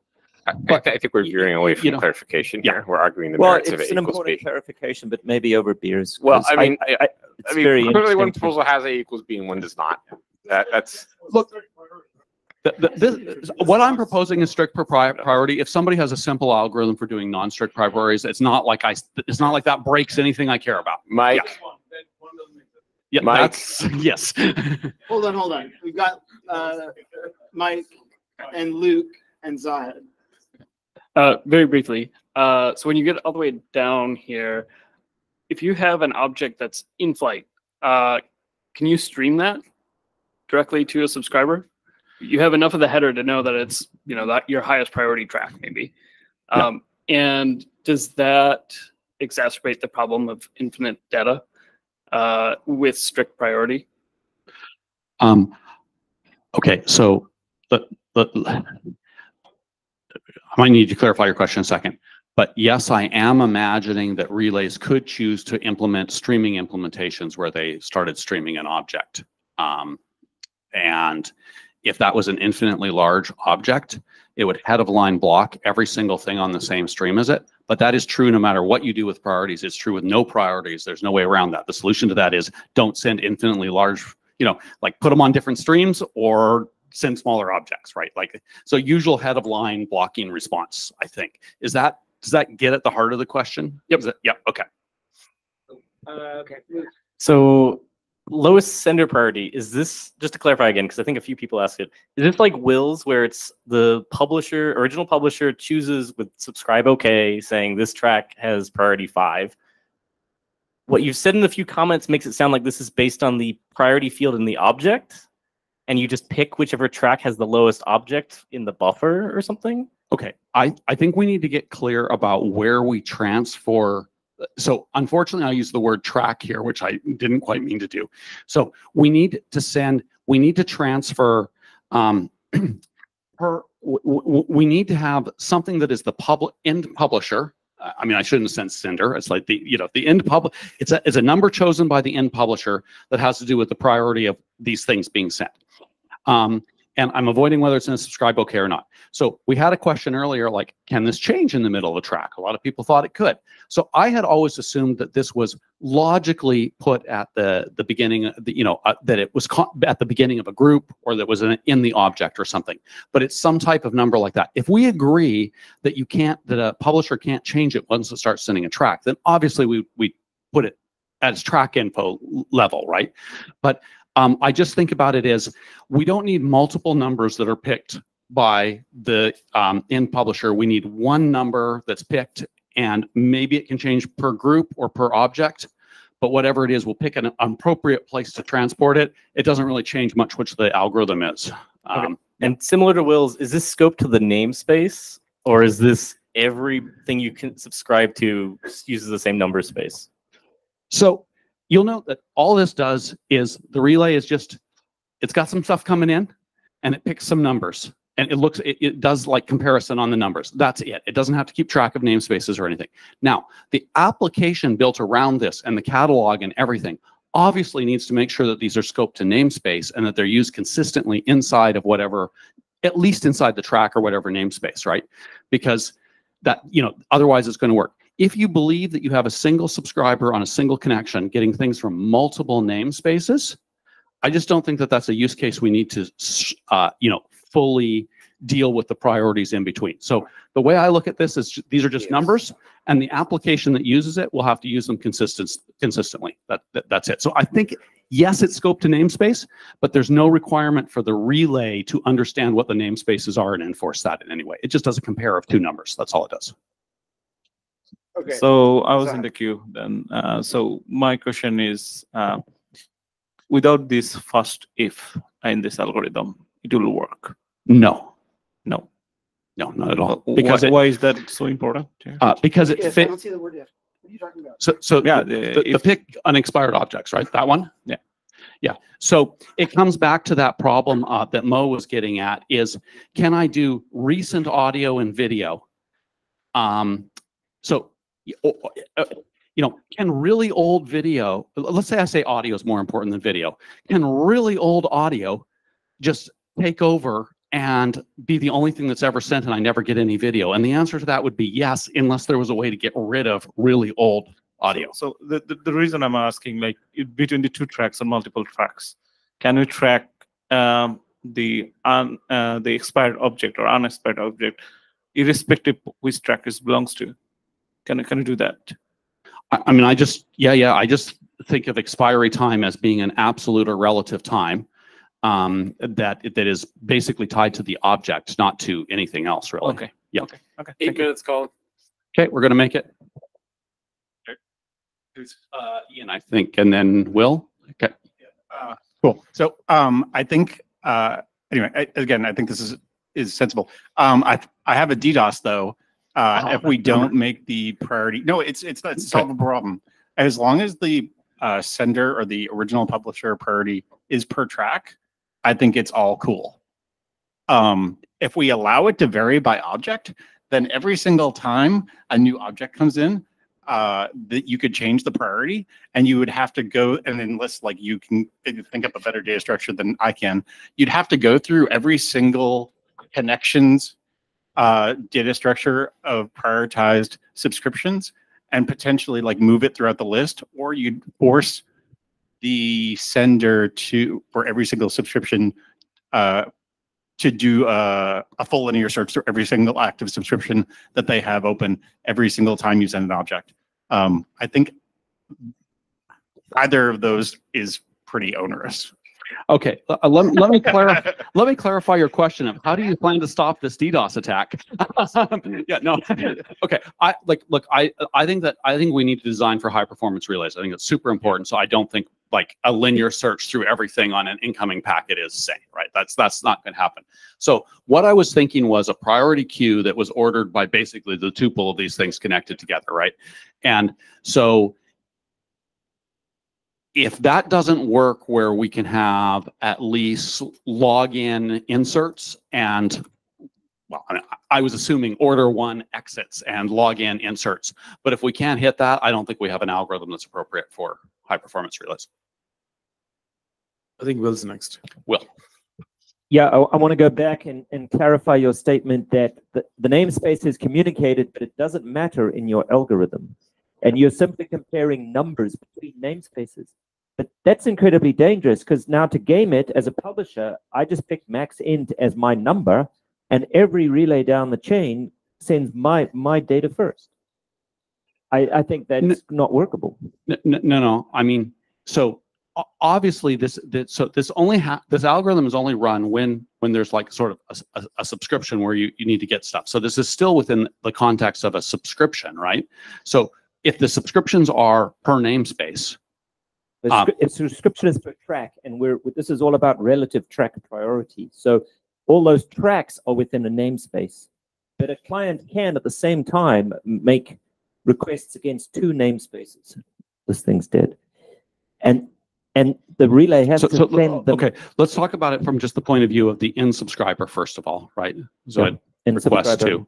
Yeah. So there's a Yeah, yeah. request for namespace A, two tracks, and namespace B, two tracks. And the namespace A uses numbers in the 10 million, and namespace B, A, B, whatever the other one is, uses very low numbers. If I'm only looking at numbers, I'm going to unfairly bias the namespace that chose the higher number.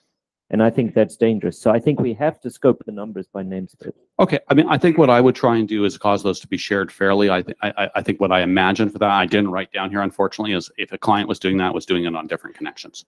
Right. You must, but it's the same connection to namespaces. You need to fair share the namespace, and then within the namespace, you can we can do the fancy Do we stuff. actually have a real use case for multiple namespaces in the same connection? All right, It's Cullen, Cullen, four clarifying minutes. question. Four minutes, Cullen. Who's in the queue right now? John. Christian is definitely in the, or, Oh, Christian. and then I think, Now, wha- wha- what uh, you have here on the board is basically taking the subscriber priority, then the sender priority, and then uh, a time. Then FIFO, yeah. Yes. And what worries me there is how do you push that down the stack to the QUIC connection? Ah, that's a great connection. A really good question. Um, so, uh, I, you know, my sort of take on that was, um, obviously we can only put one number to the, the QUIC per stream, right? Um, so I was imagining that the, uh, and I didn't say it here, but I was imagining that the, the sender priority got written to the QUIC stream.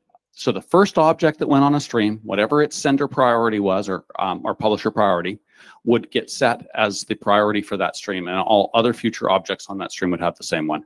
But I think that that, you know, you, you need to dig into that a little bit bunch and think about it. I was also thinking that we would probably set a range of numbers in that zone that mapped to given uh, DiffServ code points in some cases, but that's that's a whole nother complicated issue below that. Yeah. Um, so that, anyway, that's what I'm thinking. I'm not sure that's a good idea. Yeah, That's why I've it's got not John and Suhas, and you get one minute each. Okay, I'm not going to answer that question. I'm going to ask the clarifying question.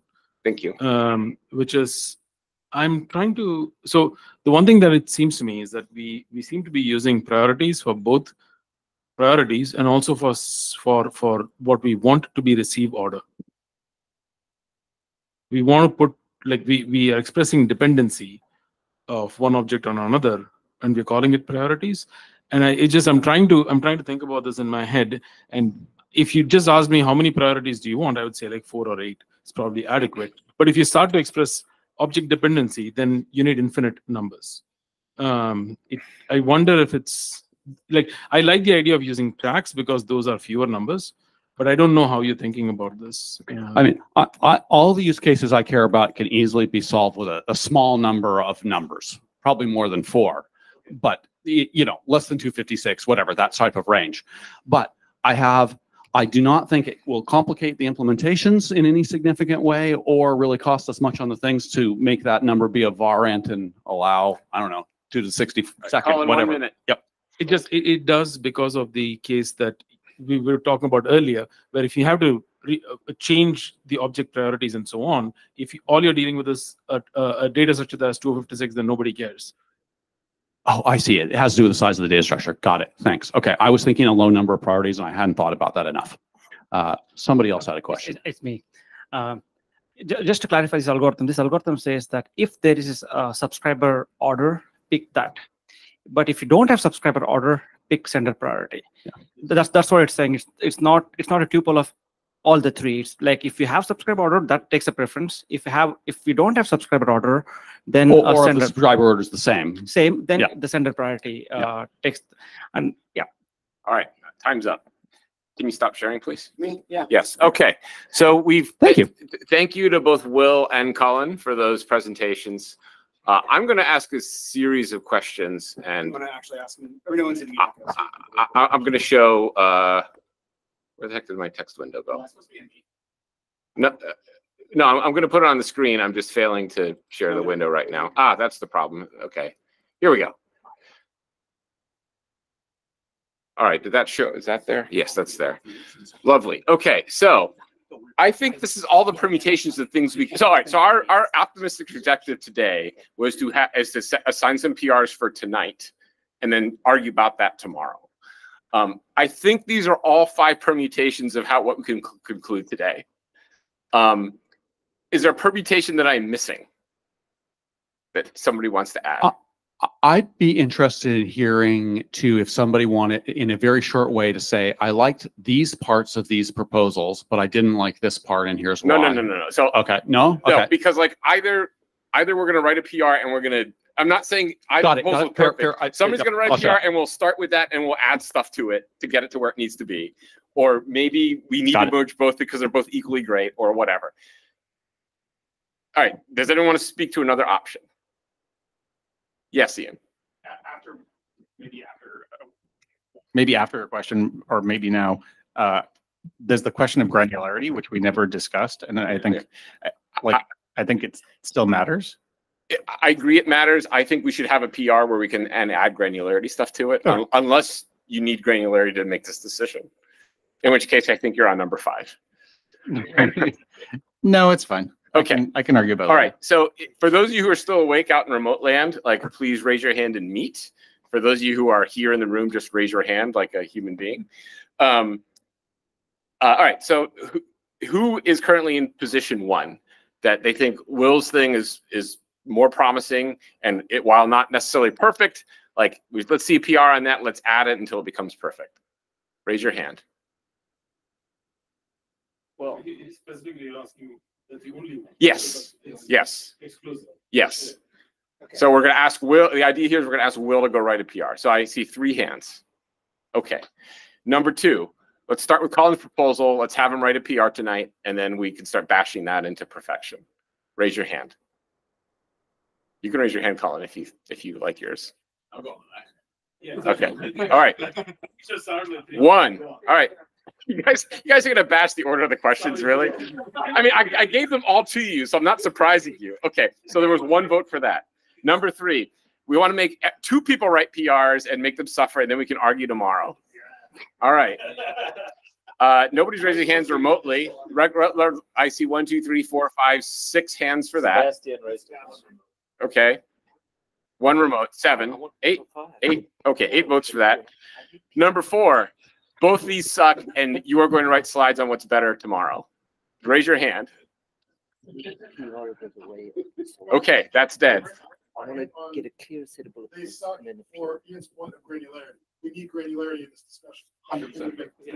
Nothing we can get to that. The devil's in the We can- details. We can add that as an agenda item for discussion. So, so can so can we take one of the existing proposals, take a PR, and add granularity to it, or do we need to start from a completely different sheet of paper? I think we asked both the people to write, address the granularity in the proposal. Okay, super. Uh, so, so, so, so, so, so, so no one is so no one, so no one is volunteering for slides tomorrow for a completely different proposal. Great. Number five, let's just keep arguing and not do a PR tonight. Raise your hand. Ooh. So I, I, I, I, my point is like, I can even be benefiting to have discussion. Yeah. So that's, that's kind of like a factor to will apply. Uh, even if you're asking like Okay. everybody else to put a granularity in it, but without having proper discussion and understanding what's granularity we're talking about. It's hard for them also to put it in.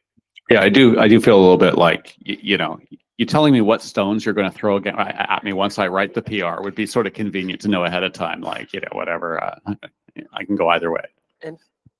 Do, do, do we not think that whatever granularity can be retrofitted into either proposal? I think All right. They're, So they're a little intentionally vague, so it's kind of hard to say. There's a lot of vagueness there, and they say write a PR and figure out all the vague stuff, And like, Well- and then come back. You know, Well, so I mean, like the way forward is someone to write something down that we can shoot at, right? Or or maybe two people, but then we have to we the downside of two is then we have to fight over those PRs and like edit both of them and and that that is going to consume way more time eh, eh, for both the authors. Eh, yes, Will. We've proven time and time again that a PR is a terrible vehicle for debating solutions. It's it's not good. It's complex. It's it's fragmented. It is a fixed target.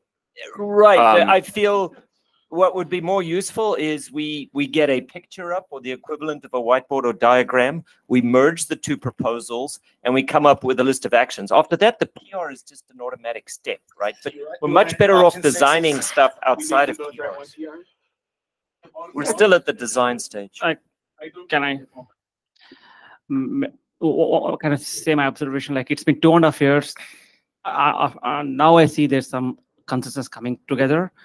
Uh, it's, it's not that like uh, we have not discussed this and the two different PRs would come and we are going to fight against it. I think three is the right way forward. With if Will and Cullen can spend some time today, think through, do their whiteboarding if they need it, and write up a PR. Tomorrow we'll come and discuss and say if the. I- I'm, I'm happy to have slides that explain it instead of PR text, as long as, as long as it is specific enough that it can be turned into a PR without like a whole lot of ambiguity. Yeah, Yeah. I would rather work at slide level than PR level. Okay, but please be specific. Um, See also the question slide. I, I, I right. I, I think we're at three. Um, uh, I, I guess we could spend time just with a wish list of details. Uh, does someone have some like higher level? Are these comments higher level right now? Well, can I ask a question first? Yeah. So is there, do, do Will and Ian have, or Will and Cullen have any desire to work together on a single merge PR or no? Yeah, it's basically the same proposal. Yeah, that's what I was gonna say. Yeah. They seem awfully similar. right. Like slap TTL on Wills and I'm like, yeah, I'm willing I mean, to add TTL as long as Cullen. Okay, I, I love that answer. Um, No, let, us Not let's TT make sorry, I a slide. didn't call it TTL, I To- to- apologize. Yeah, to- totally. Let's let's make try and make like get a really detailed level thing, and I I want to rope Ian into working with us so that he approves it has enough detail it can move to PR next, right?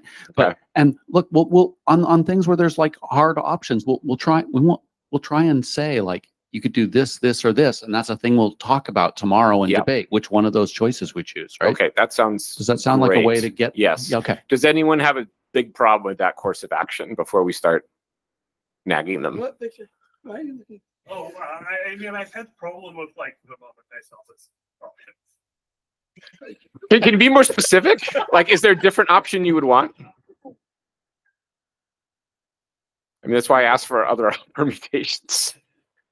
Well, uh, I was looking at the proposal. Is there the- it's basically the same proposal, and there's half of it that I really like, and half of it I think is completely awful. Okay, is, is, is it a good basis to continue, or do you want to make a different proposal? Uh, I can make a half a proposal because for half of it I just agree.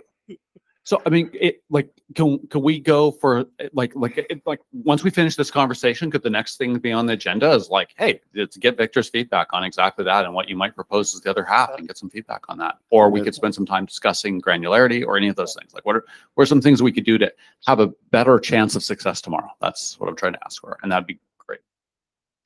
So yeah, uh, I think the part that's inter like priorities between track is basically uh, very good, and ready for PR, and uh, I'm So, so, so, so do you have like a completely different kind of framework or different kind of ideas how the half that you're talking about is going to work? Because then, then perhaps we could look at it.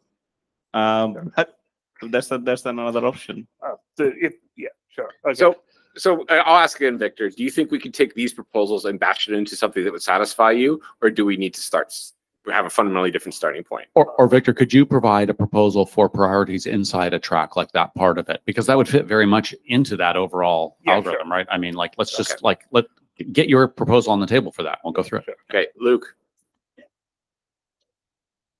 Yeah, I was. Yeah, I was just gonna say, I think we're pretty agreed on uh, inter-track priorities, like subscriber chooses, publisher can override it, like if it's default or whatever. Uh, the devil's in the details within a track.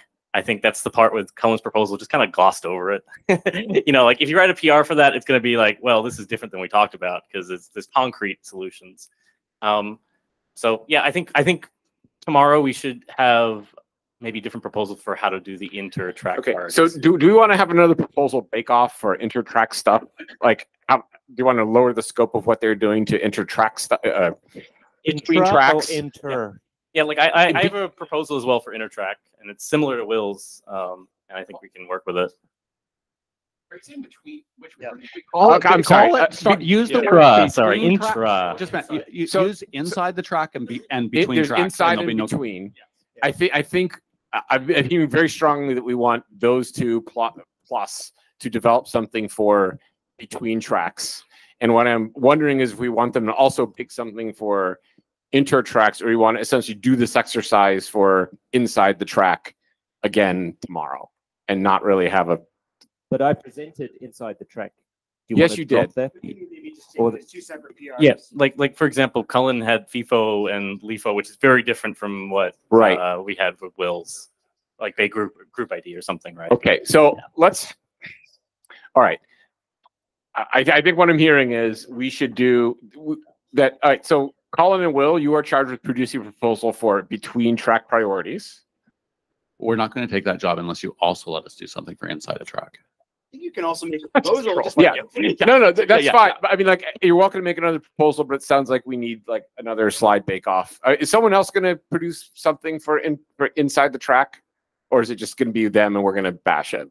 It- Can it be done? it- Like, is, do you know what it is well enough that you could do it after this conversation's over pretty quickly on the board or just give a rough idea of what you're thinking? Oh, For- yeah, for both yeah. You and Victor or anyone else that has one of these? Yeah, I mean it's the the order stuff. It's very similar to what Will said. I just want to add one thing, which is as, as guidance, one thing to keep in mind as you're going into this discussion and mapping onto QUIC is please use the degrees of freedom you have in QUIC, specifically QUIC streams of things. I don't know how it exactly maps, but keep that in mind because you don't want to keep having another signal that is an explicit priority signal to express something that you could express using ordering in QUIC.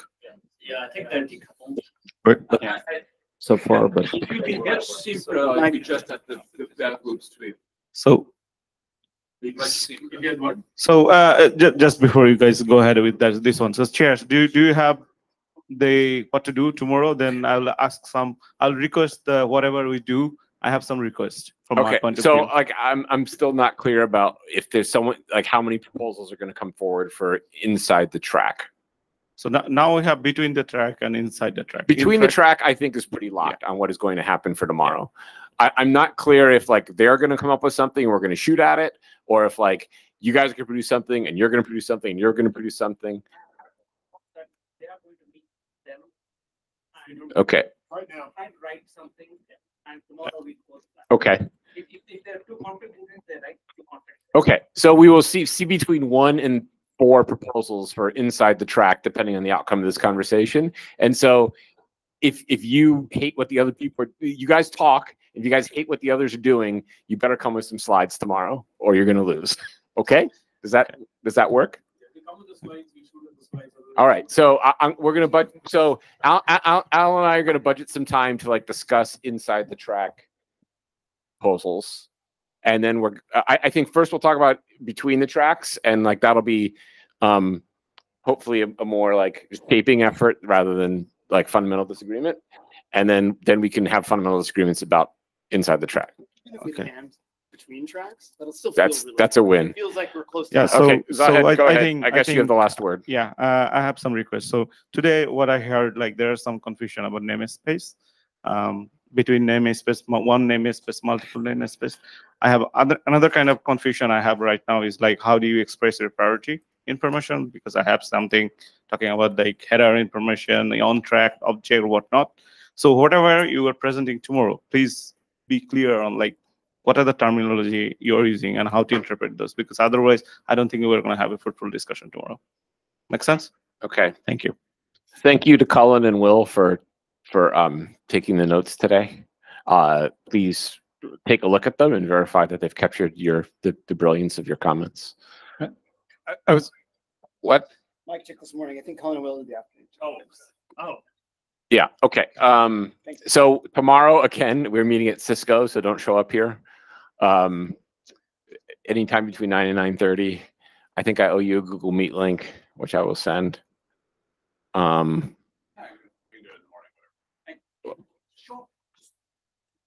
You show up a bit early and we debug any.